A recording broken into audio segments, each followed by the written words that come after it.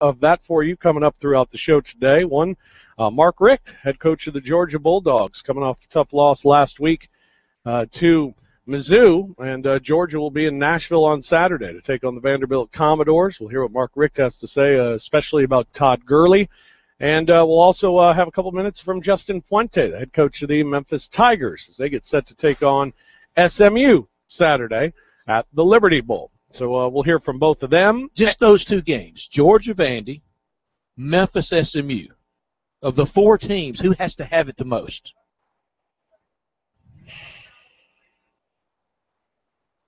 Maybe Vandy. Well, Maybe Memphis. it, it, it'd go a long way for Memphis. I say Vandy just because, you know, they got to get six. Right. This would go a long way for them getting to six. But if they don't get this one, I think they still have opportunities to get to six. And for the Georgia fans that are sick of the Capital One Bowl, if they lose Saturday to Vandy, you won't have to worry about the Capital One Bowl this year. Right. right. Uh, well, and, you know, Georgia still has SEC East title Do to they? play for. I know mathematically, but Yeah, I mean, who else is going to take it? Mizzou's got a freshman quarterback playing. Do they have a couple of losses in front of them? And if so, probably so. you know, then it's down to Georgia, South Carolina. You beat South Carolina head to head, so yeah, they they still that's still in their So is it. Georgia among the four? It could be Georgia. And for Memphis, uh, you mentioned, you know, a lot of close calls, week in and week out, talking about getting better, getting better, getting better, almost there, almost turning that corner, and And that's coming all up true. short. Uh, you got to get one. Uh, Mhm. Want to get one. And Tigers are favored this week for the third time in their last 48 games. The Tigers are the That's progress, Favorite. isn't it? Seriously. yeah, and the three have been in the last, I believe, what it was two of the last three last year, and now six games this year. So three of the last nine, they've been favored. They weren't favored in one game against FBS opponents in 2011 It's a good sign when Vegas respects you. or in 2010. So, and you're the favorite this week. So, yeah, big one for Memphis Tigers as well, and, and getting this win with the progress, much better than going to one and five and, and thinking maybe you took a little bit of a step back. So, um, yeah, big one for all all five. SMU. I don't know. They're they're they're not very good. Not very good this year at all. So I, I'd put them last on the must win. Our biggest need for a win this week. And I expected more by now from June Jones and young Gilbert. And we saw it a little bit early, but But really now, step back. more. Yeah, they've gone in the wrong direction. Uh, so we'll uh, we'll get into uh, that with Justin Fuente. We'll hear uh, from him. Also, a big one going on in College Station this week: Texas A&M and Auburn. Voice of the Auburn Tigers, Rod Bramlett, will join us talk about that matchup. Auburn, when they've scored 30 points, have won their last 81 games. How about that nugget today? 81 games when they score over 30 points. Good chance to score over 30 points against Texas A&M, but as we talked about last week when Ole Miss was getting set, you- you're going to have to score more than 30. You're going to probably have to get mid 40s to have a shot against Texas A&M, and I think Auburn will have to do that. Baseline's this 35. isn't it? Oh, minimum, absolutely. Uh, so we'll uh, we'll talk to Rod coming up here in a little bit. We'll also talk some basketball today. Hank McDowell will join us. We'll go inside Hoop City uh, with Hank McDowell, and uh, we'll also hear from the Memphis Grizzlies head coach Dave Joerger. Had a chance to visit with Coach uh, at practice earlier this morning. Uh, Grizzlies practicing today and leaving this afternoon. They're getting on that bird, taking off right now, heading to Orlando, and then they'll play.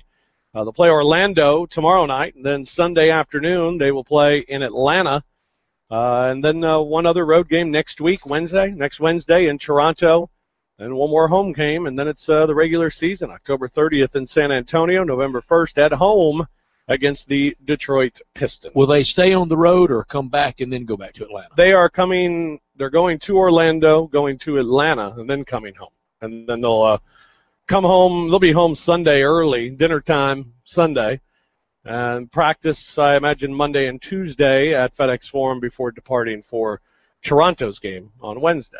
And then uh, they'll be done with the road portion of the preseason. So uh, we'll check in with Coach Joerger coming up uh, here in a little bit. A lot of talk about you know the plan for the remaining four games halfway through the preseason schedule.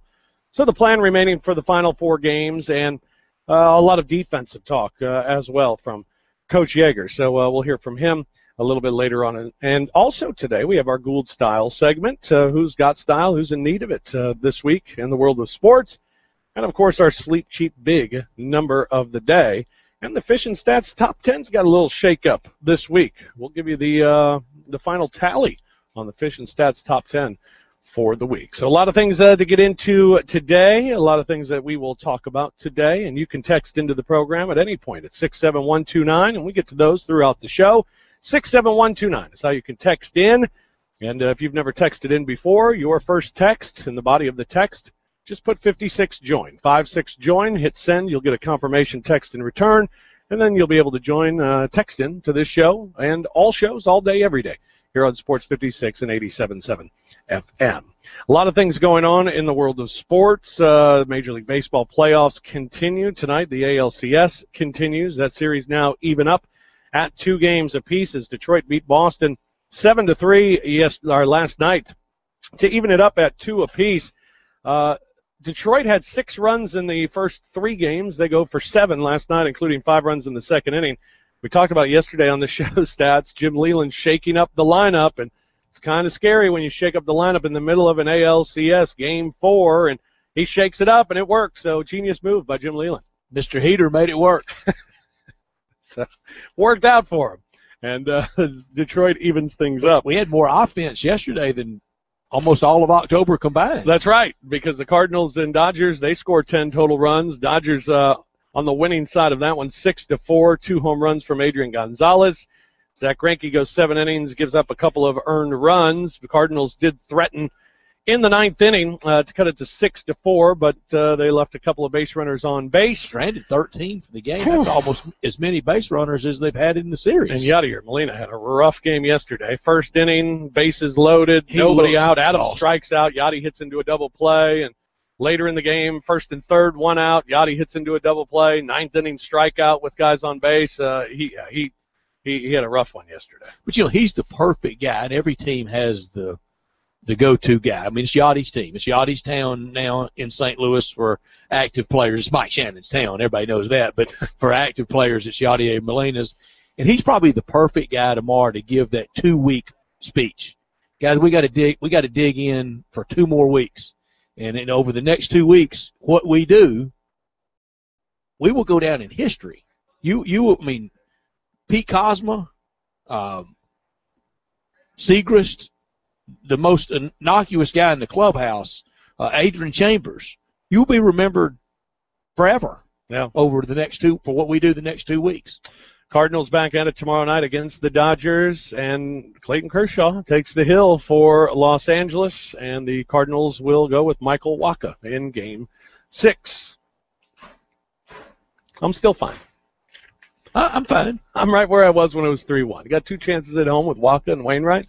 Yeah, and, and for the the reluctance of Wacha going out there, well, they have Ryu in Game Seven against Wainwright. That's about as should be about as big a mismatch. Should be. Should be. But at this point, it's, it's all coin toss. Yep. It's about who makes the plays and who takes advantage of opportunities. And uh, we've seen that throughout. And getting the ball in play is big. Getting the bat on the ball because even at, uh, at this time of year, I heard Tim Doolin say this this morning. Even the big leaguers may have one just fall right between them. We've seen right. it. Right. You might have one go right through the wickets. You may, uh, like in the 2006 World Series when it looked like the Tigers had never taken infield.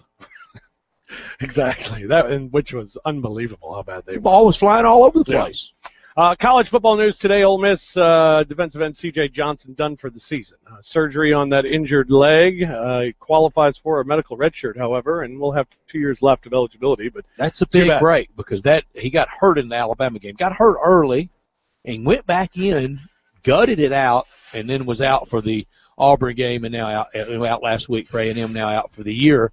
So that was in the early stages of Game Five that he was injured in. Yeah. So C.J. Johnson will be done for the season. Ole Miss getting set to host LSU this weekend, and uh, LSU defense really stepping up, haven't allowed a touchdown in the last six quarters of play.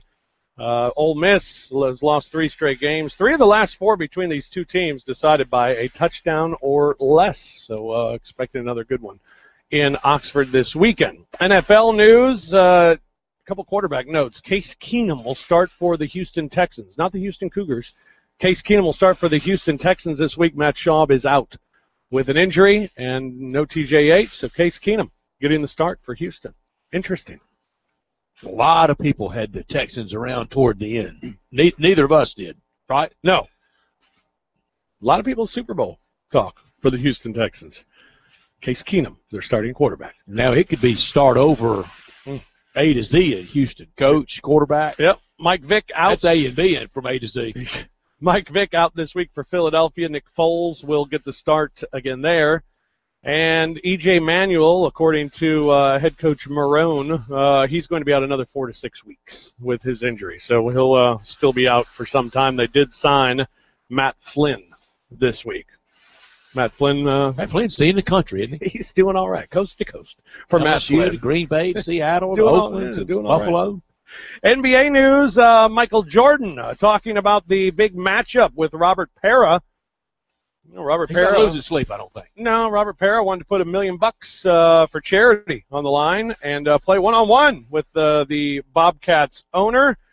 And uh, Michael Jordan was talking with the Charlotte Observer and basically said he called it comical. And when you read Michael Jordan's quotes in this story, it really sounds like a, you know, the big college football team in the state. And the reason why they won't play the little college football team in the state is exactly uh, what it came across as. Michael Jordan saying, I think that's comical. It didn't make any sense. Why would I play one on one? It's a no win situation for me, no matter what. The old no win situation. Michael Jordan, net worth, what do you think? Uh, 300 plus? You would hope. 200 plus, easy. Yeah. Robert Pera, four billion. A, a million uh, out of Michael Jordan's pocket hurts a little more than it does out of Robert Pera's. Robert Pera responded on Twitter saying, haha, it's okay. People have been calling me comical not too long and around $4 billion ago when my only friends were Visa and MasterCard. Just played the scoreboard, played the bank account, didn't he? He didn't go scoreboard, he went bank account. Good for Robert Pera. That was, uh, that was kind of fun. Bank account. Yeah, so those two going back and forth. Uh, he, he could flip Michael Jordan for his net worth. yeah, yeah. Greg Oden uh, has a sore knee, missing practice with the Miami Heat. So uh, we'll see how that holds up for him going forward. Big news out of uh, Louisville with their basketball team. Chane Behanan is suspended indefinitely for a violation of university policy. Uh, Rick Pitino saying uh, that uh, Behanan is having a difficult time understanding life's values. We're more concerned about him as a person right now than we are as, of him as a player. Uh, according to some reports, it sounds like uh, he won't, and he's not going to be with the team. He's going to be away from the team as well during the suspension. Uh, it sounds like, uh, at least according to some reports, that he will be gone for November and December, and that's at least at this point. Pitino saying that there were a lot of things that they've put in front of him that he needed to do to get back in good standing and come back to I guess the they team. didn't know any of this yesterday, did they? No, and apparently he has already failed to adhere to one of those things. So uh, putting it in order, keeping him away from the team, and a big loss for Louisville. Their depth up front is not great. For a different reason, they had to go early last year without Gorgui Dieng, Dieng. Thank you. You could tell I was uh, groping, hoping. Uh, now this year they got to go without Behanan. That that that'll be big, but they'll they'll be fine by March. yeah, they'll be fine by March. Uh, Tigers do not play them uh, until I believe it is January? March. I think it's that, or is it January? Yeah. Let's see, January 9th at Louisville, and then uh, they come to Memphis on March 1st. By March first, they'll be fine. Georgia Tech's Trae Golden, former UT Volunteer, has gotten a waiver from the NCAA, and he will be allowed to play immediately. So uh, he will be uh, good to go for Georgia Tech this year. Free agency in college sports. Man, they're just handing out. You can't swing a dead cat without seeing a waiver in You college can't. football these days. They're everywhere for any reason. Or in college basketball, my goodness. Uh, the coaches poll, first coaches poll is out today, and no surprise, you have the Kentucky Wildcats as the number one team in the country. 16 number one votes. Number two is Michigan State. They had three number one votes. Louisville had 10 number one votes, but they come in at number three. Duke at number four. They also got some number one votes. They had three of them. Uh, rest of the top 10 is Arizona, Kansas, Syracuse, Florida, Michigan, and Ohio State. Memphis comes in at number 13 in the coaches poll. And as far as uh, the SEC is concerned, well, that's it. Kentucky and Florida in the top 10. Nobody else. Tennessee did get some votes. Uh, they, if you stretch it out, they would be 30th uh, with the votes that they received. Mizzou got four votes. LSU got a couple of votes, and Georgia got a vote as well. Georgia Bulldogs. Mark Fox can't vote, can he? I don't. I, I don't know. I don't know.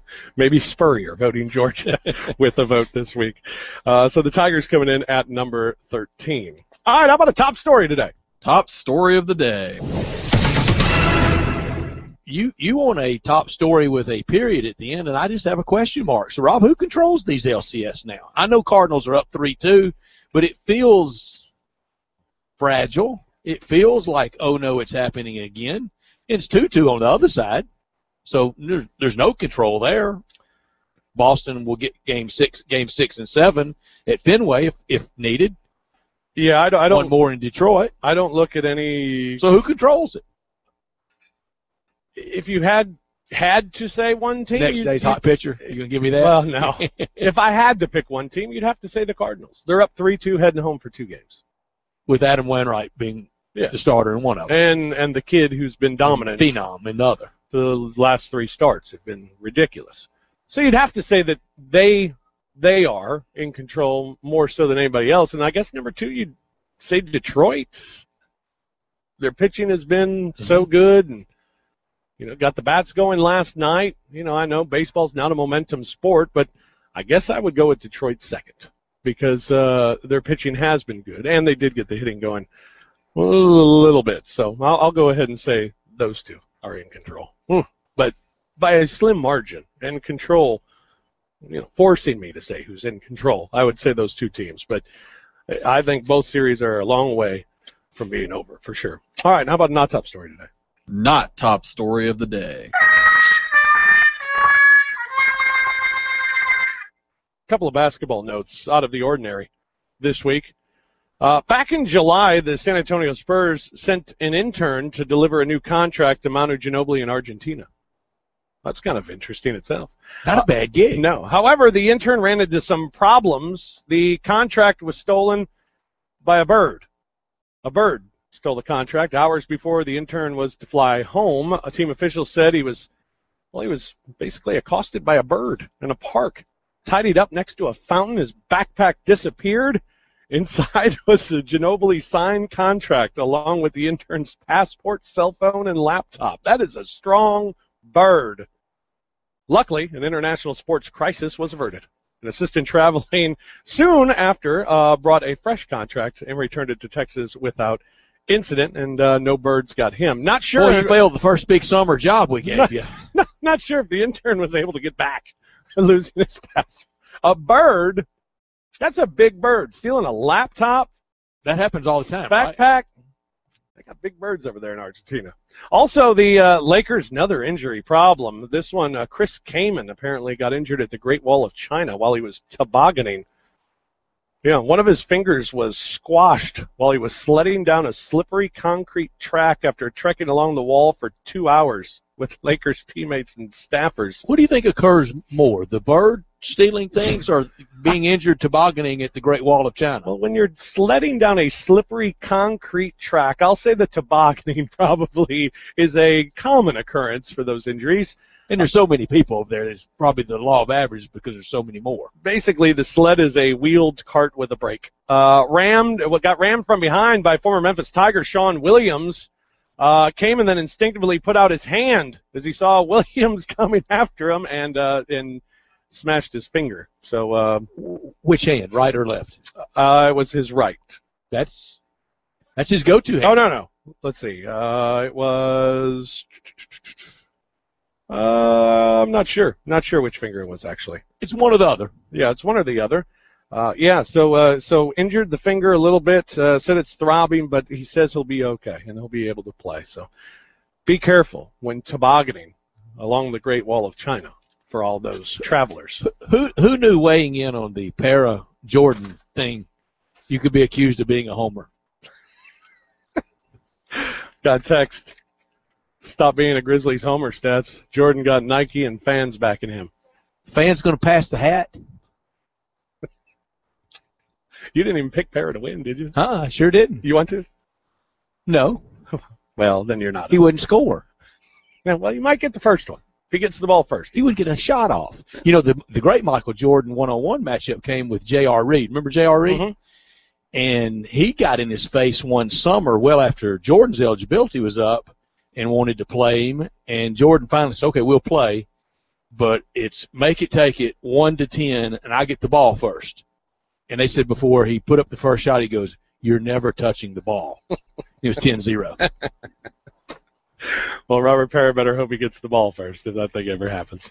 We will take a uh, break here in a second, and when we come back, we're going to talk about uh, Auburn and Texas A&M as they get uh, they battle down at College Station this week. The voice of the Auburn Tigers, Rod Bramlett, uh, will join us to talk about that big matchup. As I mentioned, Auburn 287 yards per game on the ground, and they played the freshman last week at quarterback. They say he's still going to be involved. We'll ask Rod how that's going to happen. Auburn 0-3 all time against Texas A&M. A&M's won 11 of their last 12 games. But Auburn's putting up some points. We'll see how many they can put up against Texas A&M this week, and will they be able to slow down Johnny Manziel? Of course, is the big question. Dan Gray's going to join us from the Gold Sheet a little later as we'll go inside the lines with him. Check out all the college and pro action this weekend. We're just underway, live from Tunica National this afternoon. Fish and Stats with you. We'll be here until 6 o'clock today. Thanks for joining us and stick with us. We'll be back right after this timeout. Keep it right here on Sports 56 and 87.7 FM. We are the voice of Tigers fans. Sports 56 and 87.7 FM. Brian Elder's Roofing Solutions. I'm Brian Elder. Don't let him tell you that your roof has to be replaced. I may be able to repair it and save you thousands. 867 0303. Let me climb up on your roof. We're the guys people call after they've already been rejected by their insurance company. If only they'd called me first. Because if I think it's a claim, it's a claim, and I'll fight for it. 867 0303. We built the roof on the St. Jude Dream Home and all six roofs on this year's Vesta Home Show. Call me to find out why. Are you getting estimates? I'll measure your roof from outer space and give you an estimate right over the phone. Financing available, a lifetime warranty, shingles, metal, or commercial. 867 0303. 867 0303 or BrianElderRoofing.com. Call 867-0303. Brian Elder's Roofing Solutions. When was the last time you were in James Davis? Because if you haven't been there in the last couple of months, you haven't been to the best men's store in all of Memphis in Laurelwood. Oh my goodness, James Davis is amazing. If you want a custom suit or you maybe need a new sports shirt, you can relax in the newly remodeled custom clothing room, complete with a fully stocked refreshment bar, coffee bar, flat screen TV, and unlimited Wi Fi. It's like sitting in your den. And then they bring you wonderful things. And for a limited time, you can purchase any suit or any sport coat with a pair of pants, and you get a free Martin Dingman crocodile belt. That's a $295 value. And for a limited time, you can purchase any dress shirt, tie, sports shirt, or sweater, and you get the second one 50% off. Or a pair of shoes. The second one's 25% off. Oh, and did I mention you always get same day alterations or as close as they can get? James Davis is amazing with a complete remodel job. They've got stores within stores like the Peter Millar shop or the Robert Graham shop, the huge denim selection. It's the best. James Davis Men's Store in the Laurelwood Shopping Center.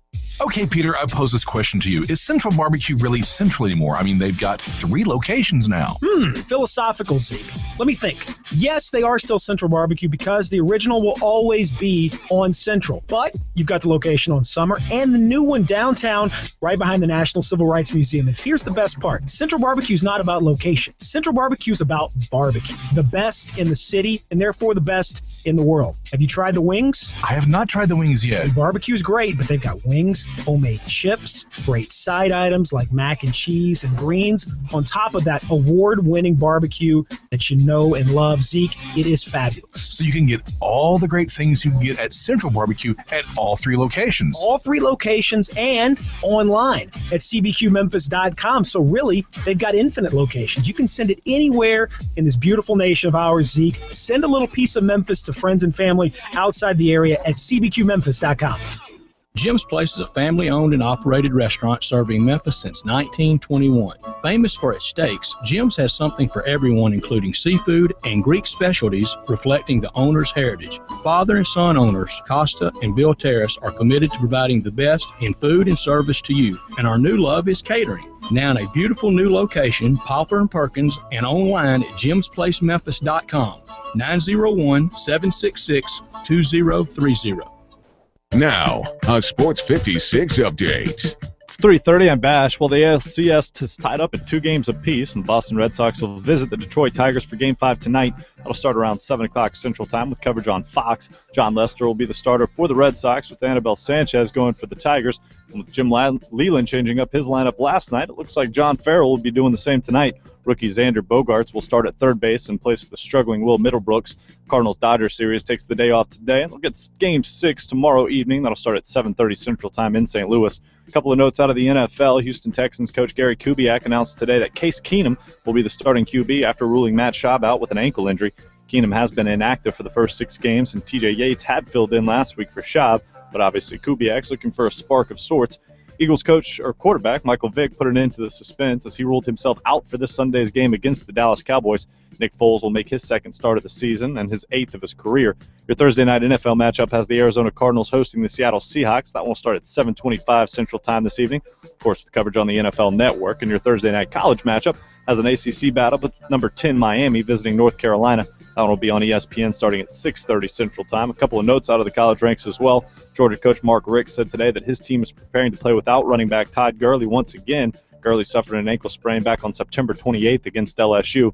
Two notes out of the college basketball ranks. Louisville forward Chane Behanan has been suspended indefinitely for, from the team due to an unspecified violation of university policy. And former Tennessee guard Trae Golden has received an NCAA waiver to play this season at Georgia Tech, according to CBSSports.com. The sports report's brought to you by the Shot Nurse. Get your game back with testosterone replacement therapy from the Shot Nurse. It's the convenient, affordable way to revitalize your life. Check it out at shotnurse.com. Now, back to Fish and Stats, presented by AutoNation GMC on Sports 56 and 87.7 FM. Welcome back, everyone. Fish and Stats with you on this Thursday afternoon. We are live from uh, Tunica National today. We'll be here until 6 o'clock. I'm going to talk some hoops coming up next hour. Hank McDowell will join us. We'll go inside Hoop City with Hank, get his thoughts on the Grizz and the Tigers as we get set for both of those seasons to get started. Plus, we'll also check in with the head coach of the Memphis Grizzlies, Dave Joerger. Had a chance to visit with him at practice this morning as the Grizzlies uh, are currently flying to Orlando, where they'll take on the Magic tomorrow night, and then they'll be at Atlanta on Sunday, and then they will be at Toronto next Wednesday, and then they'll come home one more preseason home game before the regular season gets underway for the Grizz. So we'll talk to Dave Joerger about these final four games at the halfway point of the preseason schedule and get his thoughts on uh, what to look forward to in the next four games. Also, Russ Mitchell will join us, talk all things SEC coming up in the 5 o'clock hour today. A lot to get to today and a lot of football to talk about, including a big, big weekend in the Southeastern Conference. A lot of conference games, including a big one in College Station as the Auburn Tigers travel to take on the Texas A&M Aggies. And joining us right now, it's a pleasure to have on the program with us. He is the voice of the Auburn Tigers. Rod Bramlett is with us. Hello, Rob. How you doing? We are doing very well. How are you doing, sir? Oh, just uh, getting ready for a, a big weekend over in College Station. Should be a lot of fun. All right, Rod, break it down for us. We know you've got the secret recipe on how to stop Johnny Football, right? Well, I, I think if you could slip a sedative in his uh, morning orange juice, maybe he'd sleep through the game. But I'm not sure Boy. he'd even do that. I don't think he would. He run he runs pretty hot. He doesn't show up Saturday. We got this on tape, Rod. it may take two. It may it may take a double shot, but uh, no, it's. Uh, I don't think you can stop it. But uh, I think you know Auburn's coming into this thing with some confidence, and uh, Um, you know, they've been getting better every single week, and, and I know everybody around here is really excited to get over there and, and see how Auburn matches up. And I, I think I think Auburn feels like they can they can put some points on the board. The whole question is, how do you slow them down? And, and so far, no one's been able to come up with that answer. And what a unique seat perspective for you because in in, in your position, you got to call the 14 and 0 Cam Newton phenomenon one year, and it was one great year. And now last year you got to see Johnny Manziel, and this year you get to see him again. And th- those comparisons are out there. I, I said after seeing him last weekend in Oxford for the second year in a row, uh, he, he's not better than Herschel on offense. I don't think he's better than Bo on offense, but he's in the Archie, Peyton, Cam Newton, Darren McFadden, I'm Tim Tebow. Tebow. He's in that league. What, what are your thoughts? Well, I, I think the the common thread there, because you're talking about uh, the, the the guys you've mentioned are all kind of different, you know, in terms of the way they went about playing the game.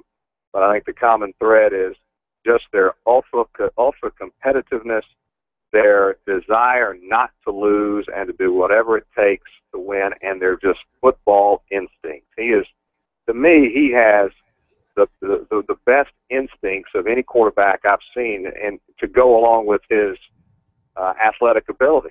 And he's one of those guys you look at, and, and unless you, and when you're watching him on TV, you really can't appreciate it unless you're there in person. You watch him on TV, and you're going, "How is this?" Because he looks, he just looks like an average size kind of guy. I mean, you know, it's not like he's Cam Newton, he towers above everybody else, or Bo Jackson, guys that that we've seen around here. But his instincts are just phenomenal, and I think that's what makes it so hard to defend him because nobody's been able to get inside his head. And I think, you know, he's just he's just a different character, great quarterback, great athlete, and just you know, he's just one of those guys that's real easy to rally around and and follow because he just he'll do whatever it takes not to lose lose a football game. Rod, on on Auburn's side, uh, obviously the start of the season's been terrific, and uh, the competitiveness has has been great. Uh, a much different change from a year ago, but a lot of the same players from from a year ago. What's been the biggest change with this football team?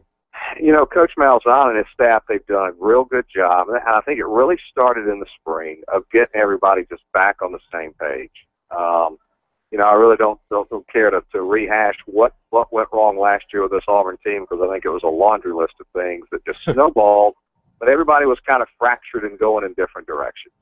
And I think Coach Malzahn has, that was his first goal. And uh, the, the whole team, they'll, they'll, they wear bracelets, little armbands that say together and I think that's been a key. I think that was step one. And at the end of the day, Gene Chizik and his staff recruited pretty well. I mean, it's not like the cover was totally bare. And a lot of these guys, Gus Malzahn helped recruit when he was here before. So there was some familiarity there. And then you factor in Ellis Johnson in the mix, who is just a, a he is just he's seen more defensive schemes than than almost anybody combined. I tell you, it's been a pleasure getting to know him he's injected some energy. Rodney Garner has injected some energy in that defensive front. And every single week, they just seem to get a little better. And uh, that's what's been most impressive to me. It seems like uh, coming into the season, I guess the concern with Nick Marshall was last year in at JUCO the number of turnovers that he's had that he had uh, a year ago, and and really those numbers haven't haven't been bad uh, this year. Uh, I know he had a couple, I guess, in his last game, but what four turnovers I think now on the season, and and his ability to run what we saw against Ole Miss certainly was impressive. Uh, what what have been your thoughts on on Nick Marshall leading this Auburn offense? You know, I think he's another guy that's getting better every week, and and uh, you know a little bit like Cam Newton. I'm not comparing him to Cam Newton, but the way the coaches have handled him been a little bit like Cam Newton because when when Cam was here, they were not quite 100% sure everything that he could do, what he would do those first couple times he took a lick, and you know over the course of about took about three games to finally just turn it loose, and that's kind of been the case with with Nick Marshall. Uh, he's won two ball games for Auburn. He he won the Mississippi State game with his arm, and he won the Ole Miss game with his feet. So I He mean, did. he's getting more comfortable. He's not a real big kid, but he's elusive. He's a little bit like Manziel in that respect. He can run around a little bit, make you miss. Um, So now he's just got to do it on the road. He struggled a little bit out of the gates at LSU. The weather was bad, uh, but he settled down. So now he's just got to, you know, he's just got to go out there to College Station and, and and take that next step and play that big game on the road where he leads his team to, to what hopefully will be a win. Rod, at the Ole Miss game, I was very impressed with how Rhett Lashlee and Gus Malzahn both handled him. They they're coaching him really really tough. He he had an errant throw or two, and when he got to the sideline, um, that wasn't a steam building. That was coaching. That was that was getting in his grill, and and they they got him pretty good, and he got better as that game went along. Well, yes, and that's what they do with a lot of these guys. I mean, they are constantly coaching them up because they know that this team is not that far removed from last year, and they don't. I don't think the the, the philosophy is I don't believe they want them to feel like they're they're not getting better. So they're going to coach them constantly. They don't want them to take that step back. And and with Nick Marshall, I think he's the kind of kid that you can do that. You know, some kids nowadays you can't get right up in their face and I mean and get after them. They just don't respond. I mean that's just a fact of life the way things are now. Nick Marshall responds to that sort of thing, and he wants to be challenged. And it's been fun to watch him develop. I'm really, really anxious to see how he handles the atmosphere in College Station because, to be honest, guys, the atmosphere in LSU was not that hostile. It had been raining. The stadium was about maybe half full, and Auburn turned it over a couple times, and the crowd was kind of out of it. I don't think that'll be the case this Saturday. Rod Bramlett, the voice of the Auburn Tigers, our guest, and you make a you make a really good point about and, and it may be the biggest thing to coaching at this level because you know everybody coaching in SEC knows football and they've worked hard to get there, but you got to really know that youngster that you can crawl him pretty good and he responds to it are the ones that if you crawl him too much and you may be embarrassing him in front of his friends and, and his other teammates, they, they, they withdraw on you. Well, and, and another coach, I'm going to use another coach on the staff that, that I think has as good a grasp on reading kids as anybody, and that's the wide receivers coach and co-offensive coordinator Dameyune Craig. I watch him working with his group of about nine or ten guys, and there are a couple guys that he just will. I mean, he's relentless. I mean, he's just constantly coaching them hard, getting on them.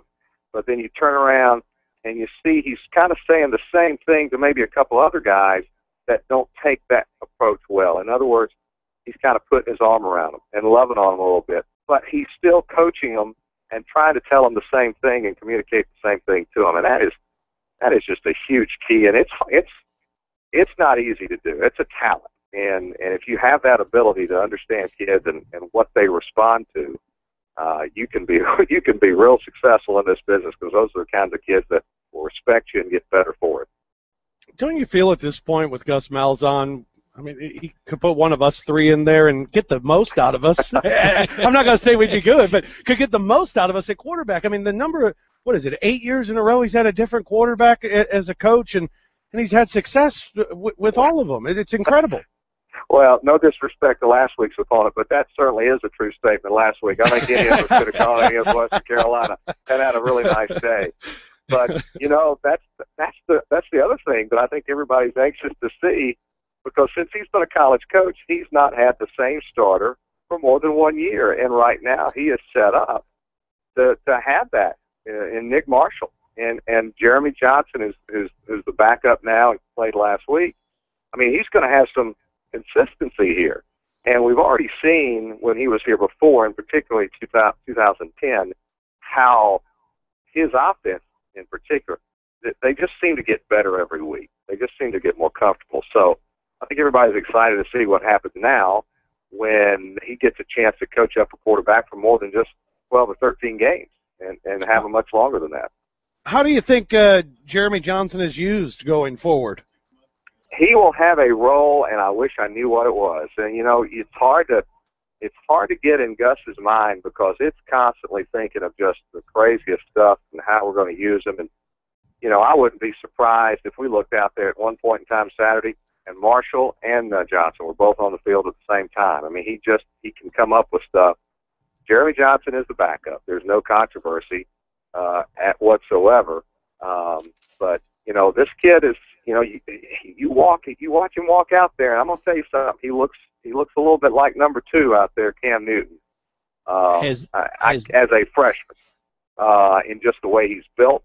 I'm not sure if his game is the same, but he's going to be a great quarterback. He will have a role in this offense, and uh, you know what? I think as uh, I think Auburn fans are comfortable with Gus Malzahn and Rhett Lashlee figuring out what that role is going to be.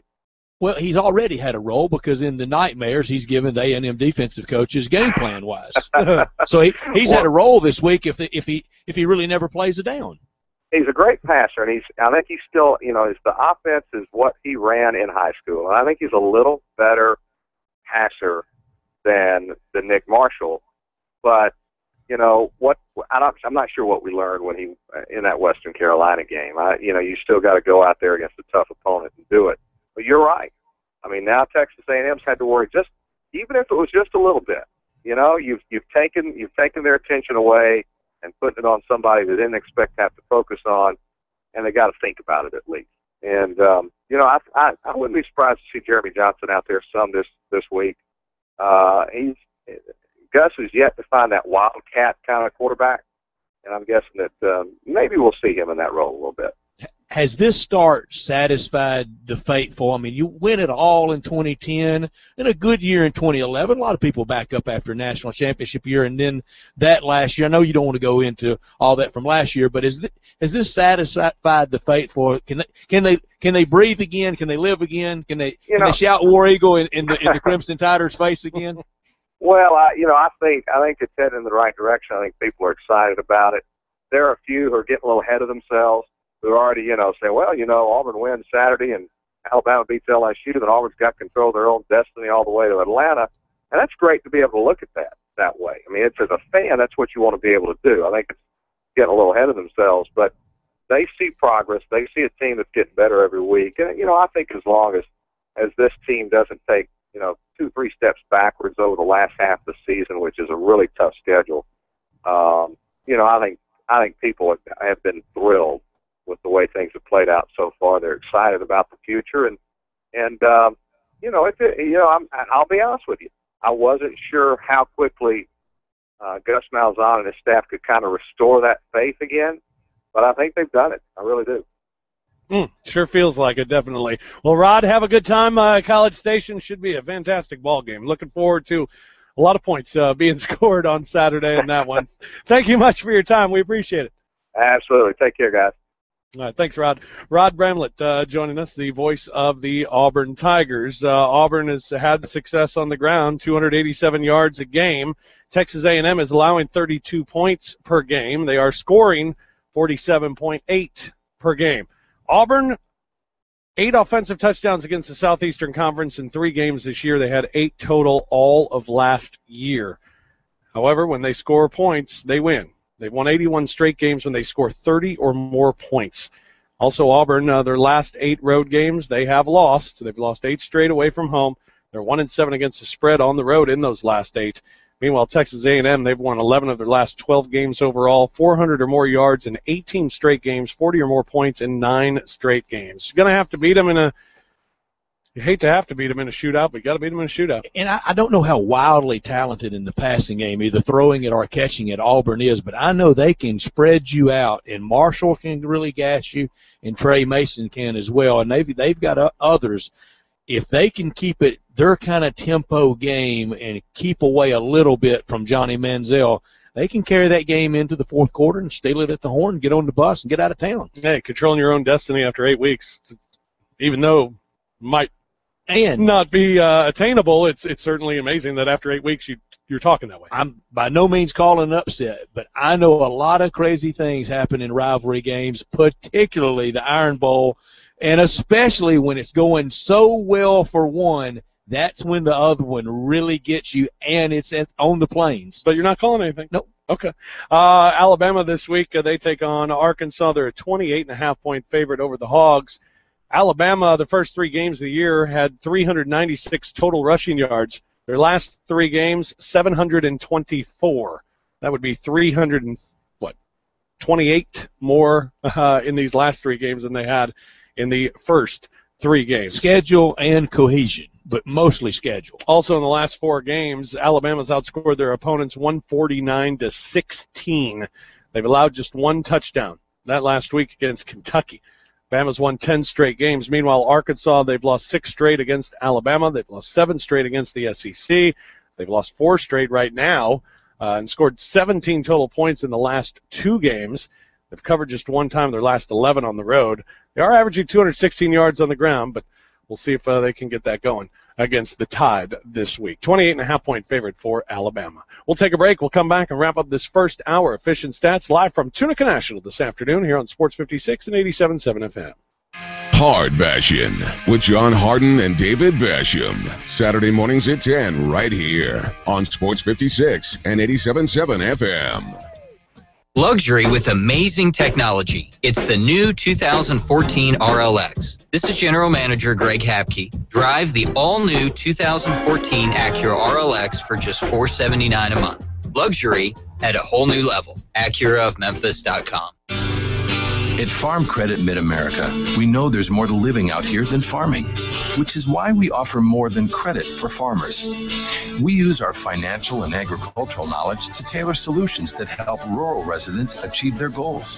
At Farm Credit, we know you're not just looking for a loan, you're working to maintain a way of life. Call 901 465 2794. Farm Credit Mid America is an equal housing lender. There's no better time to come by Germantown Hardware and Paint. Get yourself ready for the fall season.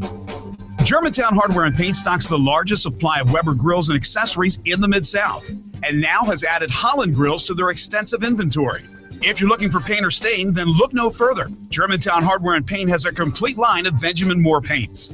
Why battle long lines and inexperienced staff at large commercial stores when you can get what you want right around the corner?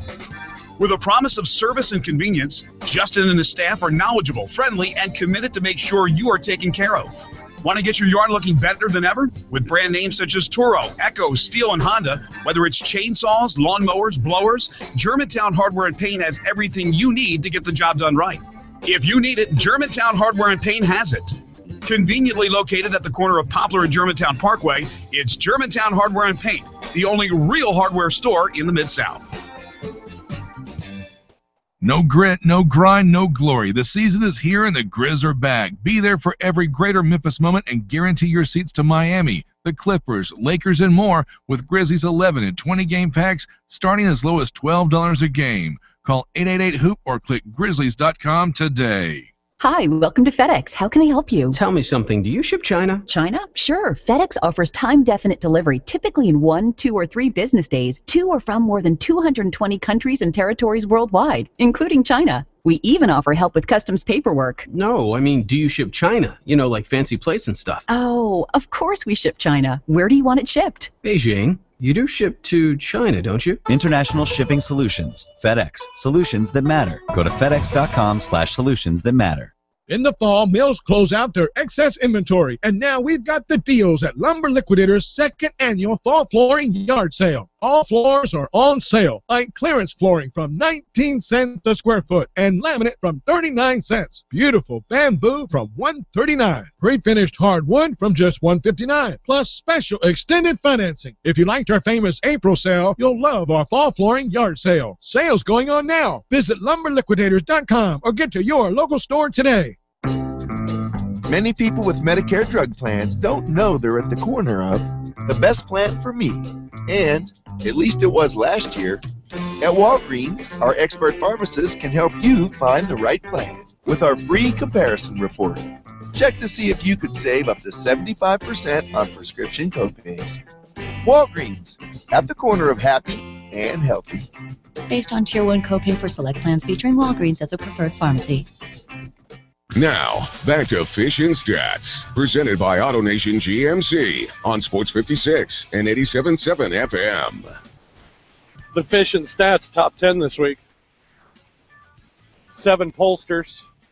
That'd be Fish, Stats, Bash, Peter Edmiston, Eli Savoy, Grant Milner, and the Fish Scales. Combine them all together. Here's how it shakes out this week. Into the top 10 this week, the Missouri Tigers at number 10. They were at uh, 7 for Eli Savoy, six in the fish scales this week. The only two that they were actually uh, ranked. And that got them all the way up to number 10 this week. Also at number nine, Louisville moved up a spot, up to number nine. UCLA into the top 10 for the first time. They are at number eight this week. You had them at eight. I had them nine. Uh, Peter and Eli both had them at nine. Grant Miller had them at ten. The fish scales number two, number two in the country, and they'll take on Stanford this week. UCLA at number eight. Texas A&M is seven. LSU is six. Clemson five. Florida State four. Number three is Ohio State. Two is Oregon, and the number one team, all seven first place votes, Alabama at number one for the, uh, well, for the eighth consecutive week. Alabama remains at number one. So, a couple of new entries into the Fish and Stats top 10 this week with UCLA and Mizzou. It's not my big number today, and we'll have a, I'll, we'll get to that later. It'll be something different. But I tweeted out earlier today. 32 years ago today, Arkansas beat number one Texas badly, 42 to 11. It wasn't that close in Fayetteville. Arkansas was pretty good that year. Had lost the week before against TCU, and then lost the next week in Little Rock to Houston. But had good had good players. Went on to the Gator Bowl that year. Texas was good, but they're not the behemoth that Alabama, uh, what what they are right now. If Arkansas, I mean, I don't, I don't think they are, uh, but I don't know that Alabama gets over the number against them. I think against the 28, it might be. I might pick Arkansas, but not as I'm not calling an upset. But would it be the biggest upset in Razorback history? I mean, because people would say Oklahoma in the Orange Bowl with the suspended players, but everybody else was in the Orange Bowl. Right. and and that win 32 years ago against number one was in Fayetteville. This is in the belly of the beast, in the middle of this Saban red elephant tsunami. With a point spread of 28 and a half. Absolutely. It would have to be. Would it? But, but but the biggest upset maybe ever had to be Stanford it, with Harbaugh beating a USC team thought of like this Bama team's thought of. Weren't they like a 40 point underdog? Uh, yeah. I don't know if it was that high, but it was it was it was bigger than this one. And went to the Coliseum and won straight up. Mm. And started the Pete Carroll Harbaugh bad blood. Yeah. That I think at the time was certainly known as the biggest upset ever. We'll ask Russ Mitchell that at five o'clock. Probably probably Stanford USC. Yeah, I mean there have been a lot of the, the FCS FBS upsets, but but when you're talking about two FBS programs, yeah, that Stanford USC game, that line was huge, and well, this one's pretty huge as well, especially with the game being in Tuscaloosa. We'll take a break. We're going to talk some hoop when we come back. Hank McDowell will join us. Also, we'll hear from Grizzlies head coach Dave Joerger here on Fish and Stats.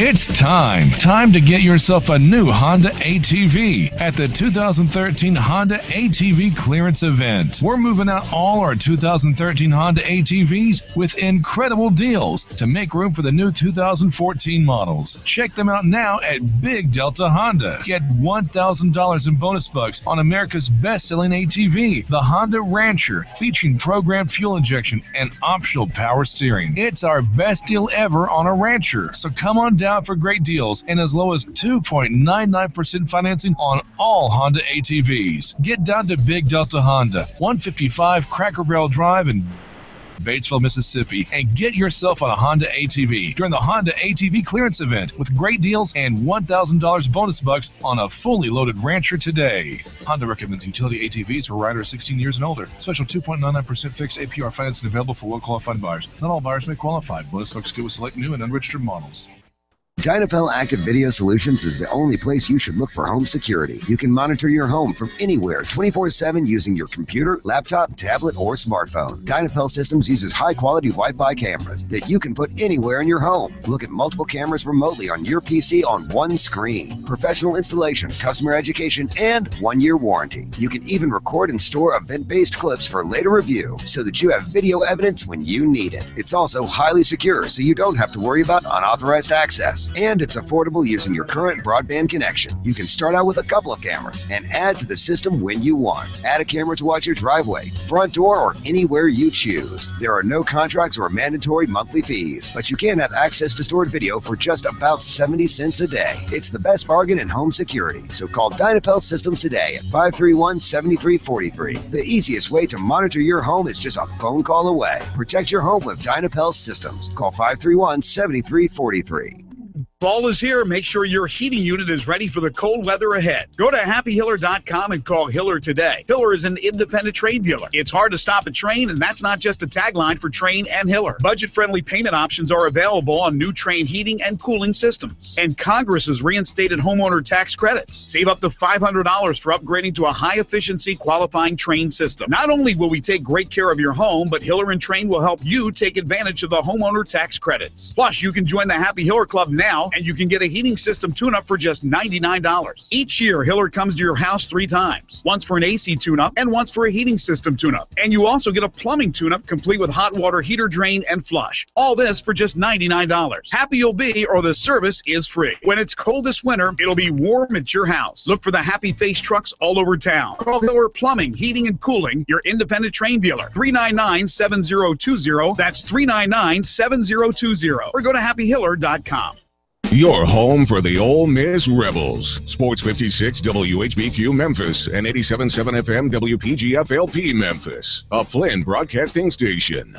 Now, a Sports 56 update. It's 4 o'clock. I'm Bash with the ALCS tied up two games apiece. The Boston Red Sox will visit the Detroit Tigers for Game 5 tonight. We'll start around 7 o'clock Central Time on Fox. Jon Lester will get the start for the Red Sox with Anibal Sanchez set to go for Detroit. Jim Leyland made a couple of changes to his lineup last night. It looks like John Farrell is doing the same tonight.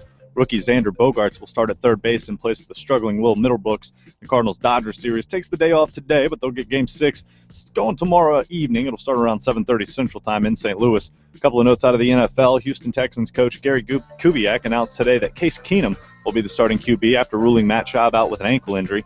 Keenum has been inactive for the first six games, and TJ Yates had filled in last week for Schaub, but obviously Kubiak's looking for some sort of a spark. Eagles quarterback Michael Vick put an end to any suspense as he ruled himself out for this Sunday's game against the Dallas Cowboys. Nick Foles will make his second start of the season and his eighth of his career. Your Thursday night NFL matchup has the Arizona Cardinals hosting the Seattle Seahawks. That'll start at 7:25 Central Time on the NFL Network, of course. And your Thursday night college matchup is a pretty good ACC battle. Number 10 Miami visiting North Carolina. That will start on ESPN starting at 6:30 Central Time. A couple of notes out of the college ranks as well. Georgia coach Mark Richt said today that his team is preparing to play without running back Todd Gurley once again. Gurley suffered, suffered an ankle sprain on September 28th against LSU. One quick college basketball note as well. Louisville forward Chane Behanan has been suspended indefinitely from the team due to an unspecified violation of university policy. Coach Rick Pitino announced that today. Sports Reports brought to you by Charlie's Golf Shop. Visit Charlie's Golf Shop at Vantage Point Golf Center, 9580 Macon Road in Cordova. Charlie's Golf Shop, your complete club repair and fitting service for over 20 years. Call Charlie at 340-1305. Now, back to Fish and Stats, presented by AutoNation GMC on Sports 56 and 87.7 FM. Welcome back, everyone. Fish and Stats with you on this Thursday afternoon, live from Tunica National today. Gorgeous day here at Tunica National. Come on up, set up a tee time. 662 357 0777. 662 357 662-357-0777. That is the phone number here at Tunica National. Also, uh, a fantastic indoor tennis facility. You can come on out and play some tennis and uh, spend the day out here in Tunica and make sure you come to Tunica National and play yourself a round of golf while the weather is spectacular, as is the golf course here at Tunica National. Uh, coming up uh, this hour, we are going to visit with uh, Dan Gray. He'll join us. Talk. Uh, we'll go inside the lines with Dan. He's from the Gold Sheet. We'll talk college football. Also, NFL action with him. We'll have our pick for the Thursday night game. I don't think I've picked a Thursday night game correct this season, college or pro. So, and I know who I really like tonight. You, you had South Carolina. I did have South Carolina. Yeah, that's right. Okay, it's a long time ago. And I had Ole Miss. So it was opening. Yeah, we both so, got so that. opening week I was two and zero. Haven't hit one since. That was that was picking BlackBerry weekend. Yeah, though. no kidding. That's about our lone victory. Yeah, it was. Uh, Russ Mitchell is also going to join us coming up next hour from collegefootballnews.com, also campusinsiders.com, and you can hear Russ and TJ Reeves each week at sec14.com with their uh, radio broadcast of uh, SEC football. So we'll talk some SEC with Russ. We'll have our Gould Style segment plus our Sleep Cheap Big Number of the day. But we're going to start things off this hour talking a little basketball, and it's a pleasure to welcome to the program former Memphis State Tiger, also former NBA star and uh, analyst for the Memphis Grizzlies. and Tigers, Hank McDowell is with us. Why, Hello, do, Hank. why do you chuckle, Hank? I think his son's listening. I wanted to throw that in there. It was the, it was the star part.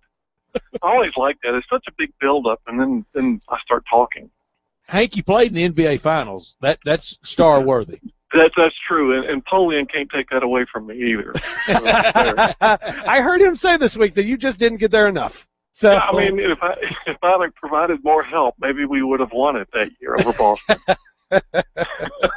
Uh, Hank, we're halfway through uh, the NBA preseason. We are getting started. The madness tomorrow night with the Memphis Tigers. It's a it's a good time for excitement and anticipation for basketball. I tell you, it, it really is. When you when you start thinking about it, when college basketball really starts gearing up, you know, the excitement, uh, all the tweets that go out, you know, it's the NBA. You start your preseason and you slowly build up, especially if you're coming off a great season like last year with the Grizzlies, and you, you know you got to go through all these games to get there. And in college, it's uh, hey, it's Midnight Madness, or in our case, Memphis Madness, and it'll be a show you know, there'll be 18,000 people there just wondering who the singer is going to be and uh, to introduce and, and ca- catch a first glimpse of these guys. It's, it's a fun group, I can tell you that. And, and it's not just little old bitty ham-handed seasons that people are looking forward to. This No. could be history in March and April and May and June. Let's put it this way: both teams need to come out of the gate fast because everybody's going to start scratching their heads. I mean, there's been such a build-up on both sides of it. You know, with the Grizzlies coming off off of everything that we did last year in the Western Conference Finals, uh, the changes that have been made. Everybody's sort of holding their breath in anticipation and hoping things go well. You know, I feel like they will. And you just don't know. You got to get on the floor. We still haven't seen Tayshaun. We've seen a little bit of Marc. Uh, Coach Koufos is injured again. He's going to miss a couple of games. So I mean, it, it's one of those things you, you got to get the pieces together uh, to to play 82 ball games. And on the Tiger side, they're all young. It seems like they're all youthful. You got a whole bunch of senior guards, and then a whole bunch of young guys running around down below them. And it uh, it, it could prove to be very exciting on both sides. Let's start with the Grizzlies, Hank. Uh, halfway through now with four preseason games in the books and uh, four more to go before things tip off for real in a little less than two weeks uh, in San Antonio. It's it's it's noticeable. They're wanting to get over the half court line quicker this year. I think Yeah. it's very noticeable, and I, I think that's good. And a lot of players that really like that idea. It, it, it's good, I think, for the offense. Hank, what what's a maybe drawback of it, if anything, at least at this point? Well, I, I mean, you know, we've been around for for years now. Fish was this your eighth season, seventh season?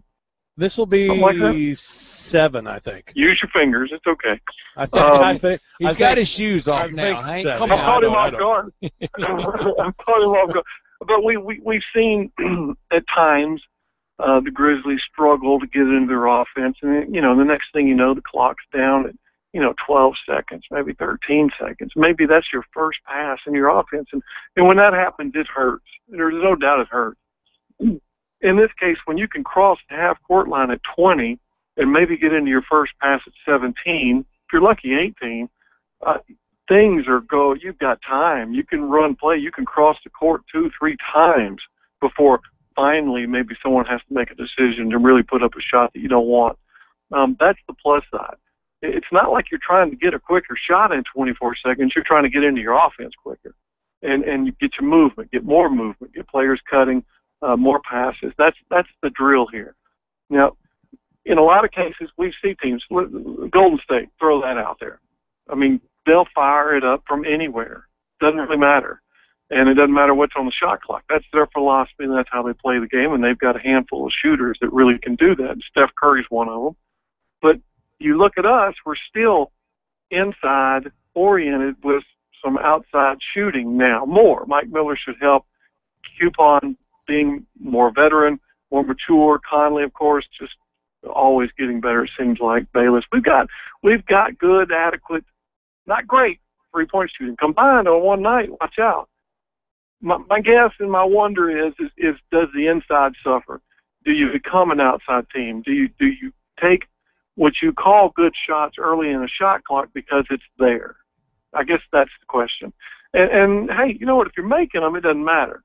And, the big guys are going to go, great, we're making them. You know, and they're going to get some offensive rebounds if they work hard enough. So it's one of those things. We're going to are we changing from an inside out to an outside in? And that, that's the question. I, I'm not sure yet. Can can you still be inside out? Uh, do you start the game trying to pound it down low, and then if they get doubled, then maybe you try and get some outside shots? And if you start hitting those, can you get it back inside? No, I, yes. If you start making outside shots, yes, you can get it back inside. That's the deal. You you know, if you're going to work it this way, you you have to make outside shots. But The you have to start going inside, right? Well, you do. I mean, if you look at Marc and you look at Z-Bo and you look at the guys we've got, especially the two starters, they're bruisers. They can take it. They can go to the free throw line. You know, they they both got ample weapons, whether it's on the block or off the block. That's the beauty of our two big guys, mainly, is that they can step out to 14, 16 feet. Now, you got to get it to them. You've got to give them a chance to get doubled. That's where the smart player that Marc is, that Z-Bo is, will look. They'll find that open player, and the guards and, and, and the small forwards now have learned you're just a pass away from getting an open three pointer at that point. Uh, you know, the other night against Maccabi, uh, you know, there were several times when the ball swung, literally came out of the post, one, two, three. On the fourth pass, it was a shot. It swung all the way across to the other side while the defender was chasing down the baseline to get there too late. That's good stuff. And if you make them, it's even better. But it shows that you're, you know, the discipline. It shows that you're unselfish. It shows that you know what's going on.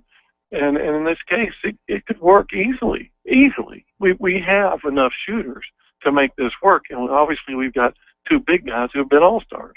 Yeah. Uh, Nick Calathes, your thoughts on him? You know, he's struggling. You know, he, he came in as not being a, an outside shooter, and right now he's proving it. Um, he's a good player. Now, don't get me wrong. Uh, he's throwing some passes that some guys aren't ready for, and they need to get prepared for them. Um, he's throwing some that people just weren't thinking that were going to come. Some, you know, you got one where you just weren't ready, and you got others where you just weren't even thinking it was going to happen. But he's got good eyes. He's got good hands. He can pass the ball. He can squeeze it through uh, a keyhole. Um, you got to watch that. Shooting wise, he, he just right. I don't know if it'll come about or not. You know, so far, four games, he's shooting under 45%, which isn't horrible. Three points over three, and, and from the free throw line, which is surprising, shooting 50% so far. Uh, nine of 18 from the free throw line. So that that is a little shocking to me for someone that handles the ball that much. But hey, it might just be getting comfortable. It might just be, you know, who knows? I, I expect most of those to go up, but he's not a three-point shooter. He wasn't brought in here to be a three-point shooter. Hank, uh, going into the season for the Grizzlies, the the worries really aren't worries. They're just going into the season concerns. I, I can't think of many for the Tigers either. I mean, what a what a combo for both of them. I mean, yeah, you there's always a little something more you want. You'd like a a, a little more firepower, but a lot of people would trade with both of them. Oh, I, I don't think there's any doubt about that. I mean, you're sitting on two well above average basketball teams. You know, are are they the top? Are they elite? No. Are, are they a player or two away? Yeah, probably. They're in the so conversation. You're right in it. You're you're right in those regards. Um, you know, go, going to the Tigers, you know, everybody knows that you've got all these these senior uh, point guards and, and playmakers up top uh, who should provide most of the scoring. And, and then you you look at it. David Pellom, obviously a fifth year senior, comes in with a lot of maturity, new to the program though. Shaq, a sophomore, Austin freshman, Dominic freshman.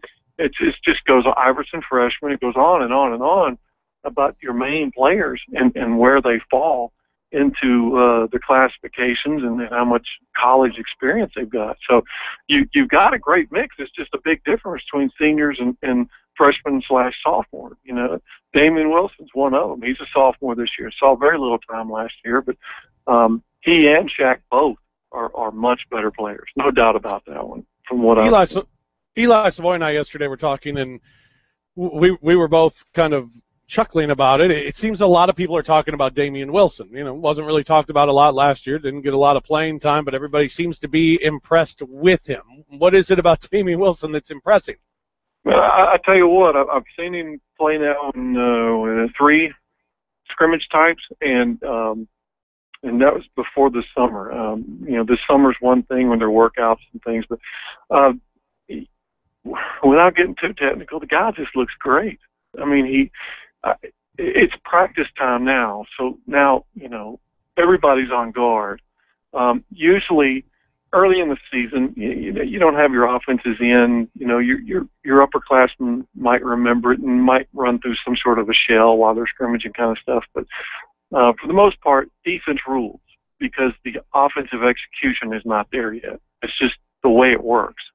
And with that defensive execution, Damian Wilson has just been unbelievable offensively.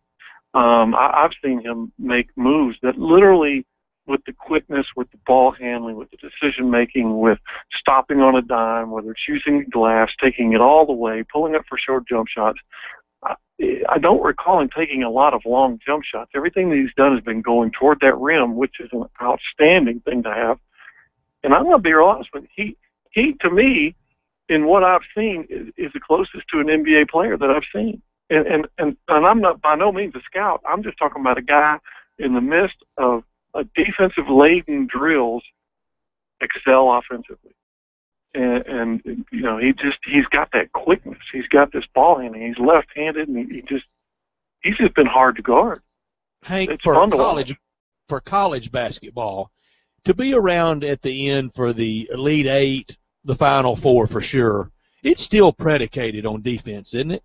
Oh, absolutely. I mean, you know, you got to score more points, but you you have to, you know. But your defense can get you offense. It, it it depends on how big a fight. You, we all remember Loyola Marymount. I mean, they just, you know, 110 points a night.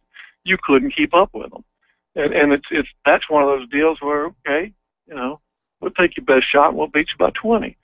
You know, these days in in this echelon, in this upper class, so to speak, of college basketball, yes, you have to have size. You have to have strength. You have to have quickness.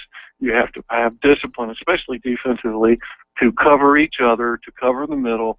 You know, whether it's a block shot or changing a shot, but defensive rebounding and defensive skills are still going to win you basketball games. There's no doubt about that.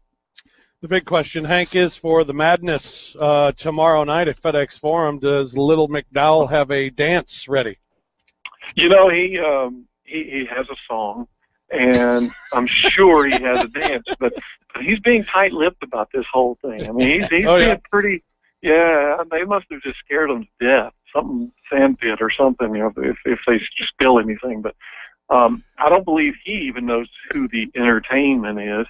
And at the same time, his his song, his dance, he's keeping pretty tight-lipped. So I'm I'm kind of anxious to see it myself. I'm, I have no clue, really and truly, what to expect other than um, somebody close to the program sent out a tweet last night saying that he's seen the playlist and J JMac 42 is the leader in the clubhouse so far. That's all I know. well, fantastic. Somebody has to be the 18-hole leader. Somebody's got to take it.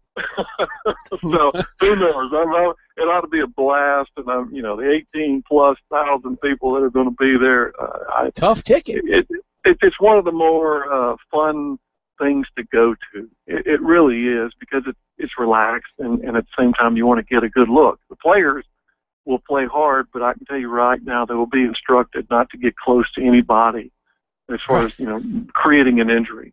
So Right. Have fun, work hard, not too hard. Don't go Yeah. DJ Stephens No. and go all out. yeah, we're not worried about blocking dunks tonight. Well, Hank, uh, enjoy it tomorrow night. Uh, thank you, as always, for your time, sir. And uh, boy, this thing's getting close. Uh, we're pack your bags. We're getting ready to travel.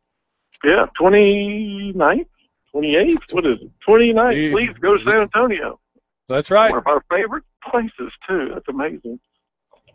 We'll, we'll, we'll- got a good place to That's eat how you finally roll. in San Antonio. We'll be fine. Thanks, man. All right, talk to y'all later. All right. Hank McDowell uh, joining us here on the program talking some hoops. So we talked some Grizzlies, and the Grizzlies now 2 and 2 through their preseason. Uh, a couple of injuries, though, of no Kosta Koufos uh, with a lower leg injury. Looks like uh, they're going to rest him for about a week. Tayshaun Prince uh, continues to battle with this stomach issue. Uh, not really an injury, just a stomach issue. for well Tayshaun soon. Prince. Uh, yeah, no timetable set on uh, the return, at least at this point, for Tayshaun. Rob, I haven't. I bet you have. Darrell Arthur's box scores. Have you noticed any? I haven't. I, ha- I haven't one. I, I I will as the season starts, but right now means nothing. No. And, and I hope he has a you know good long too. year. I hope he stays It- healthy. It's just not against Memphis. Right. exactly. Uh, earlier today, Grizzlies did practice before they left for Orlando. They'll play the Magic tomorrow night in a preseason tilt uh, in Disney. Uh, but today, they practiced on the floor at FedEx Forum. Ron Tillery and I had a chance to chat with the head coach of the Grizzlies, Dave Joerger, about uh, well, what's coming up in these final four games. Halfway through the games, uh, with half of them left, start trying to find guys that you want to see the regular season play together, or still kind of mix and match, see what works. Still gonna mix and match. Uh, got some guys dinged up, and so um, you know we got to we got to get better. We got to get better at some things. Uh, transition defense, we got to get better at. We get too loose with the basketball. So uh, we need to clean some of those things up. However, the games come out, and whoever's in doing it, uh, we got to get better. We got to get uh, we got to get moving towards and pointing towards opening night. How long do you continue to make it all about you, and how long do you, when do you start looking ahead? We, and, well, yeah, we start working. We start working now in the these last four games, uh, as far as more specific in our game preparation uh, for our opponent, so that they get used to that uh, you know, with our assistant coaches and walkthroughs and all stuff like that. So that that level of seriousness goes up as well. defensively, um, is it hard to gauge where you are without your key guys or It, it is a little bit. Uh, it, it can be difficult at times, um, but at the same time, I think that we've established a tradition of toughness here, and you know I don't care which guys are out there. Uh, defensively is what we hang our hats on.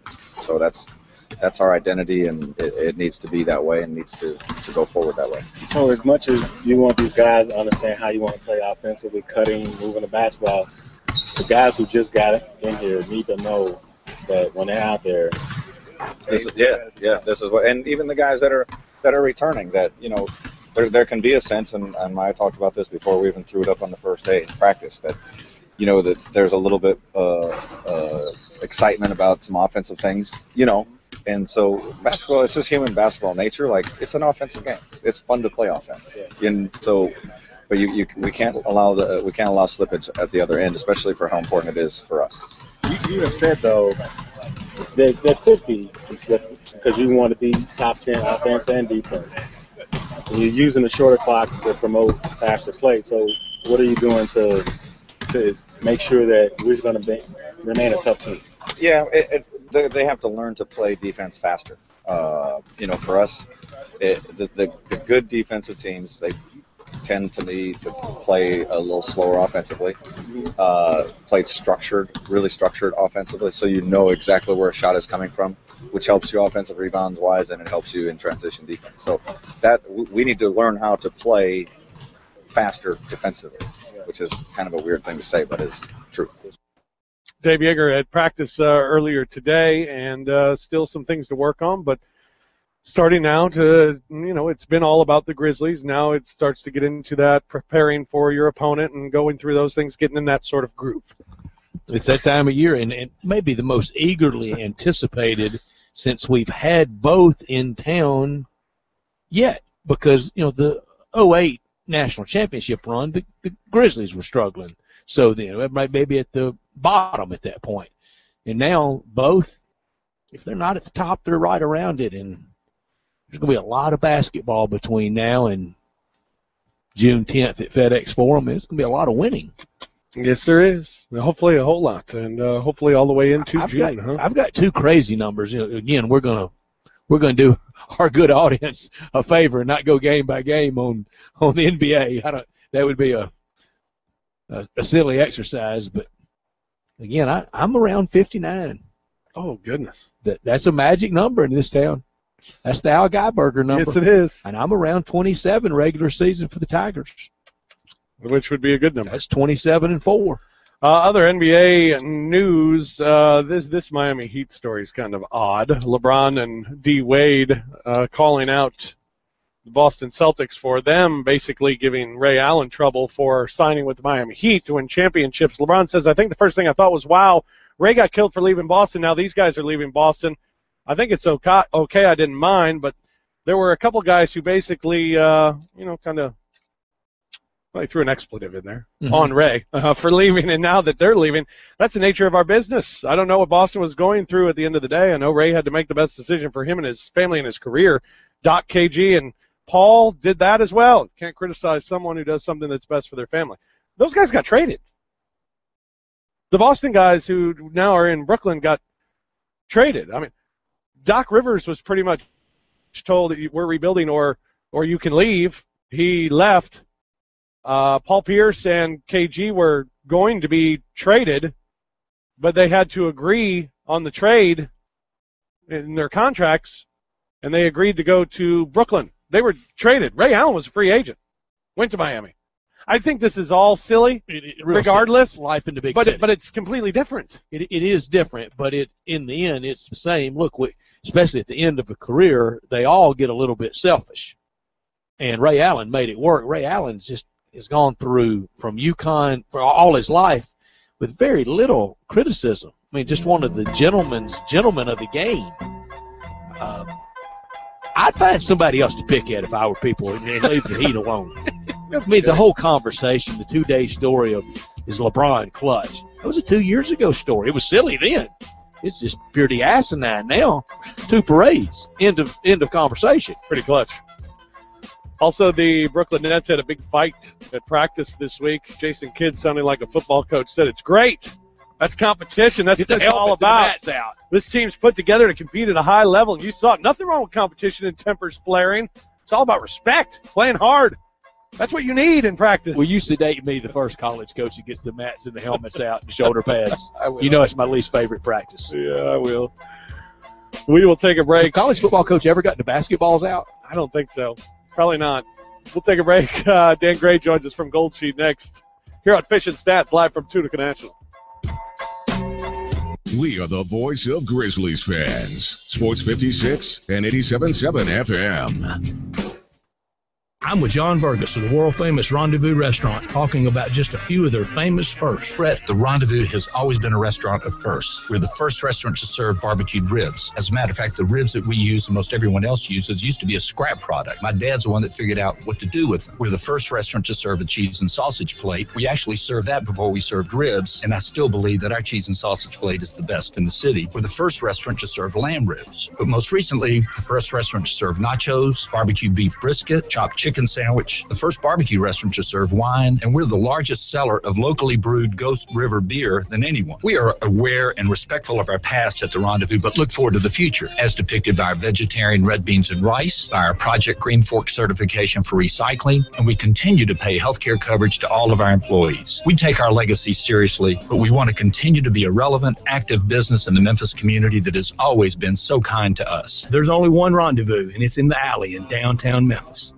Rusty Wallace here, inviting you to Memphis International Raceway on October the 26th for the return of oval track racing to the Mid South. That's right, race fans. Come feel the adrenaline as the CRA Super Series and the JEGS Late Model Series battle it out in twin 125 lap races in the Racing is Back Memphis 250. For more information and to purchase tickets, log on to MIR.com or call 901 WOW RACE. Empire Express is a safety and time sensitive truckload carrier serving 49 states and Canada. Their focus matches their slogan of delivering safely on time. They understand that their success depends on their employees, and especially their drivers. Empire offers one of the best over the road driving positions available. If you're a shipper looking for a carrier specializes in safety and time sensitive transportation, or a truck driver looking for an outstanding career, call Empire Express at 1 800 851 0151. That's 1 800 851 0151. Don't miss your chance to participate in the CBHS Battle of the Bands November 9th at Minglewood Hall. Top prize is 10 hours of studio time at Ardent Studio. There will also be prizes for Best Original Music and for the band that sells the most tickets to the event. Tickets are $10 in advance, $15 at the door. Entry fee is $35 per band and limited to ages 7th grade through college. Proceeds help Christian Brothers High School band members travel to Washington, D.C. to play at the Kennedy Center next spring. Register online at cbhsbattleofthebands.com. Um, this fall, be sure to swing by Ken Rash's Incorporated at 3686 Summer Avenue, the Big Green Egg headquarters for the Mid South. Ken Rash's is the original dealer in Memphis for the Big Green Egg and all accessories, with the most experienced salespeople with all things egg related. You just need to go by the store to see live demonstrations every Saturday from 9 to 5 or during the week to talk to them about all the menu ideas you can cook on the Big Green Egg. Remember, all Big Green Eggs from Ken Rash's are assembled and delivered free anywhere in Shelby County. And if that's not enough, Ken Rash's should be your one stop shop for all other grills and outdoor furniture and accessories, as they have all the latest style furniture from top of the line casual furniture manufacturers. They've been at the same location for 42 years. Stop by Ken Rash's today, 3686 Summer Avenue between Highland and Graham, open 9 to 5 Monday through Saturday, or call them at 901 458 7541. In the fall, mills close out their excess inventory, and now we've got the deals at Lumber Liquidators' second annual fall flooring yard sale. All floors are on sale, like clearance flooring from 19 cents a square foot and laminate from 39 cents. Beautiful bamboo from 139. Pre-finished hardwood from just 159. Plus special extended financing. If you liked our famous April sale, you'll love our fall flooring yard sale. Sales going on now. Visit lumberliquidators.com or get to your local store today. Now, a Sports 56 update. It's 4:30 on Bash with the ALCS tied up in two games apiece. The Boston Red Sox will visit the Detroit Tigers for Game Five tonight. I'll start around 7 o'clock Central Time on Fox. Jon Lester will get the start for the Red Sox. Anibal Sanchez set to go for Detroit. Jim Leyland made a couple of changes to his lineup last night that worked, and it looks like John Farrell will try the same thing tonight. Rookie Xander Bogaerts will start at third base in place of the struggling Will Middlebrooks. That Cardinals Dodgers series takes the day off today, but Game 6 will start tomorrow evening. 7:30 Central Time will be the first pitch in St. Louis. A couple of notes out of the NFL. Houston Texans coach Gary Kubiak announced today that Case Keenum will be the starting QB after ruling Matt Schaub out with an ankle injury. Keenum has been inactive, sorry, for the first six games. TJ Yates had been the backup last week for Schaub, but obviously Kubiak's looking for a spark of some sort. Eagles quarterback Michael Vick put an end to any suspense as he ruled himself out for this Sunday's game against the Cowboys. Nick Foles will make his second start of the season, with his making his eighth of his career. The Thursday night NFL matchup has the Arizona Cardinals hosting the Seattle Seahawks.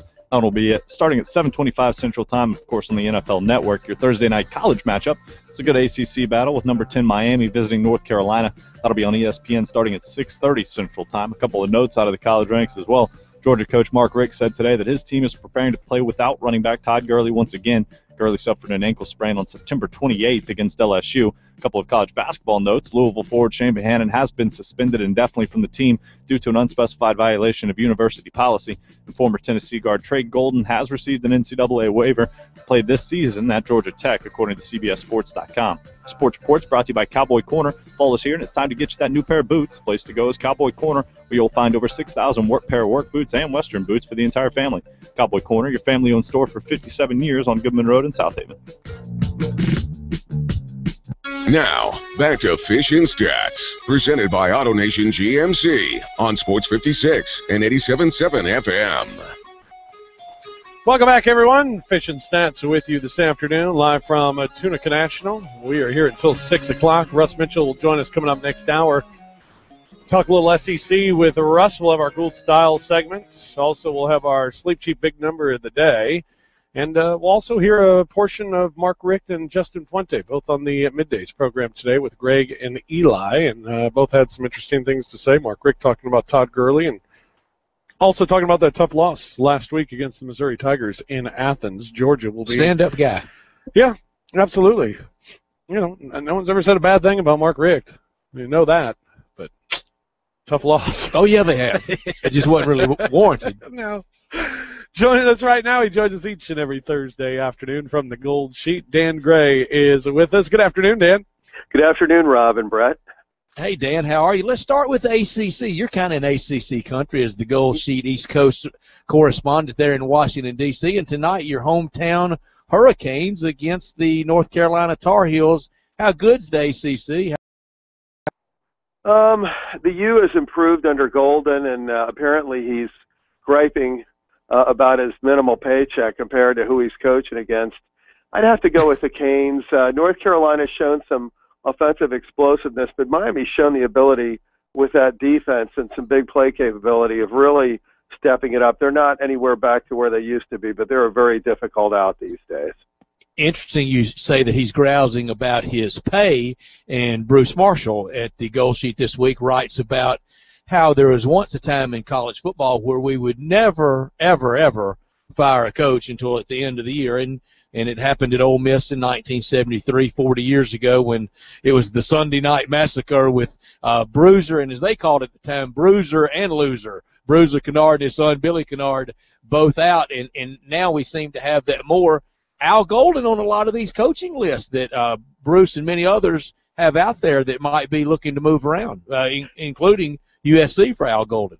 And what impresses people who might want to hire him is how he's taken a limited scholarship situation, a very negative atmosphere, and turned it around significantly. And of course, everybody noticed that early win against Florida in uh, in the um, Landshark Stadium there. Dan, the other one out of that conference, Florida State and Clemson uh, this week. And what a great matchup.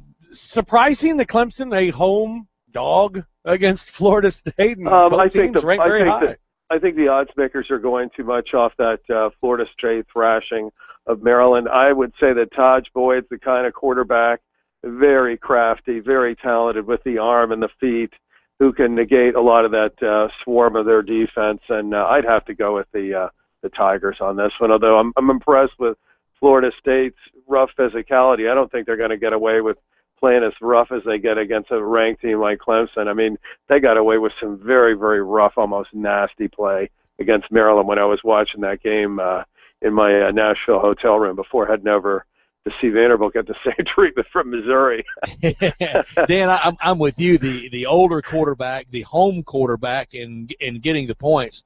I like Clemson against FSU as well. You're 19 and 12 this year with picks with us on Thursday. That's a pretty good record. And last week you nailed it on A and M to win the game, but Ole Miss to stay close and to go over the total. Kind of the kind of same wild game being predicted this Saturday in College Station. Uh, Auburn goes to A and M. Your thoughts?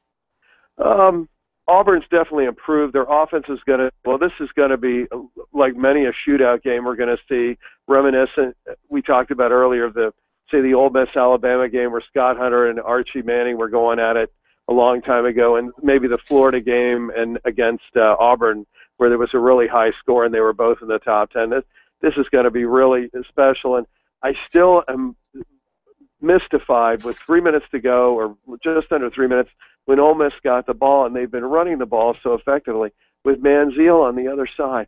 Why wasn't Ole Miss trying to run the ball, chew some clock, and let Wallace make a play, maybe rolling out. What were they doing? Making three straight throws in hand and that guy, you know, the sword to do the execution. It just didn't make sense to me.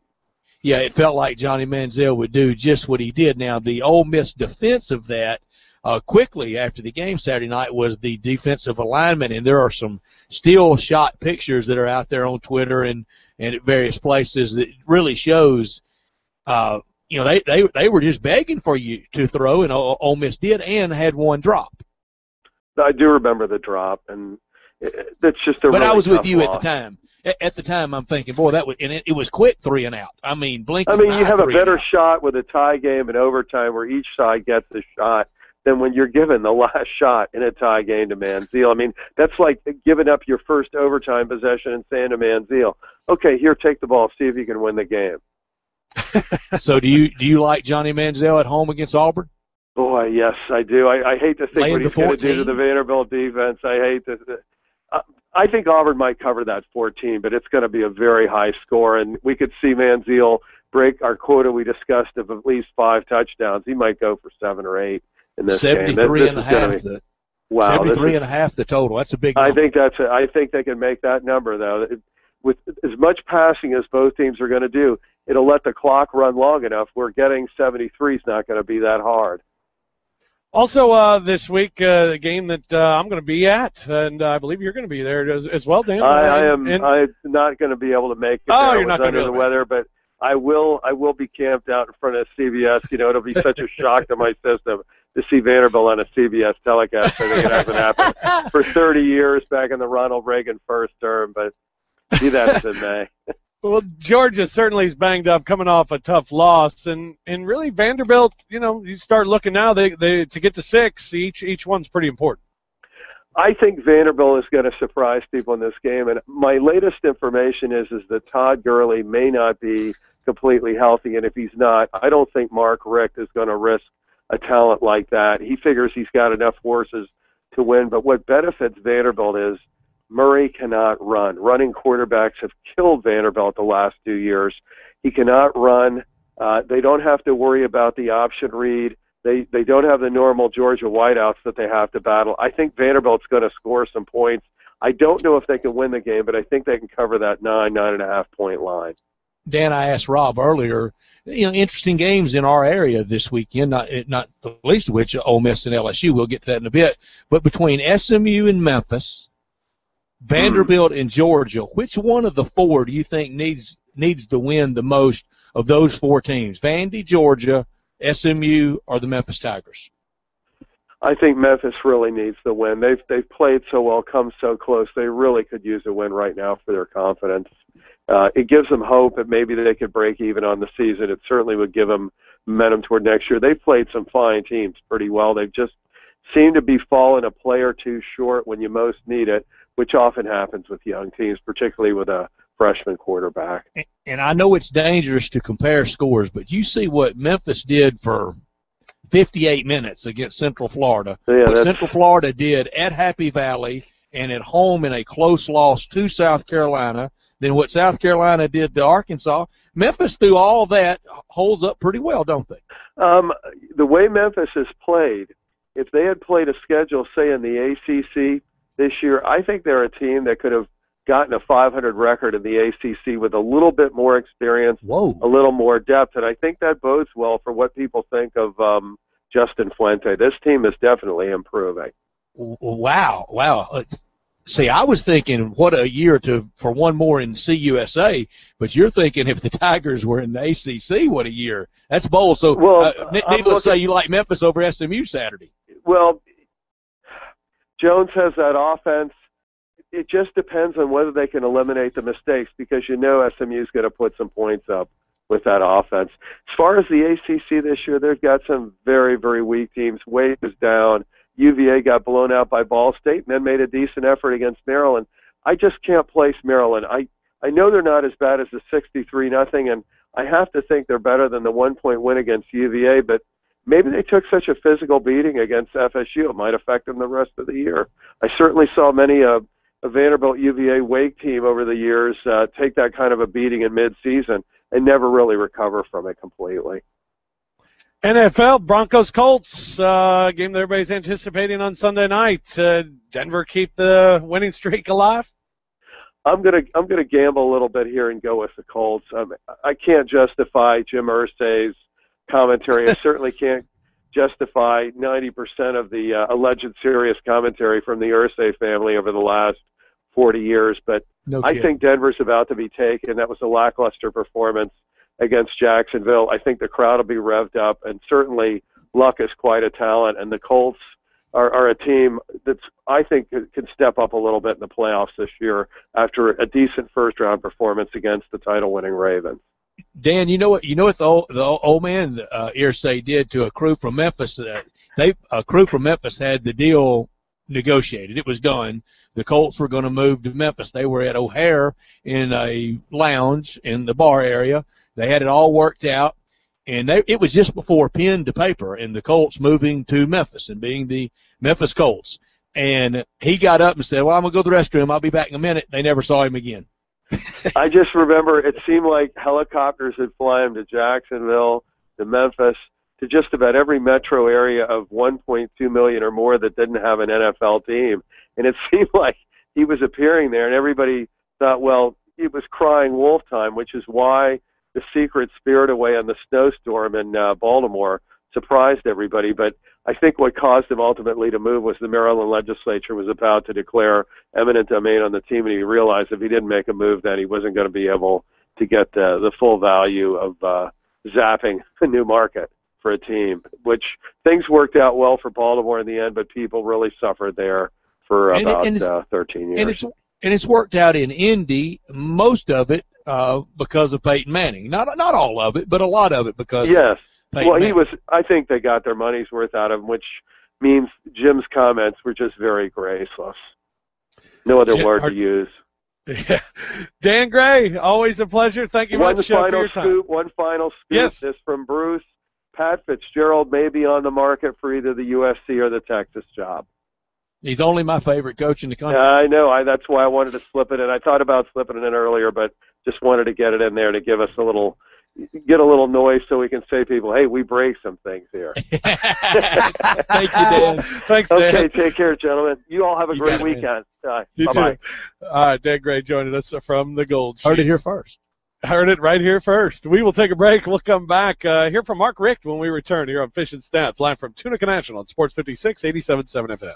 The Press Box with Keith Parker and Elliot Wender. 1 to 2, Monday through Friday on Sports 56 and 87.7 FM. Luxury, technology, affordability. You'll find all this and more at Acura of Memphis. This is General Manager Greg Hapke. Right now, drive a new 2014 MDX for as low as 459 per month. Luxury at a whole new level. AcuraofMemphis.com. Wouldn't it be cool to win a big green egg grill? And you did it just by watching Monday Night Football? Join Sports 56 at Southland Park Gaming and Racing every Monday night for Football Frenzy. Beginning every Monday night at 7.30. Now upstairs in the Kennel Club, watch the football game on multiple high-def big screen TVs, enjoy food and drink game time specials, and win prizes throughout the night. Plus, if you bingo, you qualify to win the new Big Green Egg Grill on December 23rd. See Southland Park's player rewards for details. Hosted by your friends from Sports 56. choice. It's always yours, especially when it comes to the look and performance of your vehicle. When you need prompt collision repair you can trust, turn to the experts at Millennium Paint and Body Works. From scratch and dent repair to paint matching and full frame replacements, great precision goes into the care of your car, truck, or SUV. Family owned, the highly trained technicians at Millennium Paint and Body Works are equipped with the newest collision systems to ensure each repair is completed to factory specifications. Plus, personal attention will be paid to ensure the proper repair of all your damage, both seen and hidden. They'll work with your insurance companies and deliver peace of mind with written limited lifetime warranties. See, choosing a repair facility is your choice. Never allow any company to steer you to a specific shop. Your satisfaction is their number one goal at Millennium Paint and Body Works, one mile west from the I 55 and 302 intersection. Call 662 280 2022. That's 662 280 2022. Or visit MillenniumPaint.com. Millennium Paint and Body Works, where each customer drives home their reputation. Okay, Peter, I pose this question to you. Is Central Barbecue really central anymore? I mean, they've got three locations now. Hmm, philosophical, Zeke. Let me think. Yes, they are still Central Barbecue because the original will always be on Central. But you've got the location on Summer and the new one downtown, right behind the National Civil Rights Museum. And here's the best part Central Barbecue is not about location, Central Barbecue is about barbecue. The best in the city, and therefore the best in the world. Have you tried the wings? I have not tried the wings yet. The barbecue's great, but they've got wings, homemade chips, great side items like mac and cheese and greens. On top of that, award winning barbecue that you know and love. Zeke, it is fabulous. So you can get all the great things you can get at Central Barbecue at all three locations. All three locations and online at cbqmemphis.com. So, really, they've got infinite locations. You can send it anywhere in this beautiful nation of ours, Zeke. Send a little piece of Memphis to friends and family outside the area at cbqmemphis.com. Now, back to Fish and Stats, presented by AutoNation GMC on Sports 56 and 87.7 FM. Live from Tunica National, Fish and Stats with you this afternoon. Uh, talked a lot of Auburn A&M in our first hour. Just went over some of the big games of this weekend with Dan Gray from the Gold Sheet. Another big one this weekend. I'm going to be there in Nashville on Saturday. Bright and early. Vanderbilt Commodores hosting the Georgia Bulldogs. Georgia head coach Mark Richt joined the fellows on middays earlier today. Greg Gaston and Eli Savoy. And uh, Coach Richt started things off talking about that tough loss against Mizzou last week. Well, Missouri's playing great. Uh, obviously they were they were five and zero coming in. Mm-hmm. Uh, did a great job against Vanderbilt. Really just uh, took over that game immediately and never looked back. Um, and uh, you know we. I mean, I, th- I think the biggest story of the game was turnovers. I mean, obviously, when you go four turnovers to zero, you, Mhm. there's, it's going to be tough to win the game. Right. Uh, but uh, even even if the turnovers were closer to even, I think it still would have come down to a fourth quarter ball game for sure. Wait, and obviously you don't use the injuries as an excuse, but how much did, did you have to change game plan, especially with those running backs out? How how different did you have to be with all the guys out? Well, we didn't change our game plan. We we did the same thing we would have done if we had Gurley. We might have we might have run the ball a little bit more, uh, but as far as the plays themselves and the schemes and all that kind of thing, that really didn't change for us. But uh, you know, we might we might have hammered the ball a little bit more uh, if Gurley was around and uh, if Keith Marshall was around. You know, because those guys are spectacular backs, and you you got to get them the ball. On the defensive side, you lost an awful lot to the National Football League from the squad last year, and you know the squad last year certainly had its its moments and certainly had its struggles at times. This year, uh, what do you think so far of the defense? There's been some some points scored on you, but then again, in, in other games, you've done a done a darn good job. So overall, your Yeah. opinion of your defense? Well, I think they're getting better. I think that we're doing a very good job of getting people into third and medium, third and long. Mhm. We've had a lot of third and longs, and that's what you shoot for. You got to get them in that position to uh, get off the field on third down. But we've just done a poor job on third down and long, especially. Um, if we just could have won half of the ones we lost, uh, it'd been a lot different story defensively for us this year. But you know, you got to, you know, we we it's up to us to get to get off the field, and we just have not done a good job of that. And then the other thing too is we really haven't created many turnovers at all, Mm-hmm. and uh, we've got to get better at that as well. Aaron Murray um, is setting just about every record, it seems like, in the SEC. He's got a couple more that he's approaching here very quickly as well.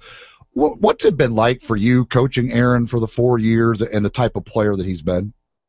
Well, it's fun to coach a guy that really cares and a guy that really understands football and a guy that's willing to pay the price to be be prepared as he is. It's uh, he's a great leader.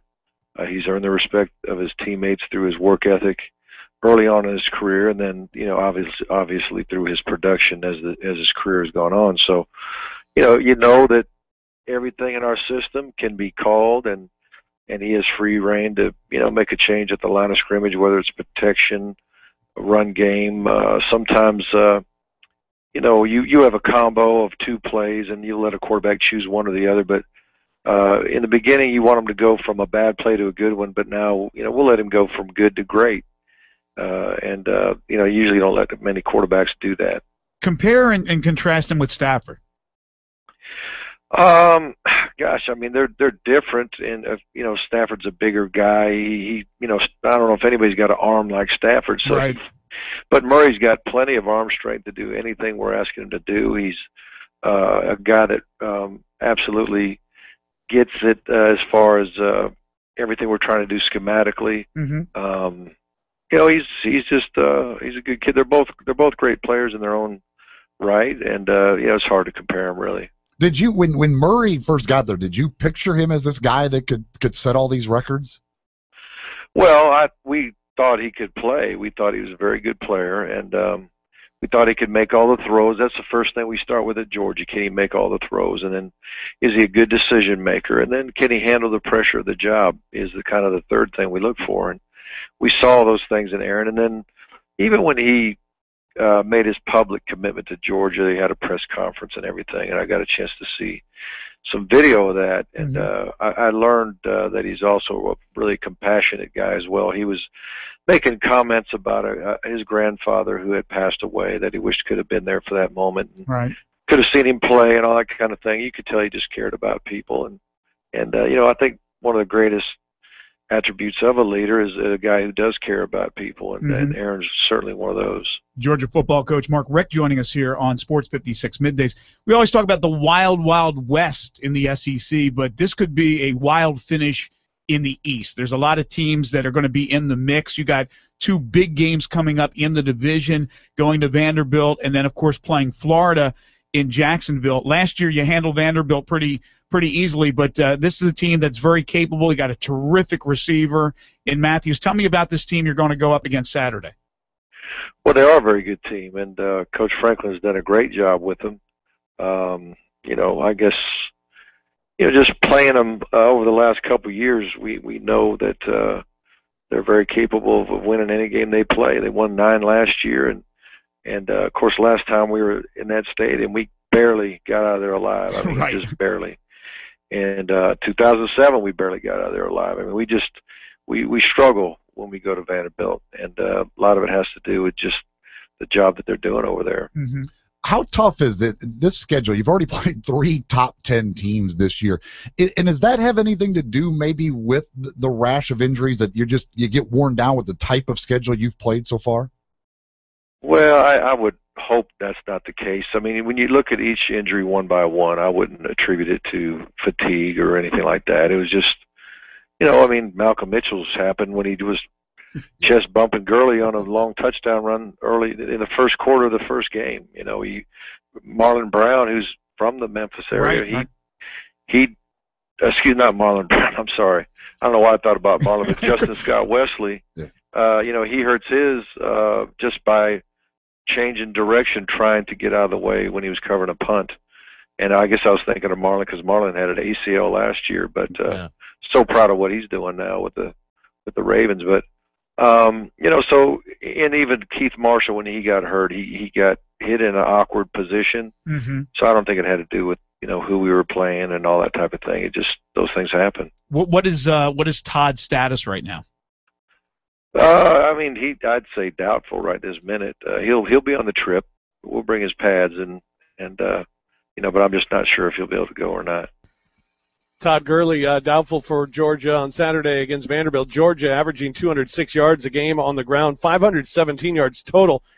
Defense has really been the problem. They're allowing 33 and a half points per game this season. Worst the only game they didn't give up 30 was North Texas, Yeah. and they were tied in the second half against North Texas. it was uncomfortable. It's been uncomfortable all year. I mean, you knew we knew it early opening Saturday night, didn't we? Yes. Bef- and that was before the injuries. Yeah. That was before the chest bump injury. That's right.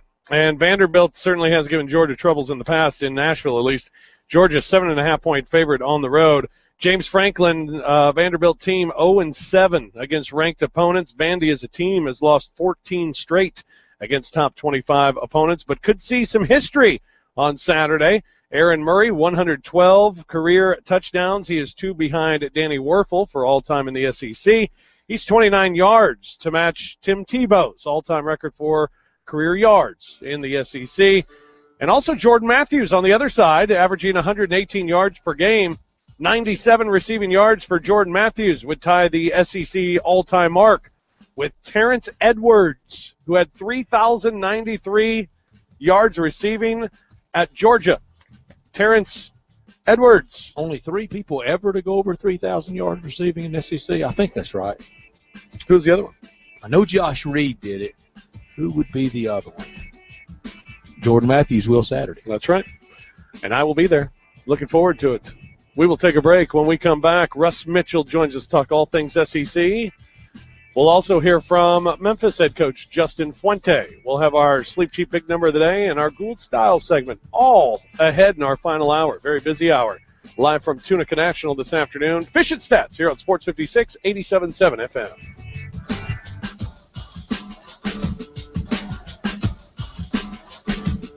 Hi, this is Troy Five Ash with Five Ash Roofing. If you own a house or a business, you need to keep the rain out, and that's exactly what we do. We have decades of experience in all forms of roofing and construction, so whatever your exterior repair needs are, we have you covered. Five Ash Roofing is locally owned and operated and performs all of our work in house or with partners we work with every day. This allows us to give you guarantees unmatched in the industry.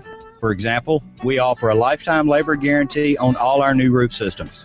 A representative of Five Ash Roofing will gladly meet with you, inspect your roof or siding, and offer an estimate to correct whatever issues you might have. We are a Better Business Bureau accredited business with an A plus rating and are listed on Angie's List.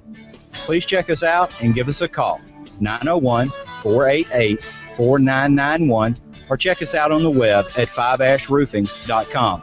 That's the number 5 ASHroofing.com.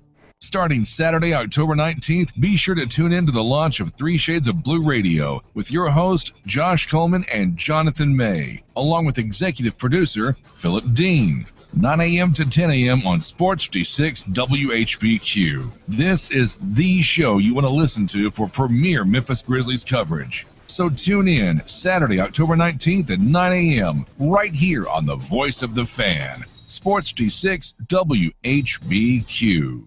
Memphis people love to eat local, and we're excited to tell you about one of Memphis's newest local authentic delis that everyone is buzzing about Elwood Shack. Elwood's is located at the corner of Summer and Perkins, right next to the Lowe's contractor entrance. Brand new hours are 7 a.m. to 7 p.m. Monday through Friday and 7 to 4 on Saturday. Elwood Shack is packing authentic ingredients, flavor, and quality into every plate. For breakfast, try the barbecue breakfast burrito and biscuits made from scratch. For lunch and dinner, Elwood's offers a variety of items that include a great meatball sub, delicious New York style roast beef, terrific Chicago and New York style hot dogs, and the best beef brisket in the city. Slow smoked to pecan and hickory and cooked with Guinness stout. And for all you wing lovers, you have to try the authentic Jamaican jerk full wings, marinated for 24 hours and seasoned with Elwood's magic dust, served with ranch and jerk sauce. Finish off any fantastic dish with the mouth-watering world famous pecan pie made in-house daily. Do yourself a favor and check out Memphis's best kept secret, Elwood Shack. Join Sports 56 middays this Friday at Frontier Western Store in Olive Branch and check out the Carhartt Crazy Sale going on now. All adult shirts are buy one and get a second at half price, and all adult jeans and dungarees are $5 off. The newest line of Carhartt gear is here with plenty to choose from in short sleeve plaids, solids, t-shirts, shorts, and more. And don't forget about Frontier's famous boot showroom packed with thousands of work and dress boots. That's this Friday from 11 to 1 at Frontier Western Store, 5880 Goodman Road in Olive Branch. Pizza will be provided by Italia East. The voice of the fan. Sports 56 WHBQ Memphis. And 87.7 FM WPGFLP Memphis. A Flinn broadcasting station. Now, a Sports 56 update. It's 5 o'clock on Bash. Well, the ALCS is all tied up at two games apiece, and the Boston Red Sox will visit the Detroit Tigers tonight for Game 5. It'll start around 7 o'clock Central Time on Fox. Jon Lester will be your starter for the Red Sox, and Anibal Sanchez will get the first go for the Tigers. Jim Leyland made a few changes to his lineup last night that were effective, and it looks like John Farrell will try the same tonight. Rookie Xander Bogaerts will start at third base in place of the struggling Will Middlebrooks. That Cardinals Dodgers series will take the day off today, and they'll get Game Six back underway tomorrow evening. That'll start at 7:30 Central Time in St. Louis. Clayton Kershaw will be on the hill for the Dodgers.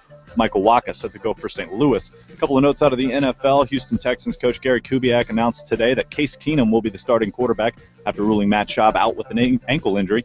Keenum has been inactive for the first six games, and TJ Yates filled in last week for Schaub, but obviously Kubiak's looking for a spark of some sort. Eagles quarterback Michael Vick put an end to any suspense as he ruled himself out for this Sunday's game against the Cowboys. Nick Foles will make his second start of the season and his eighth of his career.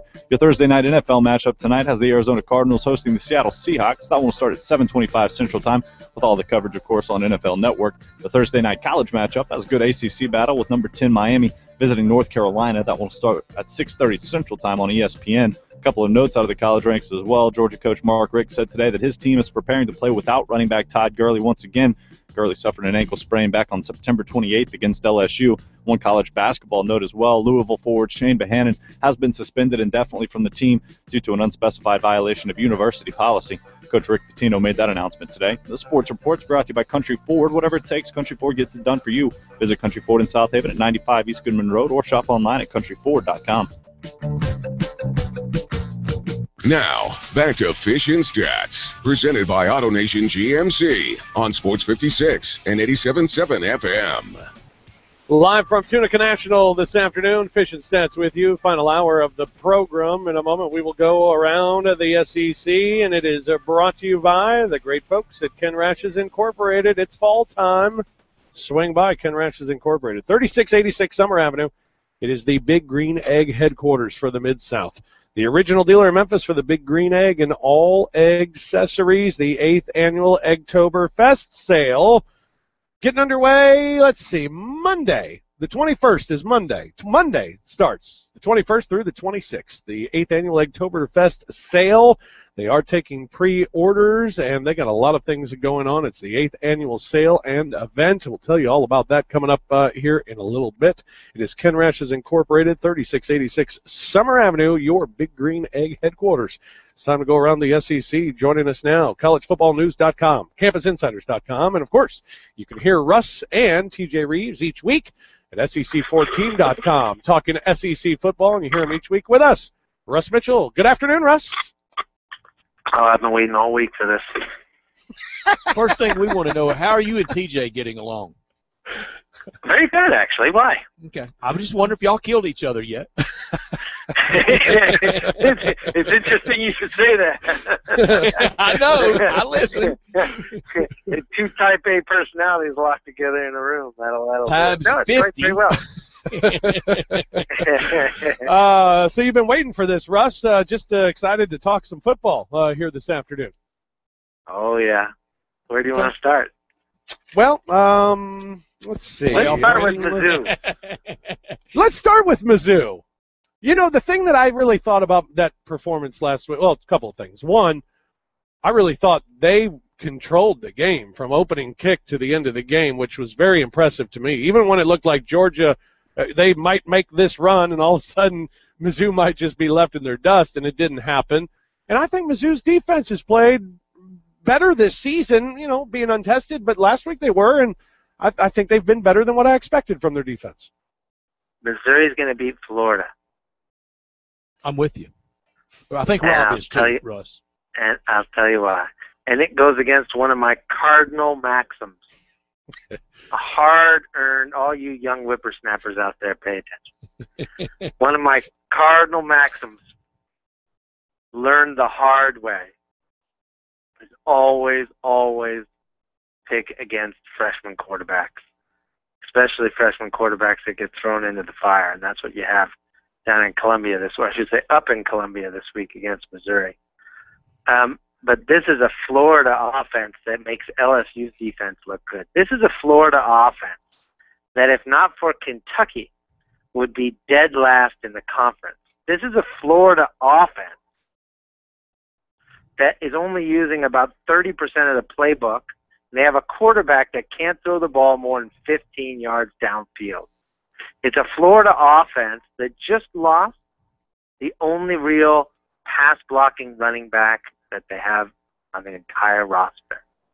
A Florida offense that can't block to protect its quarterback, and that is a backup quarterback that doesn't know what he's doing. Now Florida has to get on the road and travel further north than they have since September 1991. Wow. So, you know, when you factor all those things together, I think you're looking for, thank you very much, I think you're looking for a very, very uncomfortable situation for the Florida Gators this week. What do you think of the Mizzou team? I like, you know, so here's what here's what you need to know. You touched upon it briefly. I've watched that Georgia game three times now, and again, I do this so you all don't have to, because once really is enough. once really is enough. Two is a little crazy. Three, and you're a freak. And you know that we can get to the whole Condoleezza Rice on the on the college football committee, but there you go. Uh, Condoleezza Rice is not watching Georgia versus Missouri three times for you. All right, I'm watching it for you. She's smarter You know, than that. that, that's true. That's very, that's very true. Look, I want Condoleezza Rice doing things far more important than watching Missouri versus Georgia. Um, th- that was in Missouri. You remember, it, Georgia was beat up, but Georgia's offensive line was beaten up. Right. Georgia's offensive line was pretty healthy, and that Missouri defensive front seven played better than LSU and South Carolina. That Missouri defensive front seven harassed Aaron Murray all day long, caused fumbles, scored points. Now, conversely, Georgia's defensive line wasn't that banged up either. And at the point of contact, that Missouri offensive line controlled that game. That Missouri offense, now granted they had Franklin for most of it, but that Missouri offensive line controlled that game for three and a half quarters when Franklin was in it. And truthfully, even for the rest of the fourth quarter. They won at the point of contact, Missouri, in Sanford Stadium against Georgia, where there really weren't Georgia injuries for the entire game. And that's that's something LSU can't say, and that's something South Carolina can't say. is is Missouri capable of being, you know, what A and M was last year, or even better? Well, no, they don't have. I mean, they don't have. Johnny Manziel is a very unique athlete. You know, I mean, I know the kid's not big and he doesn't look fast and he doesn't look athletic, but he's everything. They don't have a guy like that. Not even close. So I don't think that they can be that dynamic. I mean, they're not. Missouri's not destroying a decent Oklahoma team in the Cotton Bowl. Are they contending for the East? Even with They're, Franklin they're, out? they're winning the East. They're winning the East right now. Are they going to contend for it without their quarterback? If he gets back after three weeks, yes. Here's the key. Here's the key. They can't lose to South Carolina. If you're Missouri, you can lose to Florida, and it doesn't matter because Florida's not going to go uh, loss free for the rest of the season. They're going to lose to somebody, either Georgia, you know, away from home, or South Carolina away from home. They're losing to somebody. You have to beat South Carolina. If you don't beat South Carolina, then you have a loss to South Carolina. They have a loss, and Georgia has a loss. And in that situation, unless South Carolina absolutely tanks to Clemson at the end of the year, they're going to be ranked way above Missouri. Yeah. Uh, you can't be in a three-way tie with South Carolina because we all remember it comes down to the BCS rankings. It's the three-way tie. It comes down to the BCS rankings. Georgia, by the way, could squeeze in in that scenario too. Sure could. Every Georgia fan is rooting for South Carolina because if South Carolina beats Missouri, stick with me here, y'all. If South Carolina beats Missouri and they all have one loss, a- and Georgia can just stay within five points in the polls with South Carolina, then remember what the, the way it works is if there's a three-way tie, you take the top two teams in the BCS ranking at the end, and if they're within five points, it's head-to-head. Georgia won that game. Russ, you mentioned uh, the Florida LSU and, and how they made LSU's defense look last week. Uh, LSU's defense, they haven't allowed a touchdown in the last six quarters, but that's against Florida, and that was the second half against Mississippi State. Uh, but are they are are they coming around to being better than they had showed er, shown earlier in the season? What what what? How good You is know, their defense? What should we expect? I, I I don't think it's good. I don't. By the way, I- I want to get back to South Carolina at the end of this, but I don't think you know. There's a lot of folks now who don't know what they're talking about that are saying LSU's defense is back. It's not even close to back. It's not eh, you know. It's it, it, it's not 2012 defense, let alone 2011 defense. Florida's offense and that kid Murphy can make anybody look good. All right. now. He- State- he's up a little bit on, and- uh, Murphy. and- and- no, no, I'm piling on top of you, brother. And and let me tell you something else. State's not that far better. State's not that far better. So you know, and now here comes LSU and the Ole Miss. Ask yourself a question: Where would I be this weekend if Ole Miss had beaten A and M? Mm, Oxford. Thank you. You Would people be thinking? Would people be? You know, people are discounting this game, right? LSU versus Ole Miss outside the outside of Mississippi and Louisiana. No one's talking yeah, because about this game. because the injuries. As ask well. yourself. well, uh, No, yes, that's true. But ask yourself if Ole Miss wins that game. If Ole, cause if Ole Miss wins, beats A and M, are we talking about Ole Miss versus LSU? Yes. And it, it was right down to the wire. It was right down to the wire. I mean, Ole Miss lost that by a hair's width, right? So, mm-hmm. you know, why aren't we talking about LSU Ole Miss? This is an LSU defense that did well against Florida at home, a bad Florida offense and a bad Mississippi State offense in the second half. I don't think this LSU defense is that good at all. I think they're going to face, and I know there's injuries, but they're going to face a, an Ole Miss offense that's going to put points on them and and make it close. Well, it should be uh, interesting. LSU, a big favorite uh, in this game at eight and a half points. Uh, you mentioned South Carolina. South Carolina's taking on Tennessee this week. I, I, I thought last week, you know, we hadn't seen really a complete game from South Carolina. Kind of felt Oh. like uh, they were they were set up for uh, uh, maybe a maybe a slip up. Thought Arkansas could have been that week. That certainly wasn't the case. Uh, You know, can it can it be don't- Tennessee? don't anybody cry for Bret Bielema ever, because that guy's the the crown prince of 77 point butt kicking. And in, and in the great scheme of things, he he's got a few 77 to zero games coming his way. That's a South Carolina team that scored basically 52 straight. Not basically, they did. They scored They 52 yeah. straight points on on Arkansas, right? Arkansas has not been the same since Brandon Allen's shoulder injury. And I know they were playing er- easier teams at the start of the season, but when Brandon Allen was throwing the ball well, The offense could run the ball well, and they were a different team. Boom, Brandon Allen goes down with the with the injury, and he's not playing the same. They can't run the ball, and that's been their season. And he turns it over. Conversely, yes, exactly, interception throws it to the wrong team.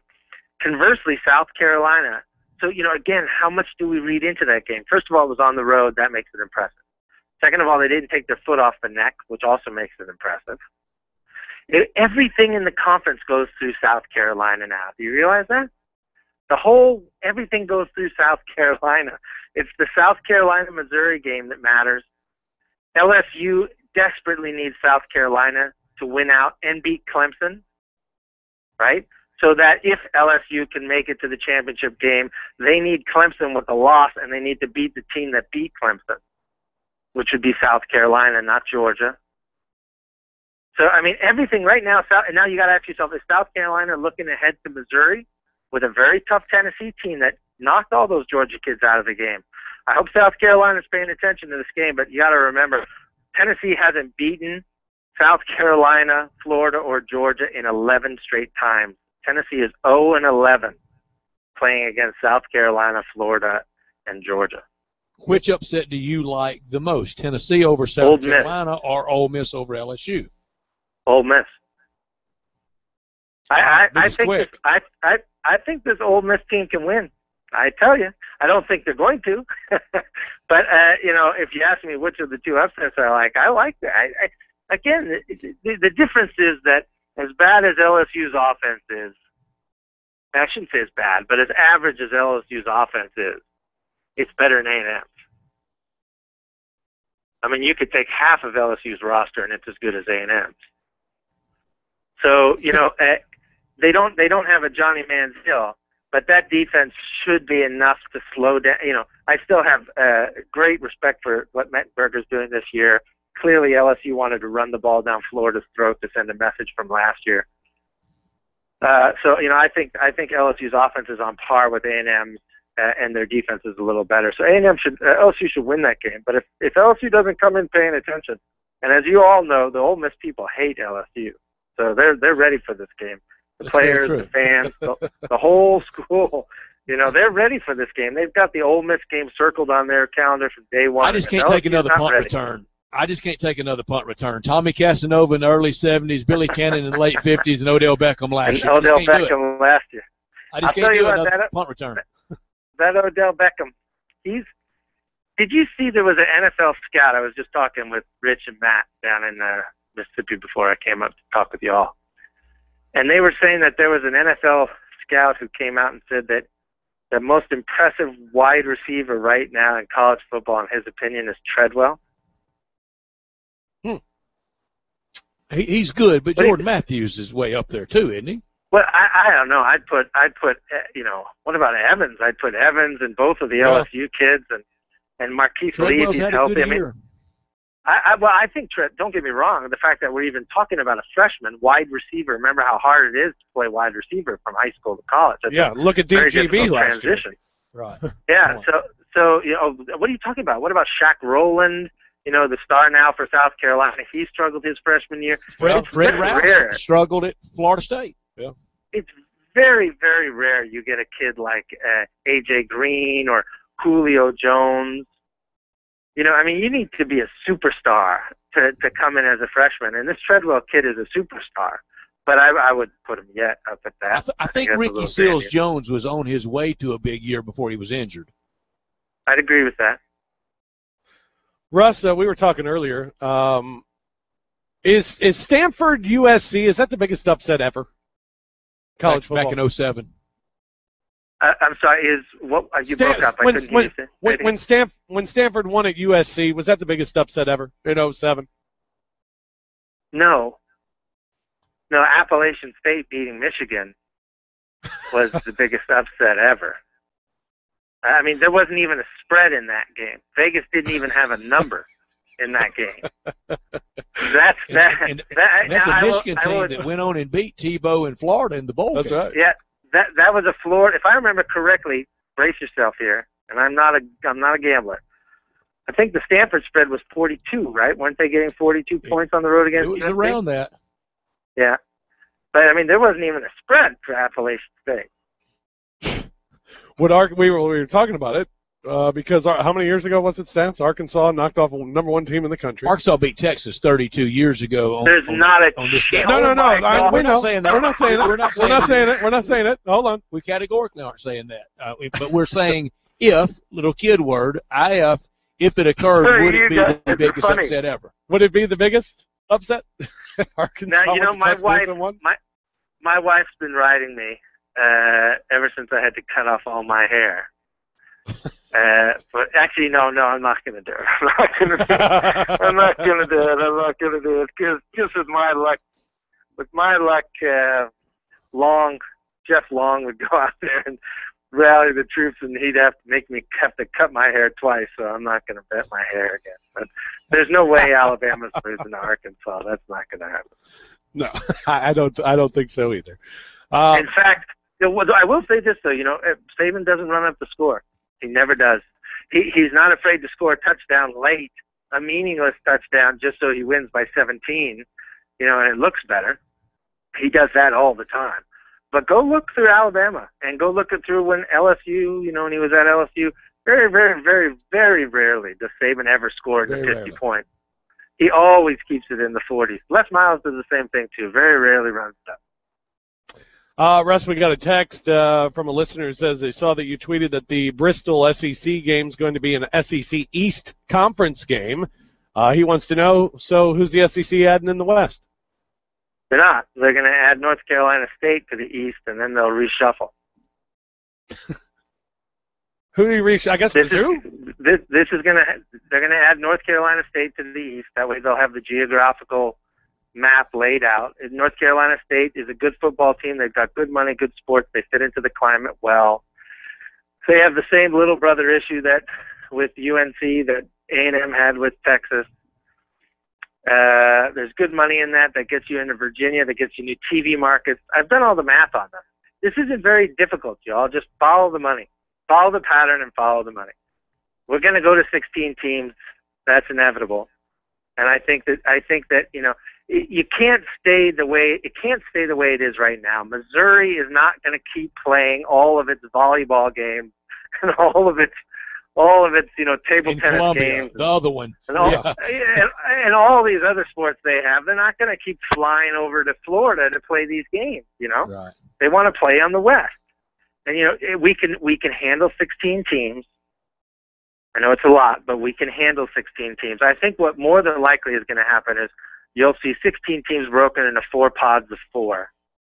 And when you actually sit down, and I, I've written on this a thousand times. Tell your listener to Google it and read it. I've written it. Retweet it tonight. You know, Retweet that column, Russ. All right, all right. You know, you're gonna you're gonna end up with four pods of four teams each. That way, you can actually keep the, you know, the Georgia, Auburn, Alabama, Tennessee rivalries. You know, and you can keep uh, you, it, that would actually work better than trying to split into eight and eight. Uh, that be, that would become a little bit more cumbersome. But there's a lot more change still coming, y'all. We're not stopping at the way the system is now, and Rob we're would though. We want to go. We want to go nationwide, Russ. Rob wants to. He wants to stop at the Cumberland River. I I have been telling. I've been, hey, just remember the Mason Dixon goes all the way up to Pennsylvania. It So we runs a can grab long way. Virgi- we can grab Virginia, and it's still south. And uh, you know, I'll tell you, I've I've said for a long time that we should open up an office in San Francisco. I We know. should have an SEC, we should have an SEC office in San Francisco and Chicago and and you know what? Beijing. To hell, to hell with them. To hell with them. You know, if, they, if the Big Ten can't handle us having an office in Chicago, then win. Keep your kids by winning. Otherwise, forget it. We'll come up and we'll just, you know, open an office and make it easier for our teams and our coaches. Come on up there and take your kids. Russ uh, this week had his midseason analysis. It's a damn good awards, thing I'm and not. Picks. I, I'm interrupting. It's a damn good thing I'm not in charge of the SEC because if I if it was, we'd be at war. we'd be at war, and we Well, we got winning. Pat, we got Pat Dye. uh, this week, uh, collegefootballnews.com, Russ's uh, midseason analysis awards and picks. Uh, really like your player of the midseason going to Mike Davis, guy who's not getting credit for the season that he's having. Also, kudos to you on top three players in the midseason who don't get any credit. University of Memphis kicker Jake Elliott makes your list of three. Perfect. The kid's Perfect 10 of 10. That's right. look at 10 of 10, 8 of 8 on extra points. If you're not, I, I don't know what qualification we're going by, but in my book, perfect is pretty good. And uh, and he, they do still play in the FBS, right? So he's perfect. that's correct. He plays, and he's so you not were, getting you a were lot doing, you were doing so you were doing so well with all your Tiger fans until you had to throw that FBS line in. Now here comes our email. I think the young man's playing very well, and he deserves all the respect he can get playing so well. Yeah, there you go. Keep it up. Keep it up. Right. Keep kicking those. Keep kicking those balls. Russ, always a pleasure, my friend. Uh, enjoy the weekend of football. We'll do it again next week. That's it. You're not going to give me at least one. You were right on Murphy. Not even one. It- it's so obvious. I was You- right on Murphy. Yeah, he's has, he's he's not worse than Driskel. goodbye. That's all I've said from the beginning. He's not worse than Driskel. He's really Goodbye. amended it. Thanks, Goodbye. Goodbye. Thanks, Ed. Appreciate it. Going around the SEC with Russ Mitchell each week, brought to you by Ken Rash's Incorporated. As I mentioned earlier, next week, starting Monday, it is Eggtoberfest. Eighth annual. Eighth annually. They're going to be cooking up. You know, we tell you each week you could cook up just about anything on the Big Green Egg. Well, they're going to be doing that next week I with mean, the. Uh, this is not just your hamburgers, hot dog. No, no, no. How cooker. about how about You can do cider stew? Cider stew. That sounds autumnal, doesn't it? Sounds perfect. Sounds this Halloween. time of does. year. Yeah, no question. Pork tenderloin with apples That and broccoli. time huh? of year. Spiral glazed ham, cowboy cookies, sourdough pizza bites. I could eat those for hours. Peach cobbler, and much, much, much more. Uh, so many uh, menu items that you, you can cook on the Big Green Egg: pizzas, barbecue, cookies, turkey, They beef will stew. have anything. drawings every day. Yeah, they're going to have a whole bunch of things going on. All eggs and stands, tables, uh, carts on sale, and don't forget maybe the uh, the greatest thing that we tell you every single week. Uh, you get a big green egg from Ken Rash's Incorporated.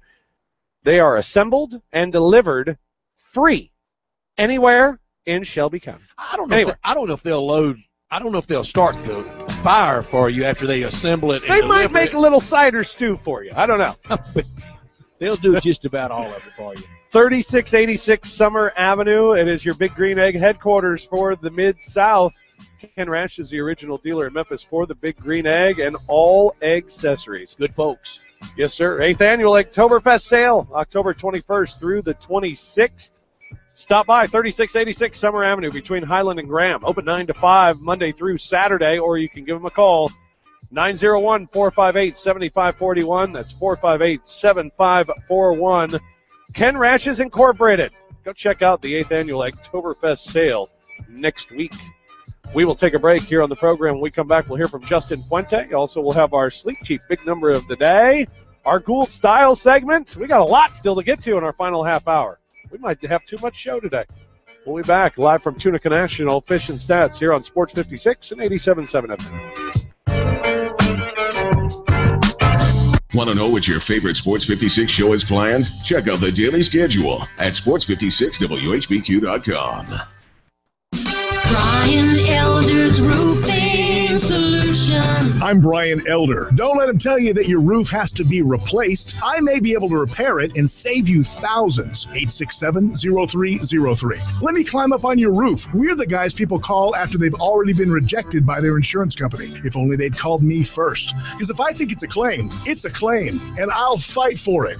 867 0303. We built the roof on the St. Jude Dream Home and all six roofs on this year's Vesta Home Show. Call me to find out why.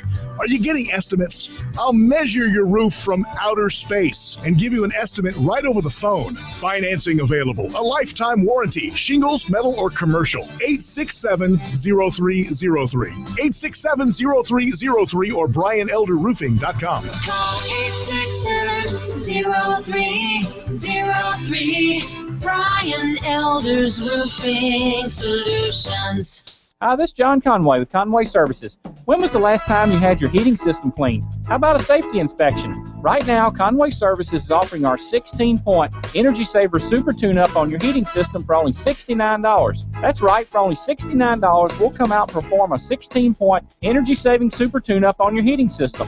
We'll also include a complete safety inspection using our state-of-the-art camera system, making sure there are no cracks in your heating system that could be releasing carbon monoxide. Plus, we'll run a carbon monoxide test on your heating system, all for only $69. You can have the peace of mind knowing your heating system is safe and ready for those cold winter nights. So call Conway Services, the Mid South's premier heating, cooling, and plumbing service company at 384 3511. Call this week and ask for the early bird special, and we'll perform your super tune up for only $57. Call 384-3511. Conway Services. Call Conway today. The name has changed and so have the deals. AutoNation GMC Mendenhall is lighting up the market with incredible lease specials. For example, a 2013 Terrain for 199 a month for 39 months and the 2013 Acadias for 299 a month for 39 months. And don't forget the sell down on all 2013 Sierras. Discounts up to 10,000 off MSRP while they last. So hurry over to AutoNation GMC Mendenhall for all your GMC needs. You'll see the dedication in every single step. You'll see it in the smiles when smiles are hard to get. You'll see it in the little things that add up to success.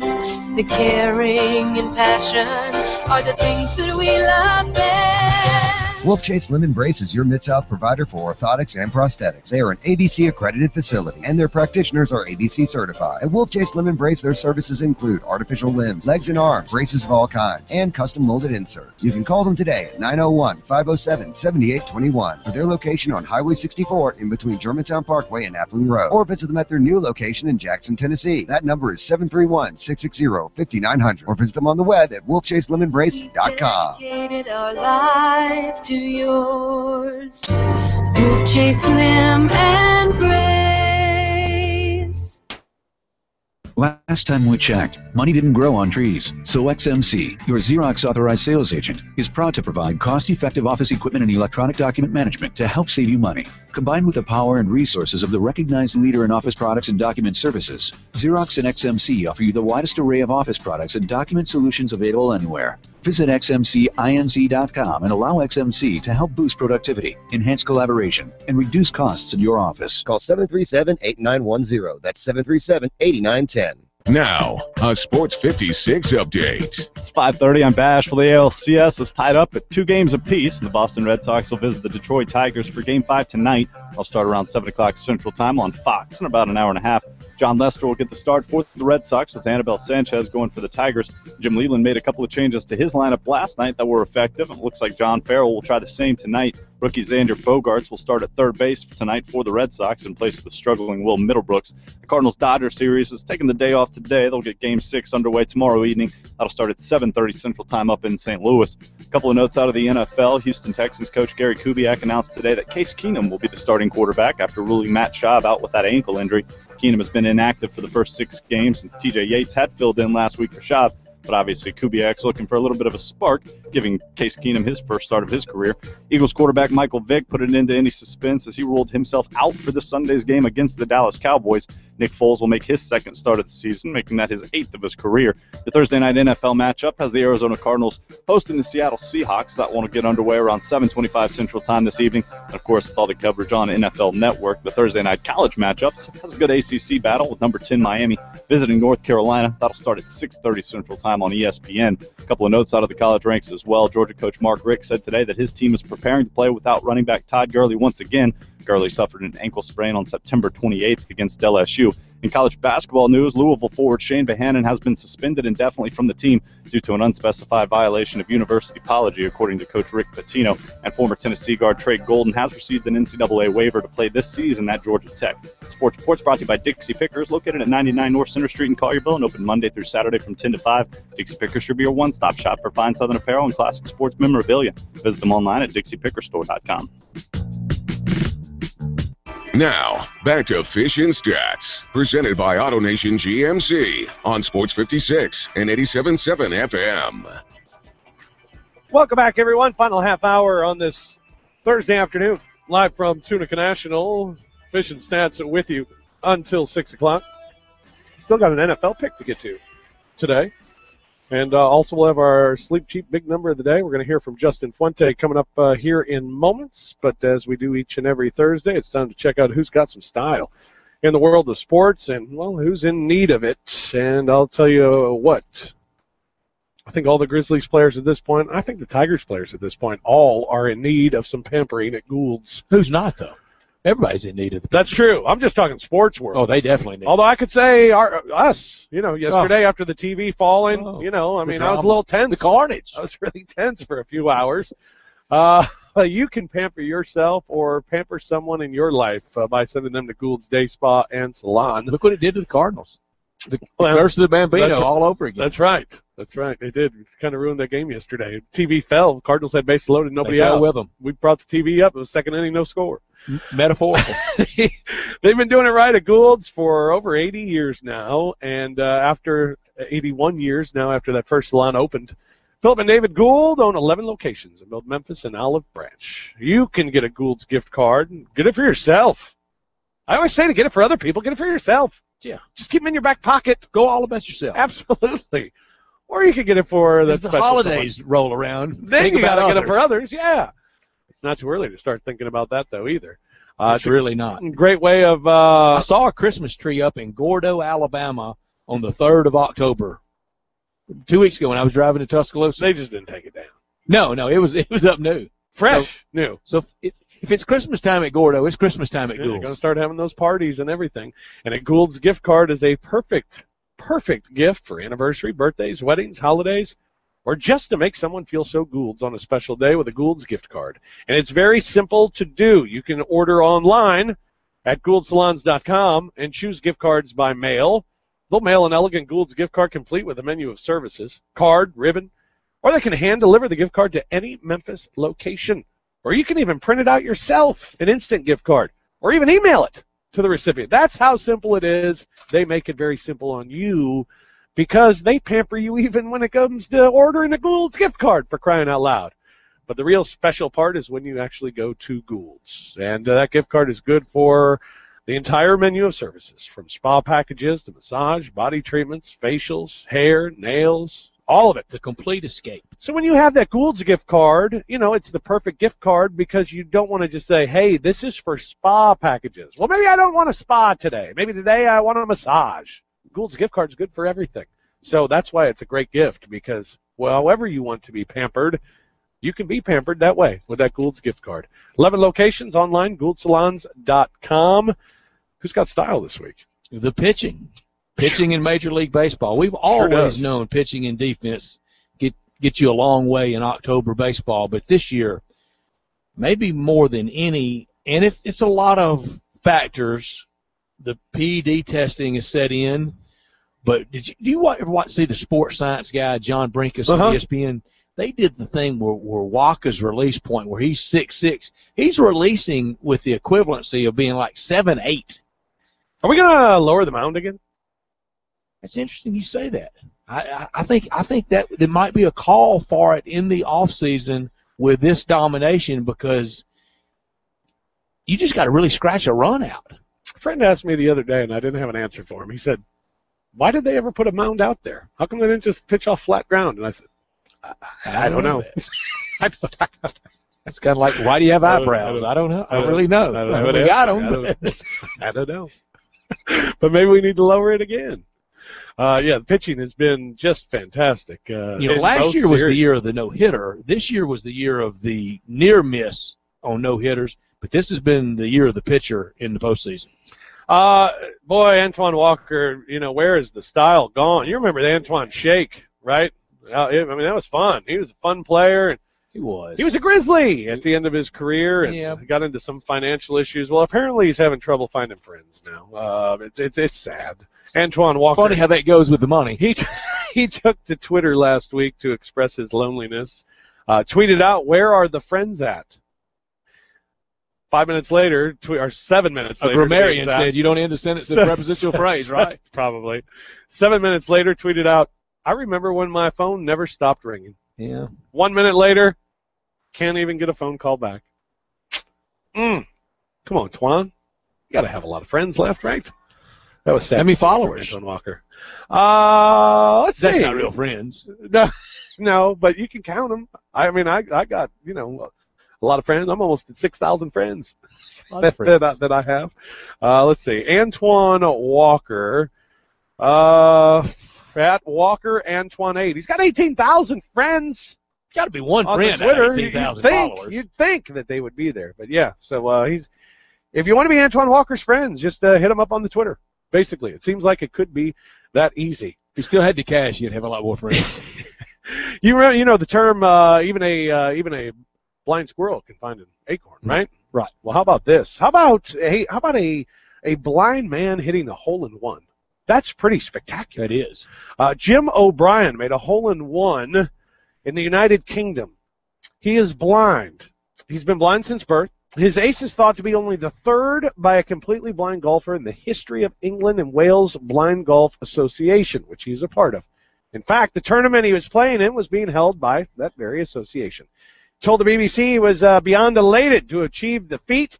Said it's every golfer's dream to do a hole in one, especially if you're totally blind. When I teed off, I hit it nicely. The only thought I had in my head was, let's hope it makes the green. After a few seconds, the guy I was with said, it's in the hole. It was a great feeling. It's unbelievable. What and if it made certainly is unbelievable. What if he was on the hook? Yeah, he had to buy drinks. I hope his friends are nice. Yeah, there are 200 people in here. Well, that's the good side for Antoine Walker right now with no friends. If he had a hole in one, he wouldn't have to buy That- anybody a drink. that, that is a good point. But congratulations. Uh, that's an unbelievable story. Jim O'Brien with a hole in one, uh, being completely blind. That's a fantastic moment. So uh, good for him and congratulations. He needs to go get himself a massage at Gould's. Is what he needs to do. Uh, you can uh, do that for yourself, or you can get that Gould's gift card for the special someone in your life. It's very simple. Just go online at gouldsalons.com or stop by any of the 11 locations. The gift card is good for the entire menu. Spa packages like the couples or bridal, complete makeover, or even the spa day of beauty. All the massages, the therapeutic deep tissue massage, relaxation, or mother to be. How about the paradise body butter wrap? Might not be Huh? a better gift out there for wedding parties. You know, it's always what, what do you Yeah. get groomsmen and and bridesmaids? That's it. There you go. Boy, you just gave people a great idea. Lot of putting weddings away. coming up. Absolutely. Uh, stop by any of the 11 Gould's locations or get married during football season? I know so. or go online, gouldsalons.com. All right. Justin Fuente, the head coach of the Memphis Tigers. He was uh, he joins the middays program each and every week. Sounds more comfortable every week with Greg Yep. and Eli, and, and really, I, I I think people are are itching to fall in love with Justin Fuente in this area. He's got to win. He knows that, but Yeah. he he's got it. One thing struggled with last week against Houston, not only the turnovers, but the penalties. 12 penalties for 86 yards. Tigers now have 41 penalties on the season. They have a game with 15 and a game with 12, averaging just over eight penalties per game. That's where they started with Coach Fuente addressing the penalty issue last week. Well, we had a couple procedure penalties offensively down there in the red zone. With uh, we had a hard time, I guess, hearing. You know, it's kind of an interesting stadium. Oh, the soccer stadium, right? Yeah, I mean, it was kind of weird. I mean, the kids were kind of, you know, saying that it was really loud, and I had a hard time with that. It, you know, but uh, I just didn't think there were that many people there. But it was built kind of neat. I mean, it was really cool. If you're going to build a 20,000 seat stadium, that's the way to do it. You know, I mean, it's Mhm. really, it really kind of a cool structure. But we had some problems with that, and then, uh, you know, we had a couple deals there on on defense where we um, didn't do what we're supposed to do that that that ended up hurting us. So you know that comes back to discipline and it comes back to understanding that our actions affect the team and we've got to continue to put the team first. And uh, it's one thing to say, it's another thing to do. And Right. We've, we've got to do. Coach, there, the, there's two questions that, that we, I think, get more than any, um, that we've gotten more than any. One is about the quarterback situation. You've addressed that numerous times. I want to ask you about that. Number two is people keep asking me, why do they run so many trick plays? Why are we seeing the halfback passes, the, the double reverses, and things like that, that that seem to be causing us problems? So I'll let you address that to people who ask that question. Well, you know, I mean, why do we run them? Obviously, we run them because we practice them and we anticipate the execution being there and for them them to work. Um, you know, we, um, you know, those are those are things that we feel like we can take advantage of other people's pursuit. I think, uh, you know, do do people call plays and in retrospect wish they hadn't? Does that happen? Absolutely. you know, I mean, I don't think anybody that that goes to their job and then goes through a, a, a long period of decision making that doesn't go back and check why they made decisions and and then uh, you know kind of criticize or at least constructively criticize themselves and and see what led to those decisions and either agree or disagree with some some of the decisions you may may have made along the lines. But um, you know you look at the deal at, at Central Florida I thought you know it was a it was the guy we had the guy there. We just didn't didn't make the play. We didn't do a good job up front. The guy was in our running back's face and uh, you know led to the ball coming out late and and being a little bit underthrown. And then, uh, you know, we laid the ball on the ground last week. So, you know, those are things that we're going to continue to do. We're going to continue to have them in the game plan. We're going to continue to work them and execute them, and uh, all part of trying to keep the defense honest in order for us to to run our base stuff. You mentioned uh, earlier about uh, several problems, several issues, and it wasn't just one in the red zone. And you talked about the receivers, and and to have the situation with the receivers where one maybe not the aware, awareness of where they are, so they can put one foot in and have a have a catch, uh, one hanging onto the football. Um, there have been some situations so far with with the receivers and. Uh, I don't know if you can pinpoint that, but uh, do you expect a little bit more from what you're getting so far from your overall from your receiving core? Absolutely. I mean, I don't. Uh, you know, I think they would expect more of themselves as well. You know, and um, the the thing that you've got to do as a head coach is demand more, and also realize that in no way, shape, or form do we pin it only on a, per, a certain person or a certain group. Right. And it's including the wide receivers or the linebackers or whoever. But we've got to understand that those are opportunities to make plays. Those are balls being pushed down the field Mm-hmm. that uh, give us a chance to have those gap plays or game altering plays or those chunk plays that um, that can really affect the outcome of the game. And you know, for whatever reason, we just we have been there. We just haven't been able to get those things you know pulled in. So I don't. Um, you know, I yeah, we do. We do expect those guys to do a, to do a little bit more and, and to make some of those 50-50 plays and and some of them that aren't even 50-50 plays and uh, continue to develop and and get better and and and make some of those plays. The thing I I would say in in some of their defense is they're an awfully young crew and uh, you know Joe Craig is a junior but has not played. You know he went. Right. Uh, you know this is his first first go around, and some of those other guys are freshmen and sophomores, and you know though you know that's part of the deal. But also they've got to understand that it's time to grow up, and it's time for us to go. If we want to be the type of program that we talk about, and we want to make the type of strides that we all talk about getting, um, you know, we've got to make those plays. SMU coming in on Saturday. They're one and four also. Uh, what have you seen from them? What should we expect on Saturday? Well, they're going to put the ball in the air. I can promise you that. June, June seems to do that a little And bit. Hal Mumme, yes.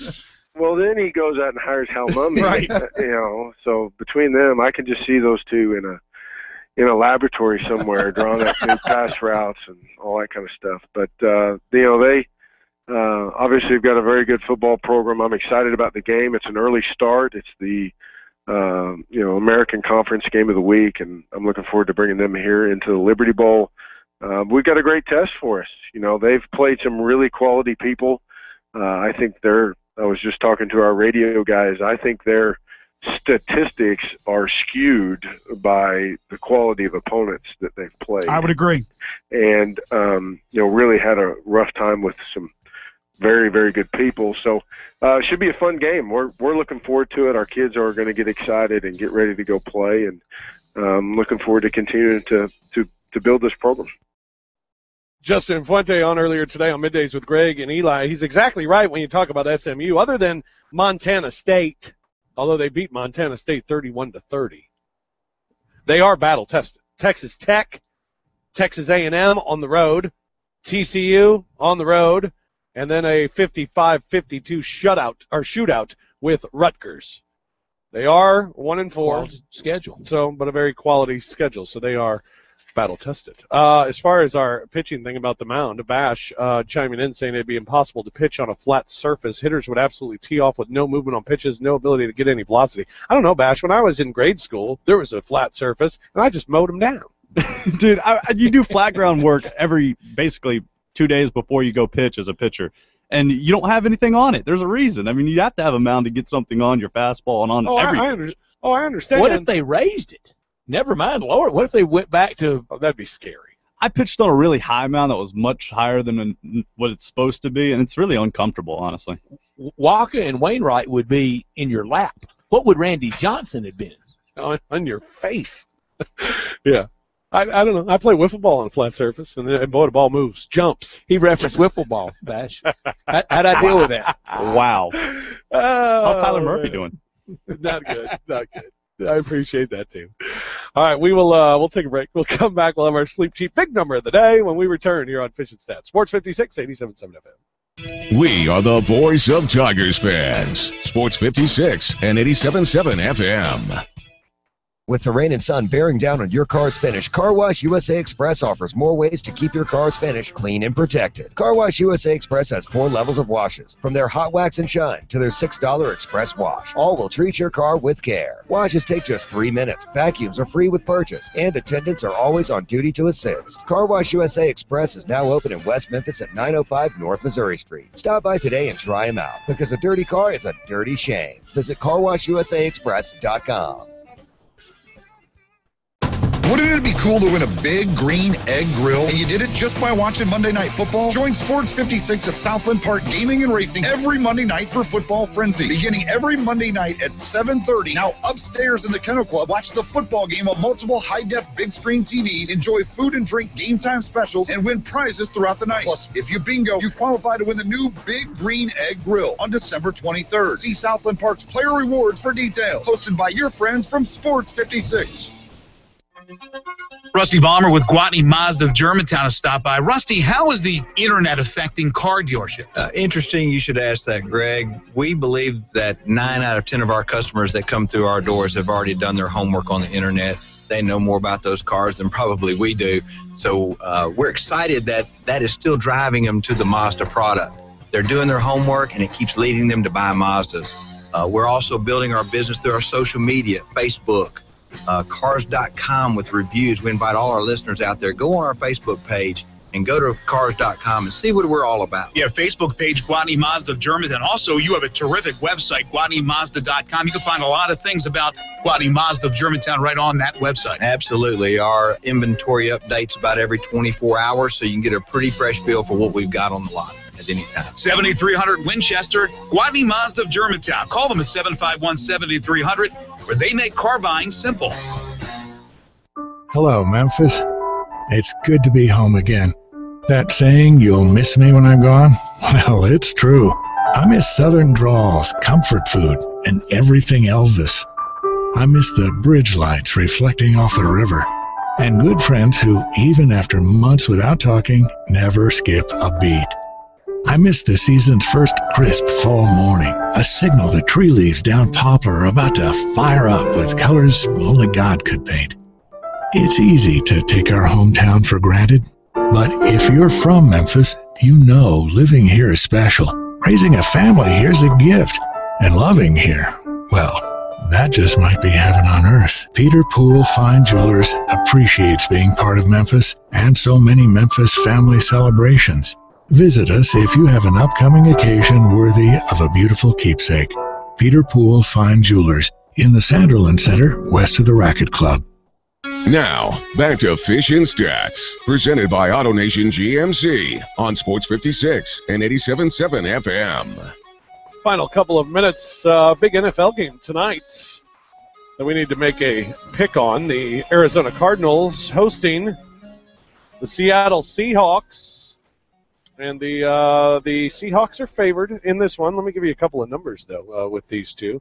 The Cardinals have covered seven of the last games at home against Seattle. However, the Cardinals have lost seven straight division games. The Cardinals are a five and a half point dog. I'm taking the Cardinals. Big taking Red. the dog. Go Big Red. Stats, you're going with the Cardinals as well. Bash. I'll differ from you guys. I'll go Seattle. Seattle's probably going to do it then. It's Thursday night. I don't have good Thursday night luck. All right, now it's time for our sleep cheap big number of the day. So listen, um, I I was wondering, can I have your number? Brought to you by the great folks at the Sleep Cheap. Boy, if you've had your mattress too long, you're not comfortable when you sleep, you toss and turn, maybe just feel groggy in the mornings. Well, better night's rest. It's on you. That's right. A better night's rest can make you feel a lot better. And at Sleep Cheap, they want to help you on the journey to a better night's rest. This is easily corrected. Absolutely. Go by and check out the mattresses they have. They're spectacular, and check out the deals that they have. They're even better. Uh, Fuller Queen pillow top mattresses as low as one forty nine ninety nine. Fuller Queen memory foam mattresses two forty nine ninety nine. This is every day. This is not catching Every day. on a Every, right. nope, every Tuesday. single day. Every single day. And all the memory foam is replica of Tempur-Pedic, but it's a quarter of the price. And there are five stores in Memphis to choose from, so there is one near you. And a simple phone number, 503-9930. 503-9930 at Sleep Cheap. They want to help you on your journey to a better night's rest, and they can. They bring us our big number of the day. What you got? Rob, you remember when the stolen base was really critical to baseball, but especially in the National League? Yeah. The big number of the day, seven. Seven stolen bases in the National League playoffs, uh, LCS, between the Dodgers and the Cardinals. Twelve in the American League. That is unbelievable. I'll tell you what, that, that kid from the Reds, next year if he's on the big Oh, he club, would blow it out. He might get to 100. He could. Because he every time he's on light. base, he can go, Mm-hmm. which would be great. We haven't seen that in a long, long time. Uh, my number today is seven, and it's not good. It's I not seven. good. I hate to leave you with this.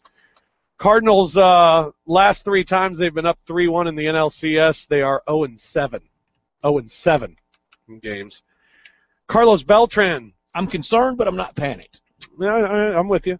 Carlos Beltran's teams. Tomorrow night at 10 o'clock, panic. When a win means a trip to the World Series. Carlos Beltran's teams are 0 and 7 as well. The Dodgers, however, are 0 5 in St. Louis in the NLCS, so got that going for you, along with Adam Wainwright and Michael Wacha going for you in St. Louis for games six and seven. Here's one other number for you today. This news. Uh, Kershaw will be unhittable. well, probably. This news just coming out today. The Shreveport Times reporting that uh, Grambling interim coach George Ragsdale has been fired. Defensive coordinator Dennis Winston named the third head coach of Grambling now in five weeks. I wonder if that's the Dennis Winston that played for the Steelers and played at Arkansas from Marianna. Dennis Dirt Winston. Don't know. He's the uh, he's the defensive coordinator. I know they they had a players boycott. I wouldn't recommend that if that's the Dirt Winston I'm thinking of. Hmm. Because the welcoming back party won't be really nice. This wasn't uh, this wasn't pretty either. Apparently, the Grambling president, the AD, and the student government president all met with the players. The the They meeting the coach. meeting ended. The coach showed up for practice. He was there by himself. Team was gone. Uh, they've lost 17 straight games. Doug Williams fired two weeks into the season. Uh, that was followed by the defensive line coach being fired. Now the interim coach has been fired. It's just a big That's old too bad. firing going on. Because there, there's no history in college football any more replete with success stories and and victories than Grambling. Very proud program. Hmm. Eddie Robinson was some guy. Well, there you have it. Three, three coaches in five weeks. Uh, have you had your current mattress too long? Well, it's time to come by Sleep Cheap. It's essential to good health, and they want to help you on that journey. Brand new factory direct mattresses, affordable payment options, excellent customer service. They can accommodate all of your bedding needs. Same day delivery, 12 month interest free financing, layaway as well. Go by Sleep Cheap. Check it out yourself and you will come away happy and you'll come away sleeping a lot better and it'll change the way you feel each and every day. I'm going to get a good night's rest tonight and I'm going to head to Nashville tomorrow. Stats. Sean Arnell's Monday. going to be stepping in tomorrow. Sean will be with us tomorrow. Look very, very forward. I'm letting Sean make all my picks. I think that's my best move. Sean's gonna play you tomorrow, except for the Tyler, Mur- Tyler Murphy lunacy.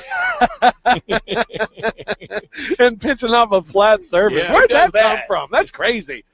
That's going to do it for us. Uh, I will see you Monday. You have a good weekend, Stats. Bash, you have one as well for Bash and Stats, and all the great folks here at Tunica National. Have a great weekend. Uh, it was Fish and Stats with Sean and Stats. We'll be back tomorrow at 3. The best Grizzlies blog is teaming up with the best in Memphis sports radio. Three Shades of Blue Radio with Josh Coleman, Jonathan May, and Philip Dean. Saturdays at 9 a.m. starting October 19th. 3 SOB Radio. Things are about to get real. Elegant, efficient and intelligently priced. It's the all-new 2014 MDX. This is General Manager Greg Hapke. Enjoy state-of-the-art technology and seven-passenger seating. Luxury at a whole new level. Acura of Memphis.com. Hi, I'm Kelly Erb. I work with Sheldon Rosengarten at Marx Bensdorf, the oldest real estate company in town. I can't tell you how many people remind me he is known as Shell Done because of his ability to get things done.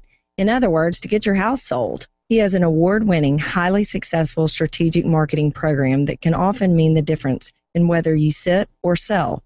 And our company and our team also specialize in corporate relocation through our network of quality brokers called Leading Real Estate Companies of the World.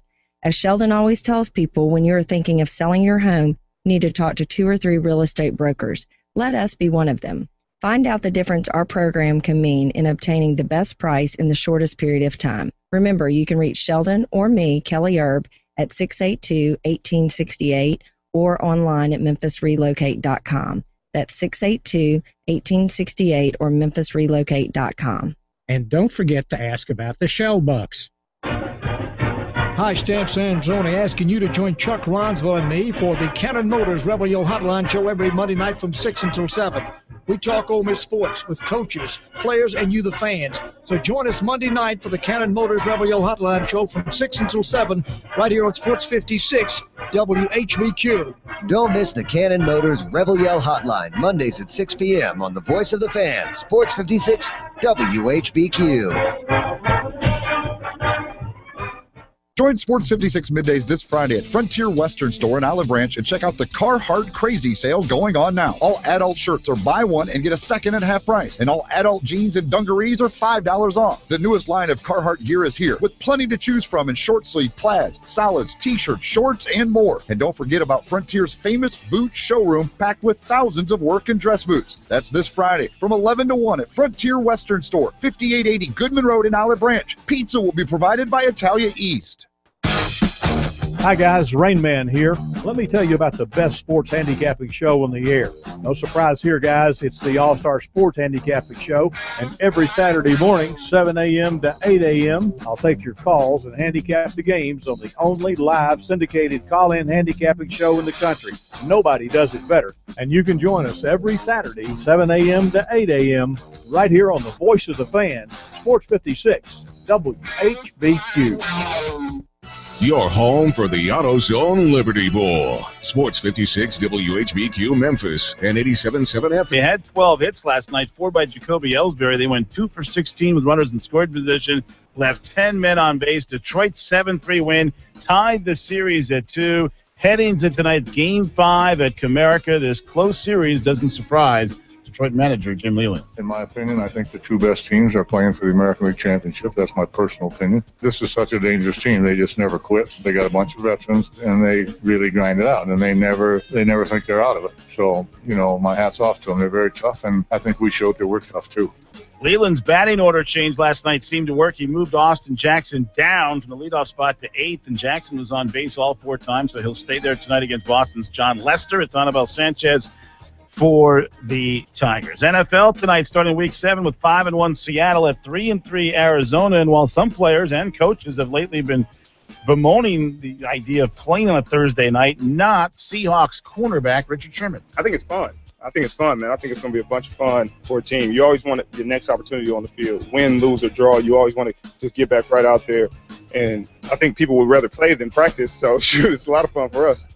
Cardinals defensive end Calais Campbell will play tonight just four days after being carted off the field on a stretcher with a bruised spine. Adrian Peterson back with the Vikings today. He missed practice yesterday to go to South Dakota for the funeral of his biological two year old son who died last week. Peterson admitted today it was only two months ago that he learned he was the father of the boy who died from injuries sustained in an alleged assault. Well, the Falcons are one and four, and Tony Gonzalez will retire after the season.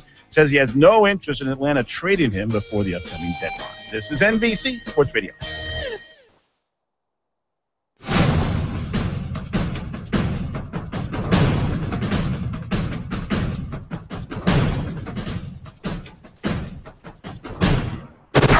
John Stashower. This is NBC Sports Radio. All sports, all the time, where every day is game day. And now, John Stashower. So good to have you with us. It's Thursday night. It's the John Stashower Show, off and running on NBC Sports Radio and NBCSportsRadio.com. We're on Twitter at Stash Show NBC, our website, NBCSportsRadio.com, where there's the on demand function you can get to, or you can download the app, and our phone number is 855 323 4NBC. That's 4622. We got uh, a little list, little of that tonight. We got a baseball game, we got an NFL game, we got a college football game, we got hockey games, we got uh, exhibition basketball games. Uh, eh, we won't pay too much attention to that game in the NBA. I mean, the Heat do play the Nets tonight. That's kind of a little interesting. We got a little, little uh, interesting thing that LeBron James had to say about the Nets, but we'll get to that. Uh, the hockey, Tim Thomas won a Stanley Cup with the Bruins, then quit on him, retired, sat a year out. Now he's playing for Florida. He'll face the Bruins tonight. The college football is Miami at North Carolina. Miami, good chance to get to six and zero. And the NFL is Seattle at Arizona, which is a decent game. The Cardinals are three and three. They're two and zero at home. Um, they could get into the. This could make this uh, NFC West a little interesting if they can knock off the Seahawks tonight. Seattle has lost two straight and six of seven in their last seven trips to the desert. Although they did beat them 58 to nothing uh, at home last December. So we know that Seattle is a great team at home, but not always great on the road. And we'll see what happens in the Thursday nighter. And uh, by the way, we were talking during the week about earlier in the week about how players don't like playing on Thursday night. Anquan Boldin, Bruce Arians, the Arizona coach, said this week that players, there are a lot of players who can't play after a Sunday game. They're not ready to play on a Thursday night. If, they, if it was the game was a Sunday, they could play. But Richard Sherman, who likes to talk, he likes to play even on Thursdays. I think it's fun. I think it's fun, man. I think it's going to be a bunch of fun for a team. You always want your next opportunity on the field, win, lose, or draw. You always want to just get back right out there. And I think people would rather play than practice. So, shoot, it's a lot of fun for us. Larry Fitzgerald knows how good the Seahawks are on defense. They're a great challenge for us. You know, they have a lot of uh, talented players, not only in the secondary but across the board. I mean, they rush the passer very well. They got an extremely talented young group of linebackers, and obviously their secondary, you know, speaks for itself. Um, so it'll be a great challenge for us. You know, it's a national audience at home. You know, our fans will be in full force. I mean, so it's gonna be a gonna be a fun game to be at. All right, we'll uh, obviously keep our eye on the football game that starts in about an hour and a half, but there is a really big baseball game that we get going in about an hour, a little over an hour. Uh, in Detroit, there was talk of rain all day in Detroit. Tarp was on the field, but uh, when I saw this, this the live shot little while ago, it looks like the rain had stopped. So we're going to get baseball tonight, and it's a huge game. You're talking about a best of seven that's now reduced to a best of three, as the Red Sox and Tigers are tied at two, and the Detroit starting pitching continues to be the big story of this series. Even though Doug Fister last night gave up a hit in the first inning and a hit in the second, so it wasn't you know unbelievable pitching right out of the gate as there had been in the first three games. That Go, going into last night, the Red Sox didn't have a single hit over the first four innings of any of the first three games. But Fister was good, and of course this was a game that got away from the Red Sox when the Tigers scored five runs in the second inning off Jake Peavy, who has not been a particularly good postseason pitcher in his career. But the Detroit starters, Sanchez in game one, who had the 12 strikeouts in six innings and did not allow a single hit, followed by Scherzer, then Verlander, and last night Fister, 27 innings of pitching, allowing only three runs. Now, I can figure that one out. That's one run every nine innings, which I believe is a one ERA. 42 strikeouts in those 27 innings, and they've allowed only 14 hits. You get that kind of starting pitching, it goes a long way. That's how they got to the, the World Series a year ago. Now, the pitching didn't carry over in the World Series. The Giants got to them, but they dominated the Yankees a year ago. Red Sox have done better than the Yankees did, but um, Sanchez was really good. And you hear so much about Scherzer, who won 21 games, and everybody knows about Verlander. But Sanchez had the lowest ERA in the American League, not just on the Tigers staff. And what he did in game one to have 12 strikeouts and six walks hadn't been hap- hadn't happened in the postseason. I love how they find these things out. Since Walter Johnson for the 1924 Washington Senators in the World Series, he pitched 12 innings in that game, and that was Sanchez against Lester, and Lester was really good, but gave up one run on six hits, and Detroit won game one, one to nothing. And then, of course, Boston came back and won game three, one to nothing. Last night, we finally had some runs scored as the Tigers won seven to three. Jim Leyland shook up his batting order a little bit for one night anyway. It worked. Torii Hunter batted leadoff, had a two-run double. Miguel Cabrera batted second, which is a little unusual for a guy with that kind of power, but he had two hits, two RBIs. And the big move was moving Austin Jackson down, which made sense. He's not a leadoff hitter. He strikes out a lot, doesn't get on base enough, and yet last night, batting eighth, got on base all four times. Two hits, two walks, scored a couple of runs so it worked. Now the Red Sox have made a lineup change for this game tonight, and it's one that you saw coming because this kid Xander Bogaerts, when when the Red Sox were looking to make trades at the end of July, and they made the deal to get Jake Peavy, the one guy they said they're not giving up is Xander Bogaerts. Just turned 21 years old, big kid to, who can play either shortstop or third base, and they called him up, showed you some signs, and he's going to be in the lineup tonight because both Stephen Drew the shortstop, and Will Middlebrooks, third baseman, have struggled. They're combined two for 23. So I think it was pretty clear that Bogaerts was going to start tonight. He just didn't know where. It's, he's going to play third. Middlebrooks goes to the bench, but it's not like he's the only guy that's. I mean, Big Poppy had the grand slam. That's all he's done. He's 0 for 14 in the rest of the series. Now the Red Sox got 12 hits last night. Jacoby Ellsbury had four, but they were two for 16 in runners in scoring position. They're hitting 186 in the series, 100 points lower than what they had in the regular season. This is a team that led the major league in runs and batting average. This is a team that beat the Tigers in a game in early September, 20 to four. I don't expect 20 to runs in this in a postseason game, but you know we'll see. I think if certainly if the Red Sox get this win tonight, I like their chances of going home and closing this thing out. I know they'll face Scherzer in a game six and Verlander looms for a game seven. But I, I just like the Red Sox. If they're 3 2 and home and knowing what Fenway will be like on Saturday, if they get this win tonight, uh, I, I like their chances. If Detroit wins tonight, I like their chances too to win one of the next two, considering the, the pitchers that they've got going. So I think there you go. I think the winner of this game tonight will win this series. It's a close series. It's just as Jim Leyland expected it to be. In my opinion, I think the two best teams are playing for the American League Championship. That's my personal opinion. This is such a dangerous team. They just never quit. They got a bunch of veterans, and they really grind it out, and they never they never think they're out of it. So you know, my hats off to them. They're very tough, and I think we showed that we're tough too. And after last night's win, Torii Hunter looked ahead. We can't ask for anything more. We come back against a, a tough lefty in Lester, and uh, uh, we got Anibal going, so it's gonna be a lot of fun. It's gonna be a pitcher's duel. But whoever execute and play fundamentally sound baseball, that's what's going to win those balls games. And the game tomorrow night should be really fun also because Clayton Kershaw is going to go for the Dodgers. And in 33 starts this year, only three times did he allow four more earned runs, a 1.83 ERA, 232 strikeouts, and his postseason ERA in three starts, 0.47. Then you've got this kid, Michael Wacha made only nine starts in the regular season. Was in the minors in early August. And here's what he's done in his last three starts: eight and two thirds against Washington in the regular season, one hit, no runs, nine strikeouts. Seven and a third against Pittsburgh, one hit, one run, nine strikeouts. Six and two thirds against Kershaw in Game Two of this series, five hits, no runs, eight strikeouts. So that's 22 innings, one run, seven hits, 26 strikeouts kid is for real. Cardinals really good at home, 54 and 27 the regular season, four and one thus far in the postseason.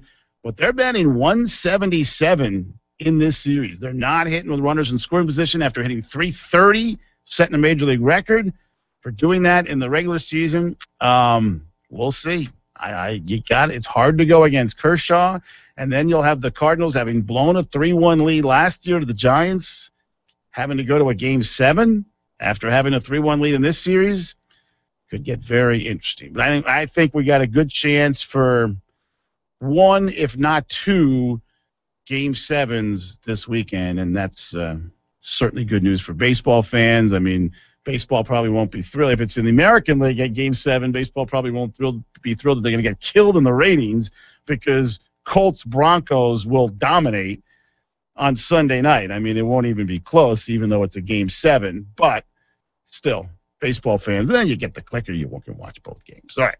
Bobby Valentine's coming up. He's got his thoughts on Jon Lester. He pitched, he managed him last year. He's going to watch him pitch tonight. Give his thoughts on the National League Series as well. Baseball talk with Bobby V. Coming up next, John Stashower Show, NBC Sports Radio and NBCSportsRadio.com. NBC Sports Radio. Hey, it's Mike Leach, head football coach of the Washington State Cougars, and this is NBC Sports Radio. Sports 56 middays with Greg Gaston and Eli Savoy. 11 to 1 weekdays here on Sports 56 and 87.7 FM. Check into, check into cash. Hi, this is Lisa with Check Into Cash. We give you more money for your title and guarantee the lowest title loan rate anywhere. Visit checkintocash.com and get a quick estimate on your vehicle. Save more and get more at Check Into Cash. Loyal customers have trusted us for 20 years, and you can too. Restrictions apply. Bring proof of lower rate on similar title loan. Visit checkintocash.com for the store nearest you. Get on down, check into cash.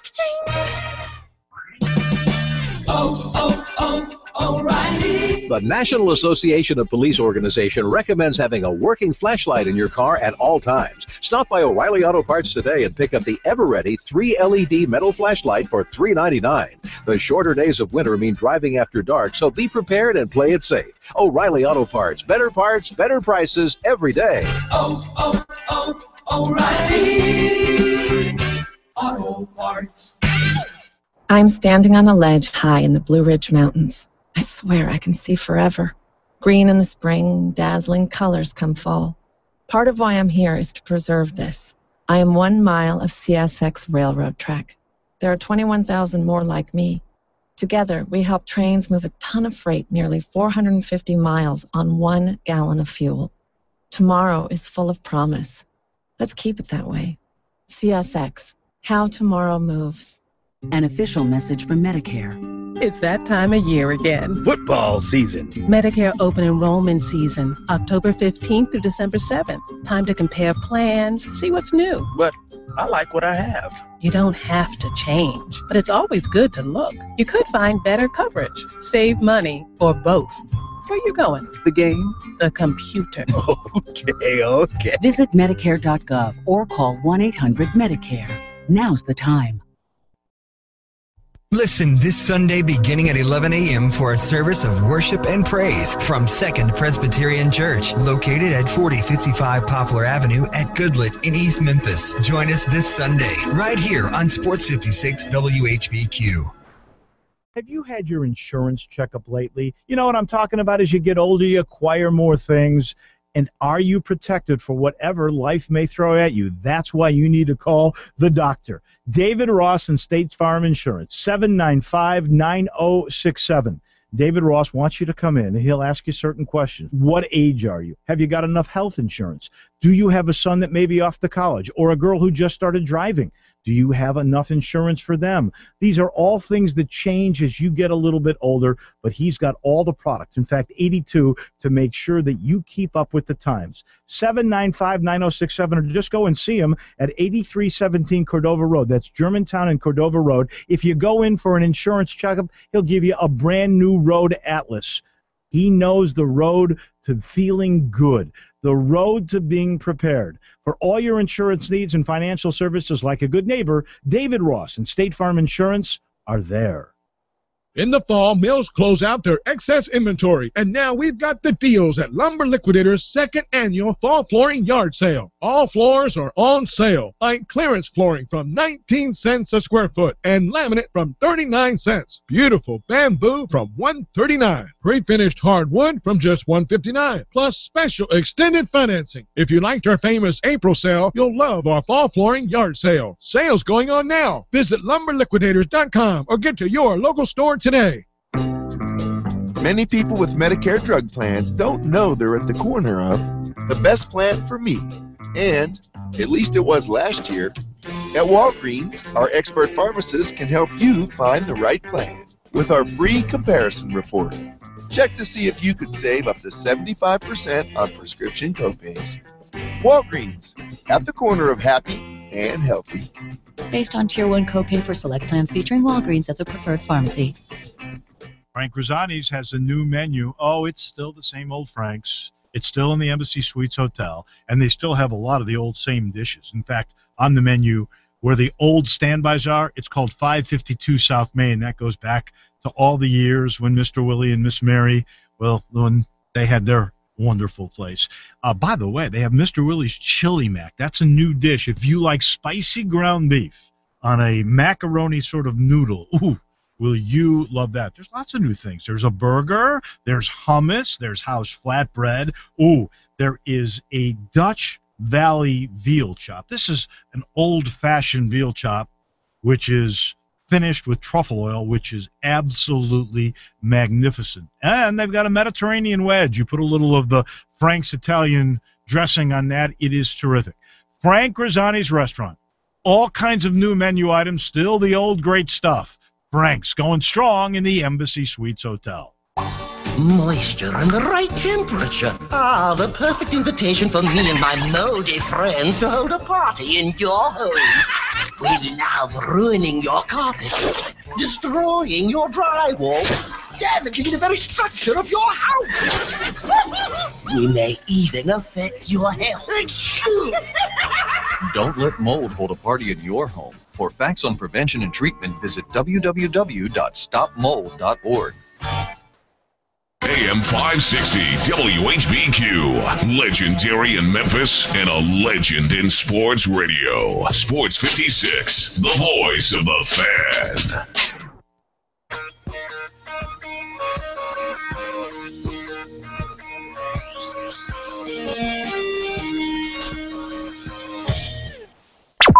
NBC Sports Radio. Swinging a ground ball up the middle and into center field past the diving Pedroia. Second RBI for Miguel Cabrera makes it a 7 0 lead in the fourth. In the fourth. He makes the catch, and the series is all even at two games apiece. The American League Championship Series. Follow us 24 7 as we cover every pitch on NBC Sports Radio and NBCSportsRadio.com. John Stashower Show, NBC Sports Radio. Let's bring in Bobby Valentine to talk some baseball because we got a game tonight coming up in Detroit, a big one, Game Five of the American League Championship Series with the Red Sox and Tigers tied at two. So, Bobby, Jon Lester will be on the mound. He was on the mound for you last year, so you know him well.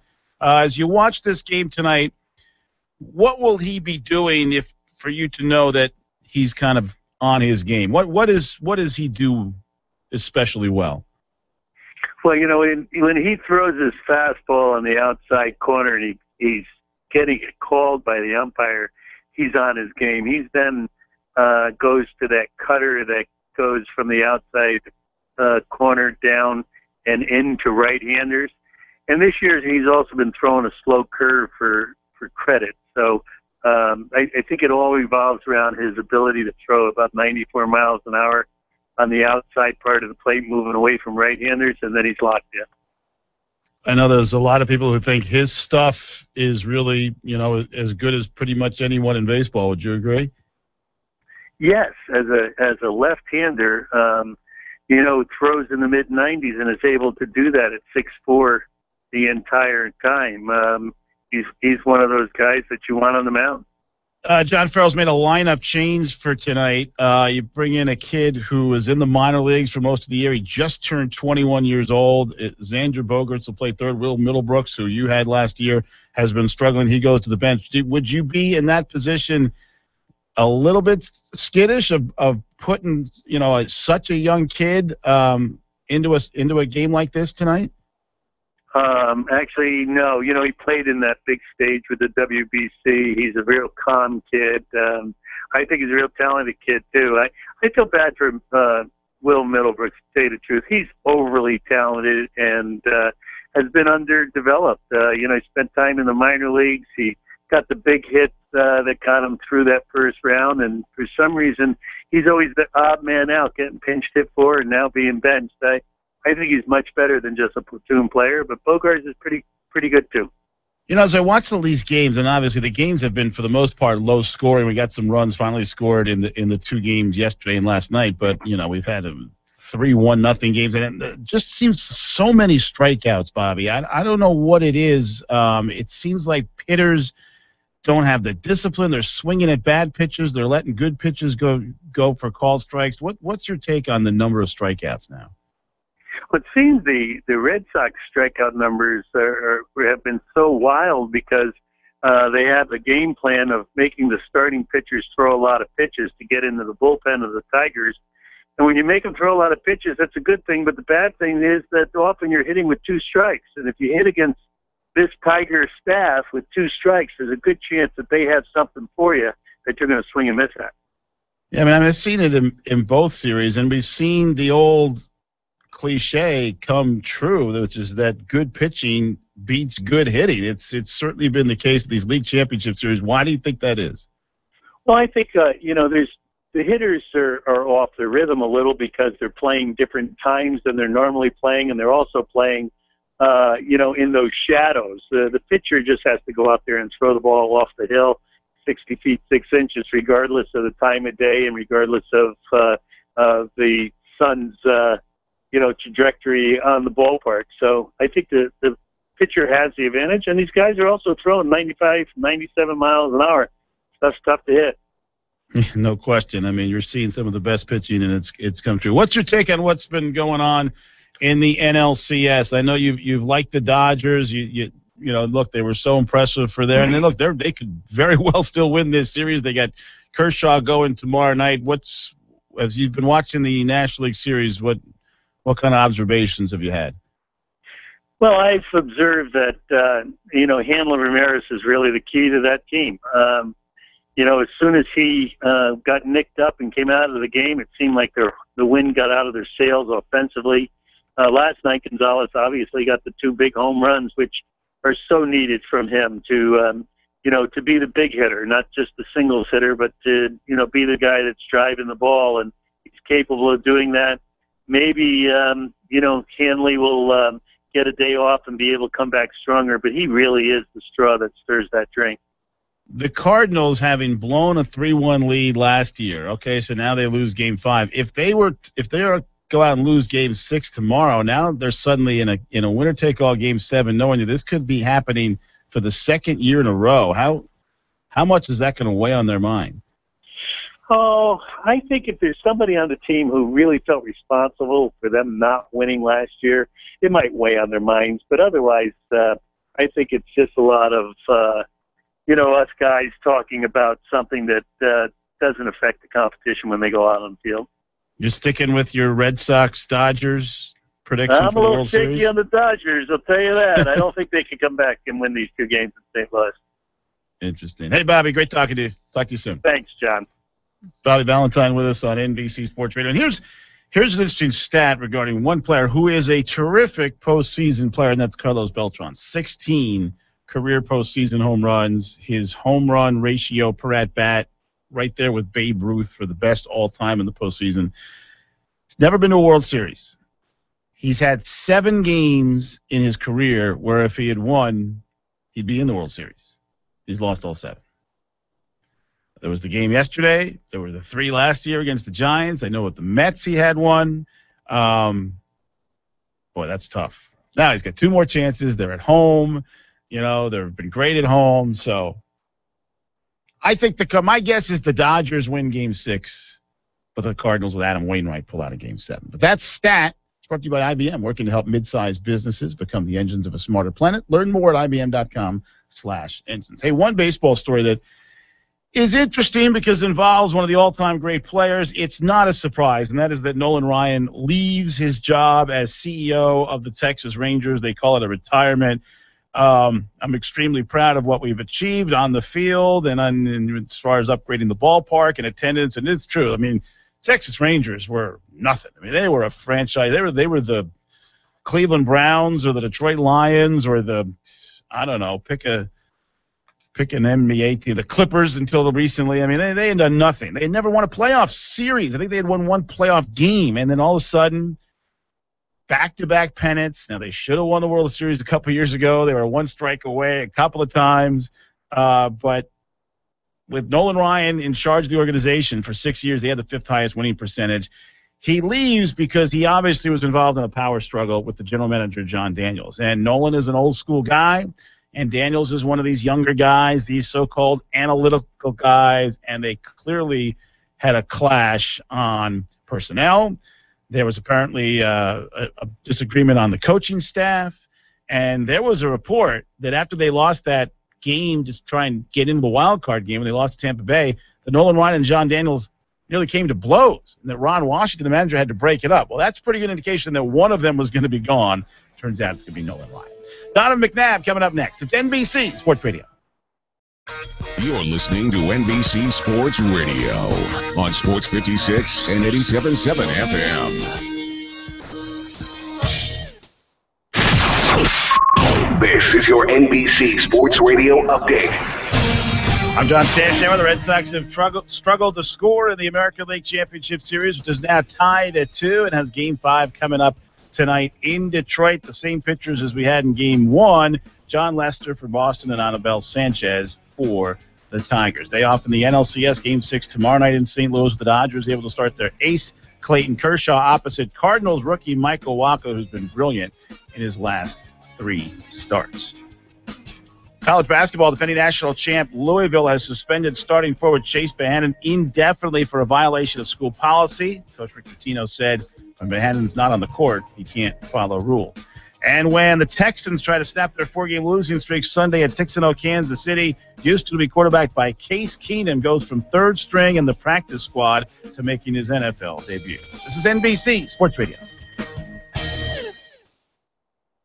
At Advance Auto Parts, saving big and winning big are your advance advantage. Right now, five quarts of Castrol GTX conventional oil and a filter are just $21.99. You can put that oil in your Ford Mustang GT. Don't have one?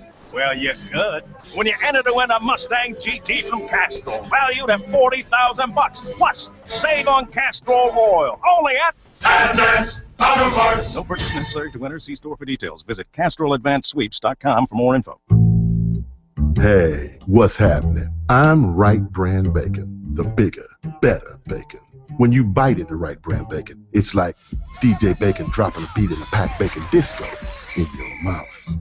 I'm so meaty and delicious, I'm like meat candy. When you fry me up, I smell so good, it draws a crowd like free money. I'm so tender. Wright brand bacon. Bigger, better bacon. Find out more at biggerbetterbacon.com for more info.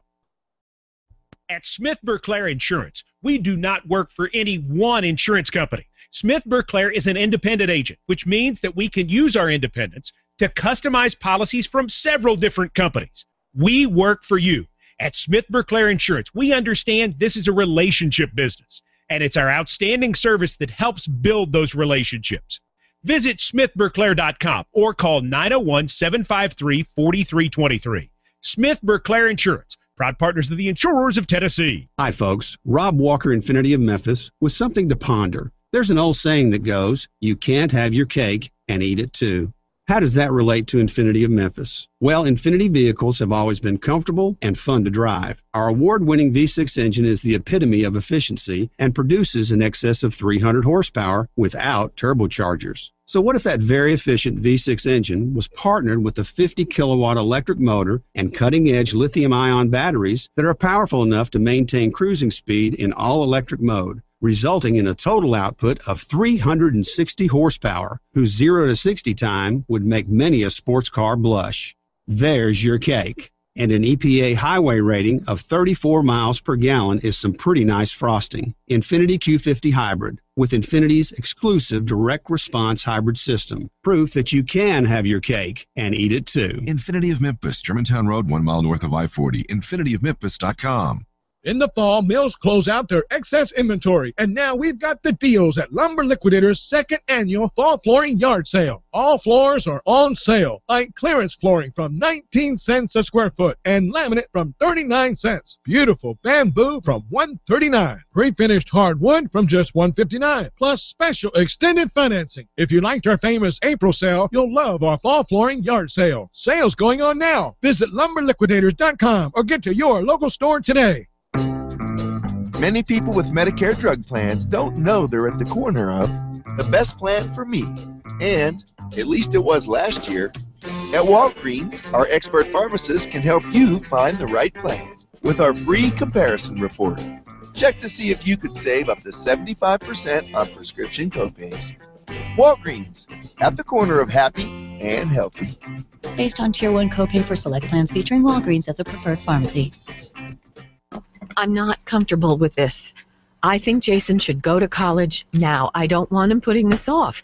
He's already talked to a recruiter. Could you just talk some sense into And it? I I understand, but I think if you just listen to him, you'll see his decision makes a whole lot of sense. He wants to go to college right now, but he also wants to serve. That's why he's been talking to a National Guard recruiter. The National Guard gives young men and women the unique opportunity to serve their country and communities part time while they attend college. You know, we've also got to figure out how we're going to pay for all this. The way things are these days, tuition, room and board, they're through the roof. And with our No, finances, no, no, I- honey, I don't worry, don't- don't worry. He's worked that out with the Guard recruiter too. Plus, with the National Guard scholarship and other financial benefits, college students can graduate debt free. Get to know what serving in the National Guard can do for your son or daughter. Visit NationalGuard.com. Sponsored by the Tennessee National Guard, aired by the Tennessee Association of Broadcasters and this station.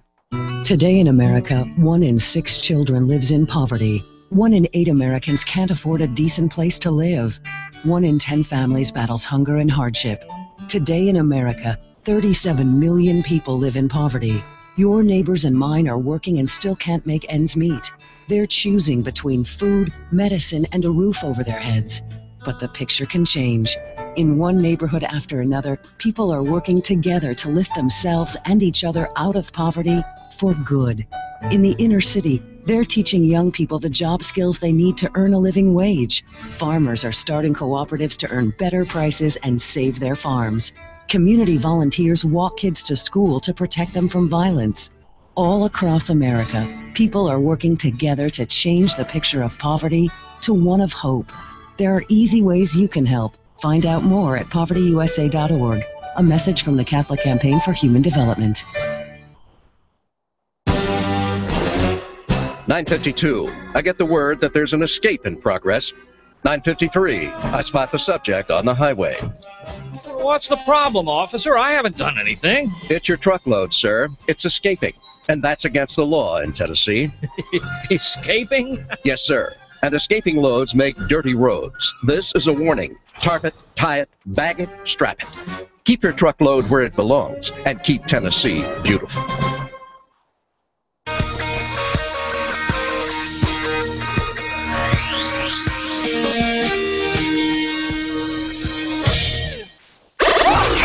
This is the John Stashower Show. I'm sensing something good. Oh, it's good. How good? Really good. On NBC Sports Radio and NBCSportsRadio.com, where every day is game day.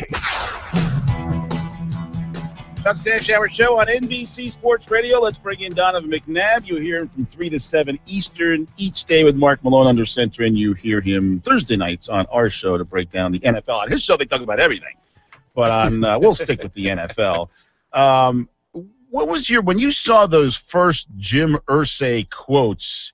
Um, and he has tried to backtrack and and uh, you know explain himself a little bit, but did you think that that was kind of a knock on Peyton Manning when he talked about other teams winning more championships than the Colts championships than the Colts did during his time in Indy? Absolutely not. If you read out read that whole article, 95% of that article was praising Peyton for the things that he was able to do, not only on the field but just off the field, and for you know for Indianapolis in general. You know, and who do you know has and when he leave a club, they come back to play him, that they honor him by giving a like a 20 minute montage of, of the man that's there to beat your team. He's showing that he truly appreciates him. Now we all know Jim Irsay. If you hold the microphone in front of him for a long period of time, he's bound to tell you something that he'll probably regret later.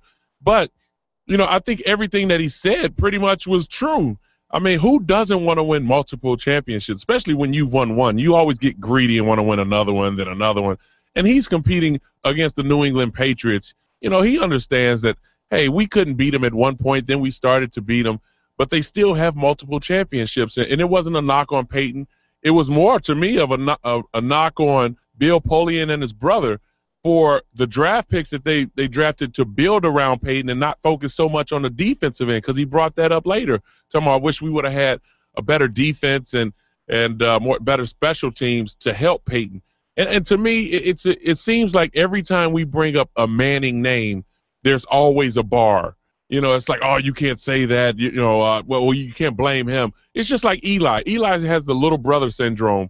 You know, it's like, hey, here's Peyton, and he's dominating the NFL, and then there's Eli, who has thrown 15 interceptions, and his team hasn't won a game yet. But it's Tom Coughlin should be fired. Why can't Eli be on the hot seat? Why is it that you know when when things go wrong in, in Indianapolis of losing seven times in the in the first game after going 14 and two or 13 and three or 15 and one, when you lose to the San Diego Chargers or you, you lose to you know whoever it may be, you know any other quarterbacks get criticized, but the fact that they won one Super Bowl and Eli won two, uh, we give them leeway. Uh, interesting take. Uh, let me ask you about what it might be like for Peyton in this game Sunday night. Brett Favre said, you know, it was as nervous as he'd ever been when he went back to Lambeau Field um, with the Minnesota Vikings. What What do you think it's going to be like? He's going to stand on the sidelines as you talk about, watch this video tribute, and then he's going to go out and try and, and play the game. I, I personally think, and, and the way that it's set up, to me, I, I, I mean, first of all, when I came back to Philadelphia, I was nervous as well you know, came out of the tunnel. First of all, I didn't know if I was going to get booed or cheered, and nor did I really pay much attention. But, uh, you know, it was an overall standing ovation, and, and I appreciated that and showed my thanks. And I loosened up as the game went on. Uh, we won. I didn't play as well as I wanted to. You know, you want to go out there and dominate, but it's all about the win. Uh, so I think Peyton is going to go in to try to obviously dominate uh, in this particular game and show why they should he should still be there. Secondly, I don't know if Peyton's going to be out there for all 20 minutes of that whole montage. Would you want to stand out there with your team and watch all this and like they're praising you? And thirdly, it's not about Peyton. People don't talk about it that Edgerrin James is going to be there, Marvin Harrison's going to be there to be honored. So I think what to me what he's showing is that it wasn't just all about Peyton. It was the help that we brought in here for Peyton that gave us that opportunity to win so many games over the years. Peyton was here the Broncos Colts. I mean, even if without the Peyton factor, is really best game of the weekend. It's the only game uh, of the week where both teams are over 500. You're not talking watching the Philadelphia Eagles and, and, well, and the Dallas Cowboys. There is that game. Uh, we, we, can we can get to that. That is for first place in the division. But I want to ask you, speaking of the Eagles, about the guy who was your coach in Philadelphia, and, and Andy Reid. I mean, he's got to have Coach of the Year locked up. Now yeah. it's been the defense that has really been the difference in Kansas City, but you know, what is, give us a sense. You played for him for so long. Um, you know, head coaches so often have to kind of oversee everything, right. almost like the CEO. Um, what are Andy Reid's strengths that seem to make him successful in that way? Players, coach, and trust. And I think for those guys who are there, there wasn't a trust value there with Todd Haley. There wasn't a trust value with Romeo Crennel after a while. You know, it seems like it's like quarterbacks. You love the starter for a while, but then you truly love the backup until he gets in there. And that's what happened to Romeo Crennel. Romeo Crennel had his defense going. They were aggressive. They were creating turnovers offensively. It was anemic, you know, and it was one that, you know, defensive players, hey, you know, Romeo should be the head coach. And as soon as Romeo got in there for the first four games, seemed like after four games, it was like, oh boy, we're the same old Kansas City Chiefs. And and what Andy has brought in, he's brought he's brought life into that team, confidence he's brought brought a, a, sense of urgency where these guys look around and they trust the guy next to him and they're trying to play for that man next to him and that's what Andy brings to that team. He brought it to Philadelphia where it felt like the nucleus of the team were the guys standing in front talking to the team. And not Andy. Andy, hey, Andy will tell you, hey, you guys take care of it. And that's what we did. And I think that's what's going on in Kansas City. The Tamba Hali's, the Berrys, the the uh, Derrick Johnson, you know, the Justin Houston. Who knew about Justin Houston until this season? And look how he's playing lights out.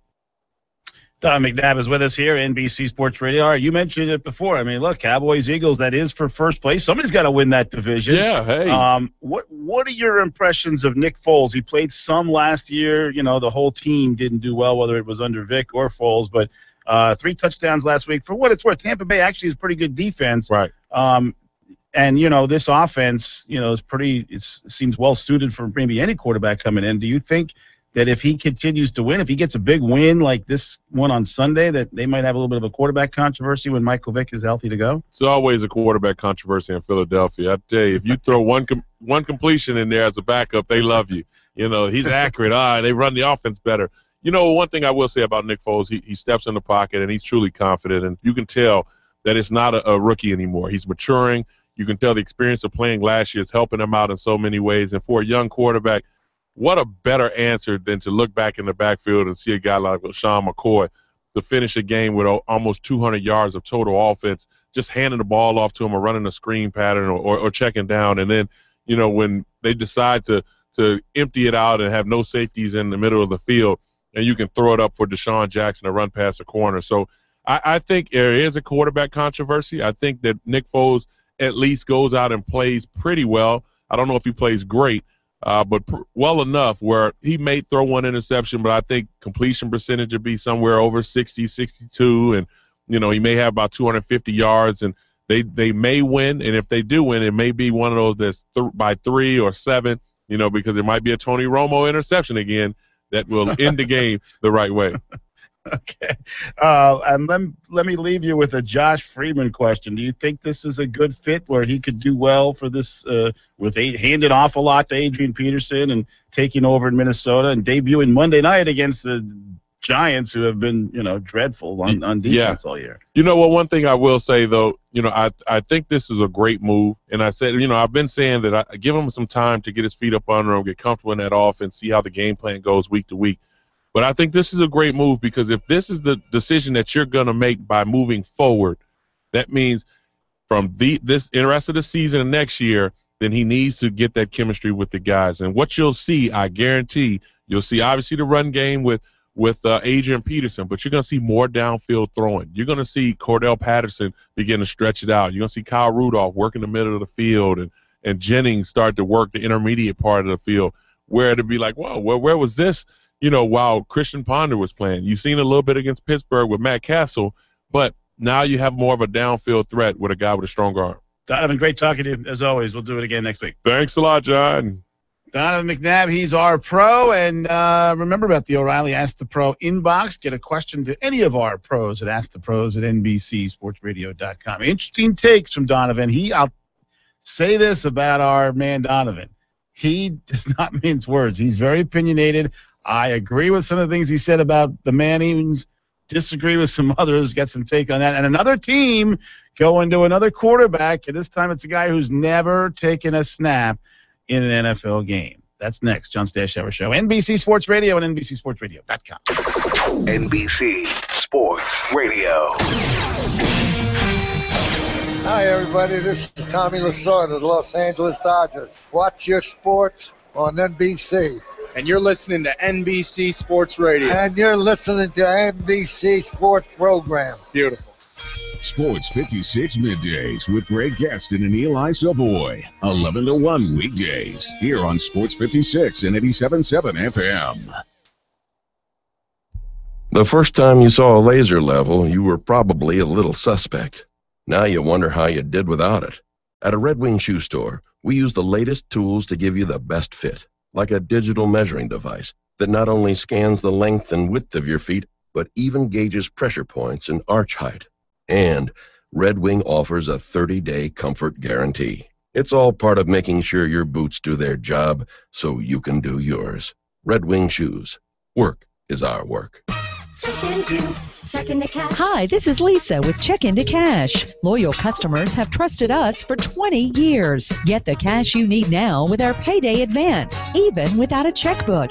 If you need money now before your next payday, come and see us. It's quick, easy, and confidential. Visit checkintocash.com for the store nearest you. Restrictions apply. Borrowers often use payday loans over a period of months, which can be expensive. Get on down, check into cash. Ching. Plumbers, Waterworks, and HVAC pros, this is Coach Terry Bradshaw. Are you looking for a team that gets you the supplies you need? Yeah. Then you want Ferguson. You can order your materials online, then pick them up at your branch or have them delivered. Yeah. And with Ferguson Pro Plus, your online orders now earn points you can use to get cool stuff, electronics, sports gear, even trips. Are you ready? Yeah. Then check out Pro Plus at Ferguson.com. For a limited time, score double points on all Lanai products. Check out Ferguson.com slash Pro Plus. Oh, oh, O'Reilly. Increase your engine's life by changing the oil every 3,000 miles. Stop by O'Reilly Auto Parts today and pick up five quarts of O'Reilly conventional motor oil for $13.95. Keep your engine clean and lubricated with O'Reilly conventional motor oil. O'Reilly Auto Parts. Better parts, better prices every day. Limit supply. See store for details. Oh, oh, oh, O'Reilly. Auto Parts. Unwanted wildlife in Memphis homes and businesses can be a nuisance year round. That's why Apex Wildlife Control, the Mid South leader in humane animal removal, is offering 10% off all services if you mention you heard this ad on Sports 56 Radio. Snakes, rodents, birds, even those seemingly cute raccoons can pose serious threats to you, your children, your pets, and your property. Apex is here 24 hours a day, 7 days a week to clear out all unwelcome wildlife repair the damage, and secure your space so it never gets invaded again. And now enjoy 10% off the cost of making your property safe again by mentioning you heard it on Sports 56. Just call Apex Wildlife Control at 598 8555 and let our professionals do the work. That's 598 8555 and enjoy 10% off. For more details, go online to apexwildlifecontrol.com. Instead of buying a new car, keep your current car in top shape with service from Steve's Tire and Auto. Check engine light on? Let Steve check it. Failed emissions test? Let Steve fix it. All techs are certified and trained on all of their state-of-the-art equipment. Steve's Tire and Auto repairs engines, transmissions, AC, tires, and more on import and domestic cars. And you won't have to miss work with a free shuttle service. All work is backed by a one-year nationwide warranty. Steve's Tire and Auto in Midtown and East Memphis. Call 725-1819 or 680-1998. Online at stevestireandauto.com. We're more than just printing. With XMC, the possibilities are endless. Let XMC, your Xerox authorized sales agent, help take your business to the next level. Whether you need electronic document management to update your office, a projector system for your boardroom, a high tech flat panel welcome center in your lobby, or an upgrade to your existing office equipment, visit XMCINC.com and let XMC and Xerox handle your product installation from start to finish, as well as providing all technical support. With nine territories in the Southeast, XMC has you covered. Call 737 8910. That's 737 8910. Oh, honey, I was so worried. Yeah, I know. It's okay. The boat's a little beat up, but we're okay, Oh. thanks to the Coast Guard. I am the port in the storm. The slick is contained. Roger that. I am the line in the sand. Oh. I got you. Hang on. Okay, take us up. I am the rescuer in the dark. Looks like we've got about 80 kilos here, Captain. That's 80 kilos off the streets.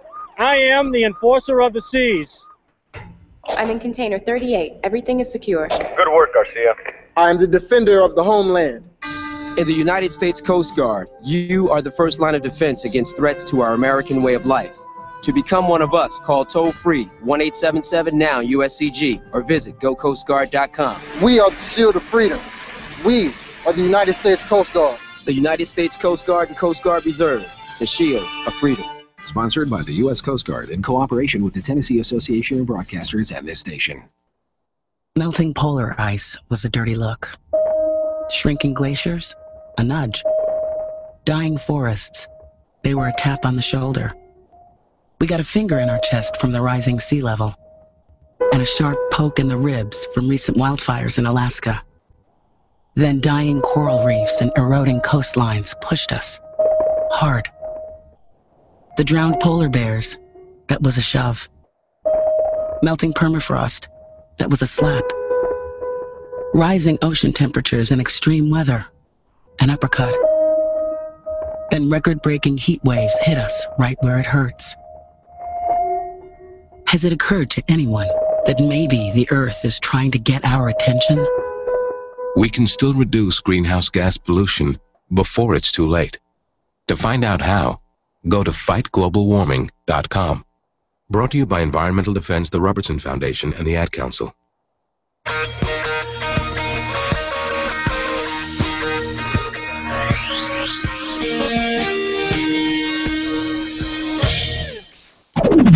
Got a question? We've got the answer. All you have to do is email us at askthepros at nbcsportsradio.com, and your question will go right into the O'Reilly Auto Parts Ask the Pros inbox. From there, the ball's in our court, and we'll answer your questions on the air. You can also call us at 855-323-4NBC. We are NBC Sports Radio, where every day is game day. Stashower at NBC Sports Radio, and we're built by the Home Depot. Let's be prepared. This month, Fire Safety Month at the Home Depot, you'll have peace of mind from brands you trust, like Kidde Worry-Free Smoke and carbon monoxide alarms. With each smoke alarm designed for a specific room and the longest lasting CO alarm on the market, visit homedepot.com slash fire safety for details. More saving, more doing. That's the power of the Home Depot. Hey, coming up in about 10 minutes, uh, Leigh Steinberg who is an interesting guy. This was at one time the far and away most successful agent in the NFL. At one point, he had like 21 starting quarterbacks that he represented.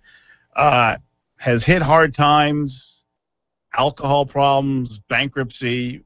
That's not what we're going to talk about. We're going to talk about his reaction to the concussion controversy in the NFL. He was in that documentary on PBS last week. It's got an amazing story about uh, a concussion that Troy Aikman suffered in the NFC Championship game. He'll tell you about it uh, when we talk to him in about 10 minutes. Donovan, as always, opinionated, and I agree with a lot of what he said if you heard the interview we just had with him. Um, first of all, I absolutely agree that it's incredible that Eli Manning has not received, really, from what I can ascertain, any criticism for the Giants after their worst start since 1976. Now, is he solely responsible? Of course not. Bad offensive line, no running game, all that. But Eli has, you know, 64 passing rating. He's got 15 interceptions in six games. And I understand when you win two Super Bowls, it, it's still, it should not make you immune to criticism. He should absolutely be getting more. I'm surprised he hasn't gotten booed.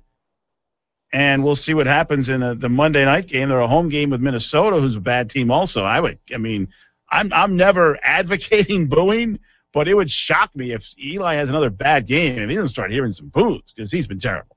Now, as for Peyton, um, I first of all I, I agree with him. I don't think having thought about this a little bit, and we'll talk to Mike Chappell, who knows more about this than I do. He covers the Colts for the Indy Star. We'll talk to him at nine Eastern. I don't think that Jim Irsay um, really was trying to denigrate Peyton Manning with his comments. Overall, they were very positive. He's just a guy who babbles a lot. And, you know, we all know those, those guys. They just keep talking and talking and talking. And eventually, they're going to say some things they shouldn't say, and they're going to be at least perceived differently than maybe he wanted them to come out.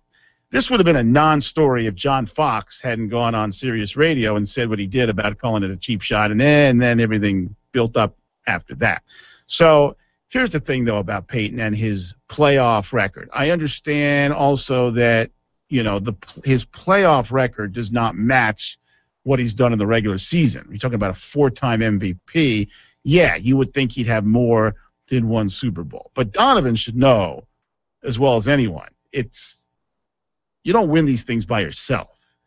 Um, you look at the postseason games that the, he lost with Indianapolis, and if you look at the game he lost last year with Denver, I mean, he put up five touchdowns.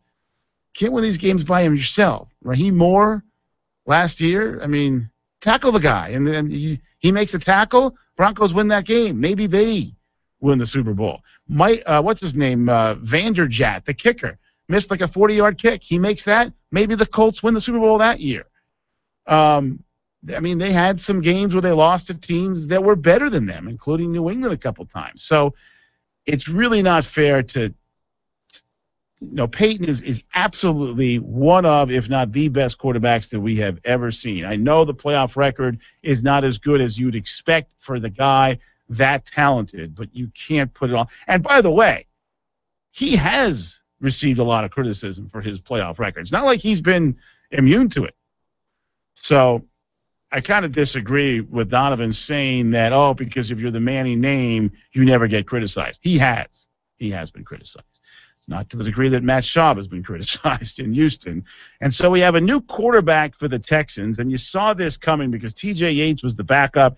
He came in for Schaub last week, and he was terrible. He threw a pick six, just like Schaub had done the previous four games. He had two interceptions.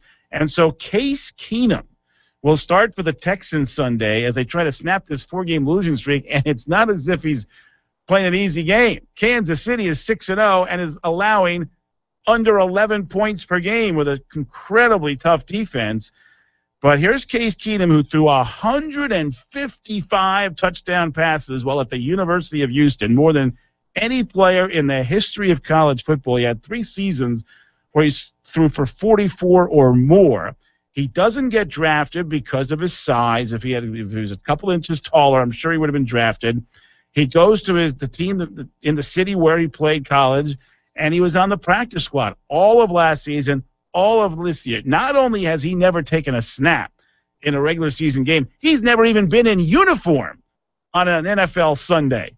And now he's going to start Sunday in Kansas City. It just goes to what I'm always saying. Teams are desperate to try and find a quarterback. Gary Kubiak says we're struggling. We're looking for a spark. Obviously, Schaub is banged up. Yates wasn't that good last week. Wade Phillips, the defensive coordinator in Houston, but formerly the head coach in Dallas, says Keenum reminds him a little bit of Tony Romo's story. Hopefully, it ends out that way. He's got some moxie, and that's what Romo has. Look, I think I, I understand why they're doing it. First of all, Schaub's hurt, and I think Schaub is is struggling mentally also with all this criticism and everything going on there. And Yates is not is not the answer, but it's pretty amazing that a guy who has never even suited up for an NFL game is now going to be a starting quarterback in a game. Look, Texans are not out of it in the AFC, but they got to win this game on Sunday, and boy, not going to be easy. Not against the Chiefs, and not with Case Keenum. All right, some interesting thoughts from Leigh Steinberg, the famed NFL agent, coming up. And we'll keep you updated on the baseball that'll start shortly in the NFL as well. It's NBC Sports Radio. Listen up, guys. Rain Man here. Football is underway, and it's time to decide what you're going to do this season. Are you going to try to pick them on your own? Probably not a good idea. You can't handicap the games as well as I can because you can't spend 60 or more hours a week working on them.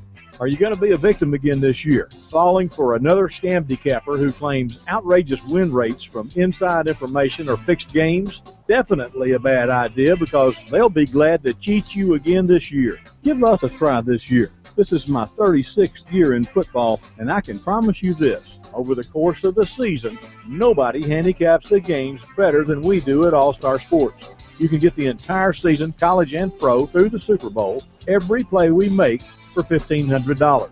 Just call the office at 800 933 5308 or my cell phone at 901 461 4600 to find out what it's like to deal with an honest court service.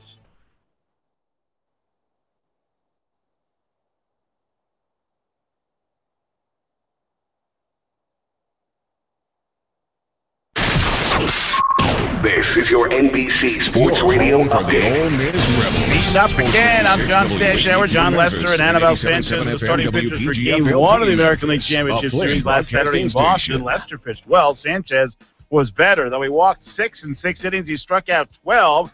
Did not allow a single hit. Detroit won one nothing. Now the series is tied at two, and it's the same two pitchers coming up tonight at Comerica for a Game Five that Torii Hunter anxiously awaits. we can't ask for anything more. We come back. It's a, a tough lefty in Lester, and uh, uh, we got Anibal going, so it's gonna be a lot of fun. It's gonna be a pitcher's duel, but whoever execute and play fundamentally sound baseball, that's what's gonna win those ball games. Hunter had a two-run double, and the Tigers five-run second inning last night. The Tigers dropped Austin Jackson in the batting order, and he ended up getting on base four times. Red Sox have benched struggling third baseman Will Middlebrooks and are starting rookie Xander Bogaerts. The winner tonight can win the pennant on Saturday. Seattle Seahawks tonight can be the first NFC team to win six games. They visit Arizona, where they've lost two straight in six of seven. Well, they beat the Cardinals at home 58 to nothing last December. Arizona's Larry Fitzgerald knows the Seahawks, known for their defense. They're a great challenge for us. You know, they have a lot of uh, talented players, not only in the secondary but across the board. I mean, they rush the passer very well. They got an extremely talented young group of linebackers, and obviously their secondary, you know, speaks for itself. Um, so it'll be a great challenge for us. You know, it's a national audience at home. You know, our fans will be in full force. I mean, so it's gonna be a, gonna be a fun game to be at. Meanwhile, Rob Gronkowski's agent says his client is yet to be cleared medically to play for New England, and Drew Rosenhaus says he, Gronkowski, the doctors, and Patriots coach Bill Belichick are all on the same page. Speaking of tight ends, the Falcons are one and four, and Tony Gonzalez says this season will be his last, but he says he has no interest in Atlanta trading him before the deadline. This is NBC Sports Radio.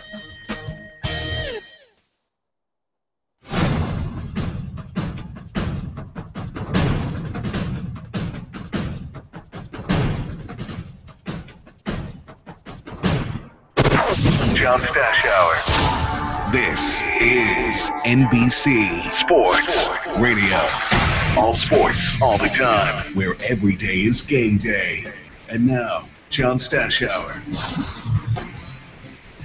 John Stashower Show, NBC Sports Radio. Let's welcome in the famed sports, especially NFL agent Leigh Steinberg joining us. And Lee, I, I was interested in getting you on. I was watching the, the documentary on PBS last week, The League of Denial. You're in it.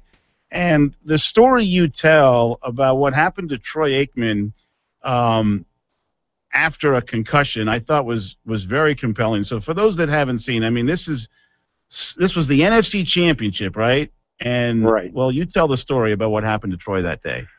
Well, fundamentally, he was concussed, and uh, in a game that led to who would play in the Super Bowl the next week. So it's San, San Francisco and Dallas, and Dallas wins, and so the city's awash in celebration. But Troy had a concussion during the game, so I go to visit him, and he's in a darkened hospital room all alone. The city is awash in celebration with horns honking and, and things in the sky. And he asked me why he was there. So I told him, you know, he'd suffered a concussion. And he asked, had he played that day? And I told him he had. And did he play well? Yes. Um, what's that mean? Well, it means you're going to the Super Bowl. And his face brightened. Um, about five minutes later, he asked me, Why am I here? And then, Did I play today? And he went through the same sequence of questions. So I answered again, and he was all happy. So we sat there and talked a little bit. In about 10 minutes, he asked the same question Why am I here? And we went through the same sequence of questions and answers. And it terrified me to realize how tender the bond is between sentient consciousness and dementia. Um, I had been scared for a number of years. I'd watched him lie on his back in his rookie game against Arizona with blood coming